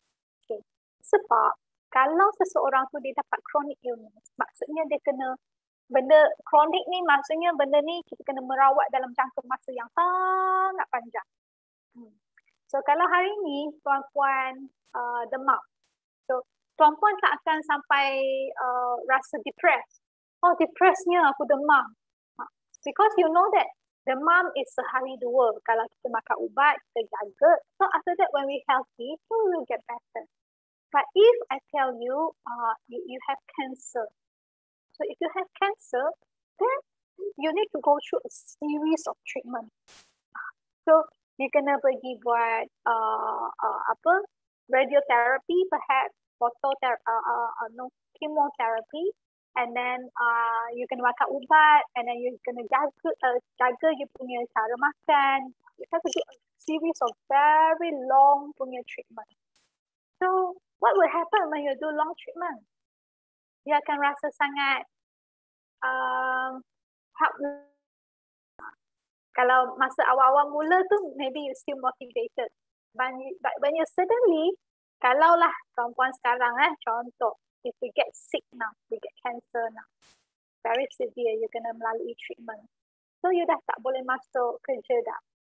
So bila awal-awal you tak boleh masuk kerja, you punya kawan-kawan semua tu dia masih text lagi tau. You rajin, nah, hari ni macam mana, uh, nak makan ubat ke? Uh, puan tabah eh, kami akan doakan untuk puan. So first week, second week, then after that you will realise that dia dia text punya jangka masa dia jadi makin, makin lama. Maybe once a month, they recall about you, they text you. Maybe once a year, they recall about you, baru they text you. So your life will be getting more and more, how to say that, isolated. So chronic illness, dia punya cabaran dia is one have to be consistent untuk rawatan yang yang dalam jangka masa yang panjang. Dan yang bila satu benda tu dia jadi jangka masa yang panjang dia akan membawa tekanan yang lebih tinggi. Like for example, tuan-puan ada tak botol air di depan tuan-puan? Do you have the bottle? Okay, ataupun kalau you have handphone, okay, so you just hold the handphone, okay, angkat tinggi-tinggi ataupun you using a bottle lah. Okay. So, kalau saya minta tuan-puan untuk angkat apa yang tuan-puan angkat sekarang ni for 5 second. Can you hold it? Can ah, I suppose most of you can. If I ask you to hold it for 5 minutes, can you do it? Maybe. Maybe can. Okay. So, but if I ask you to hold for 5 hours, can you do it? No. Sebab apa tak boleh?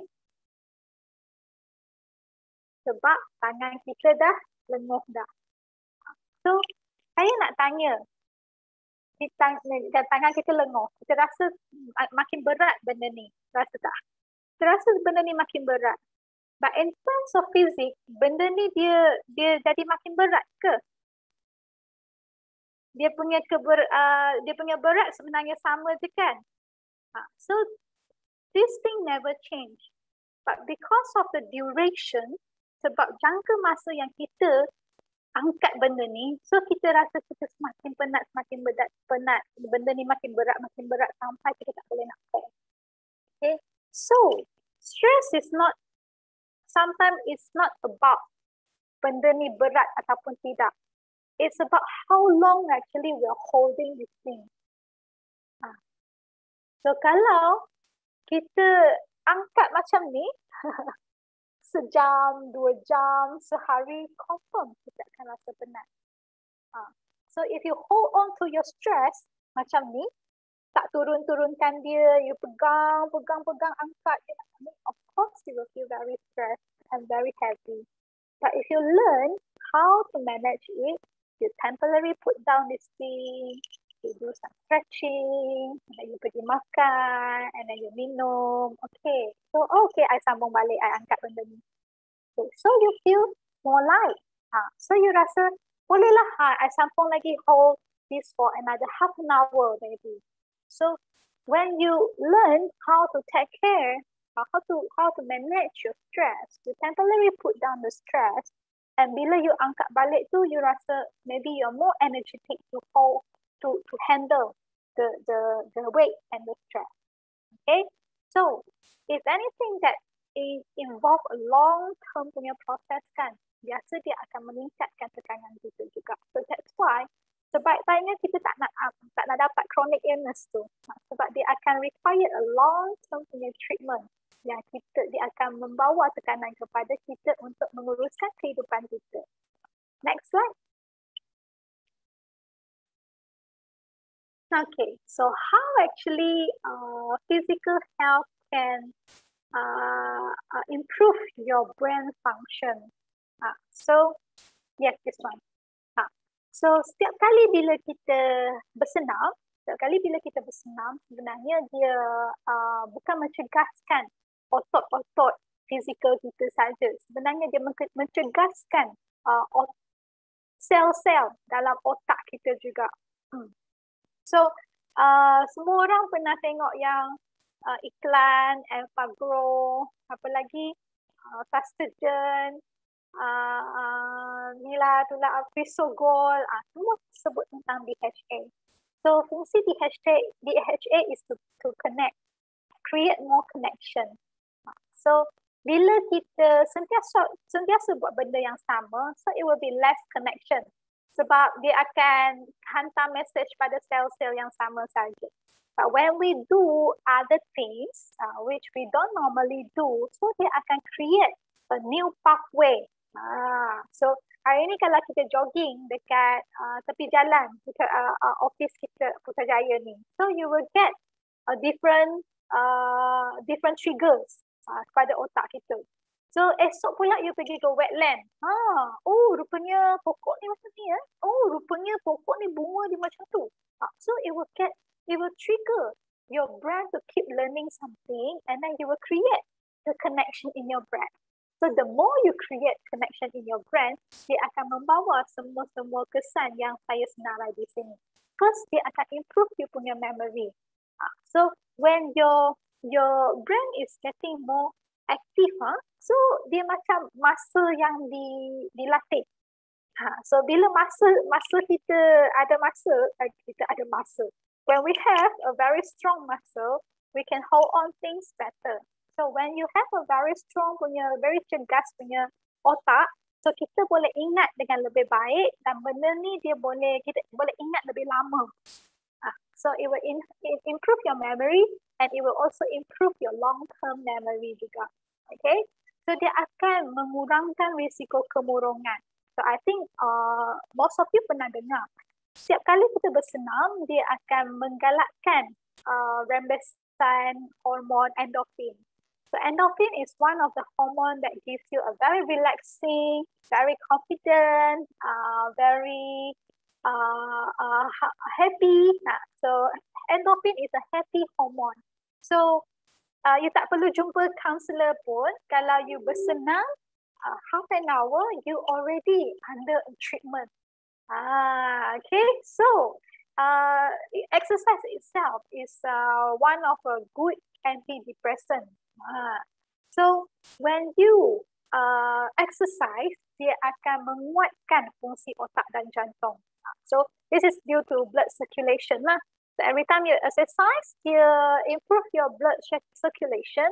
So your your heart will pump faster. So bila jantung kita pump lebih uh, kuat, otot di jantung kita lebih kuat. So when more blood is being pumped, So dia akan lebih banyak darah naik ke otak kita. So otak kita boleh dapat lebih banyak oksigen then your otak will be more refreshed and more energetic. Okay. So and then uh, exercise can can boost your creativity juga macam I cakap because you have a new connection. Ah, so when you get a new connection, itulah budak kita dia sentiasa men, men, men-surprisekan kita eh kita tak pernah ajar benda ni macam mana dia boleh belajar benda ni eh? and every every every day. Mungkin dia akan cakap something yang kita tak sangka dia dia faham benda tu. Ha. so where that comes from?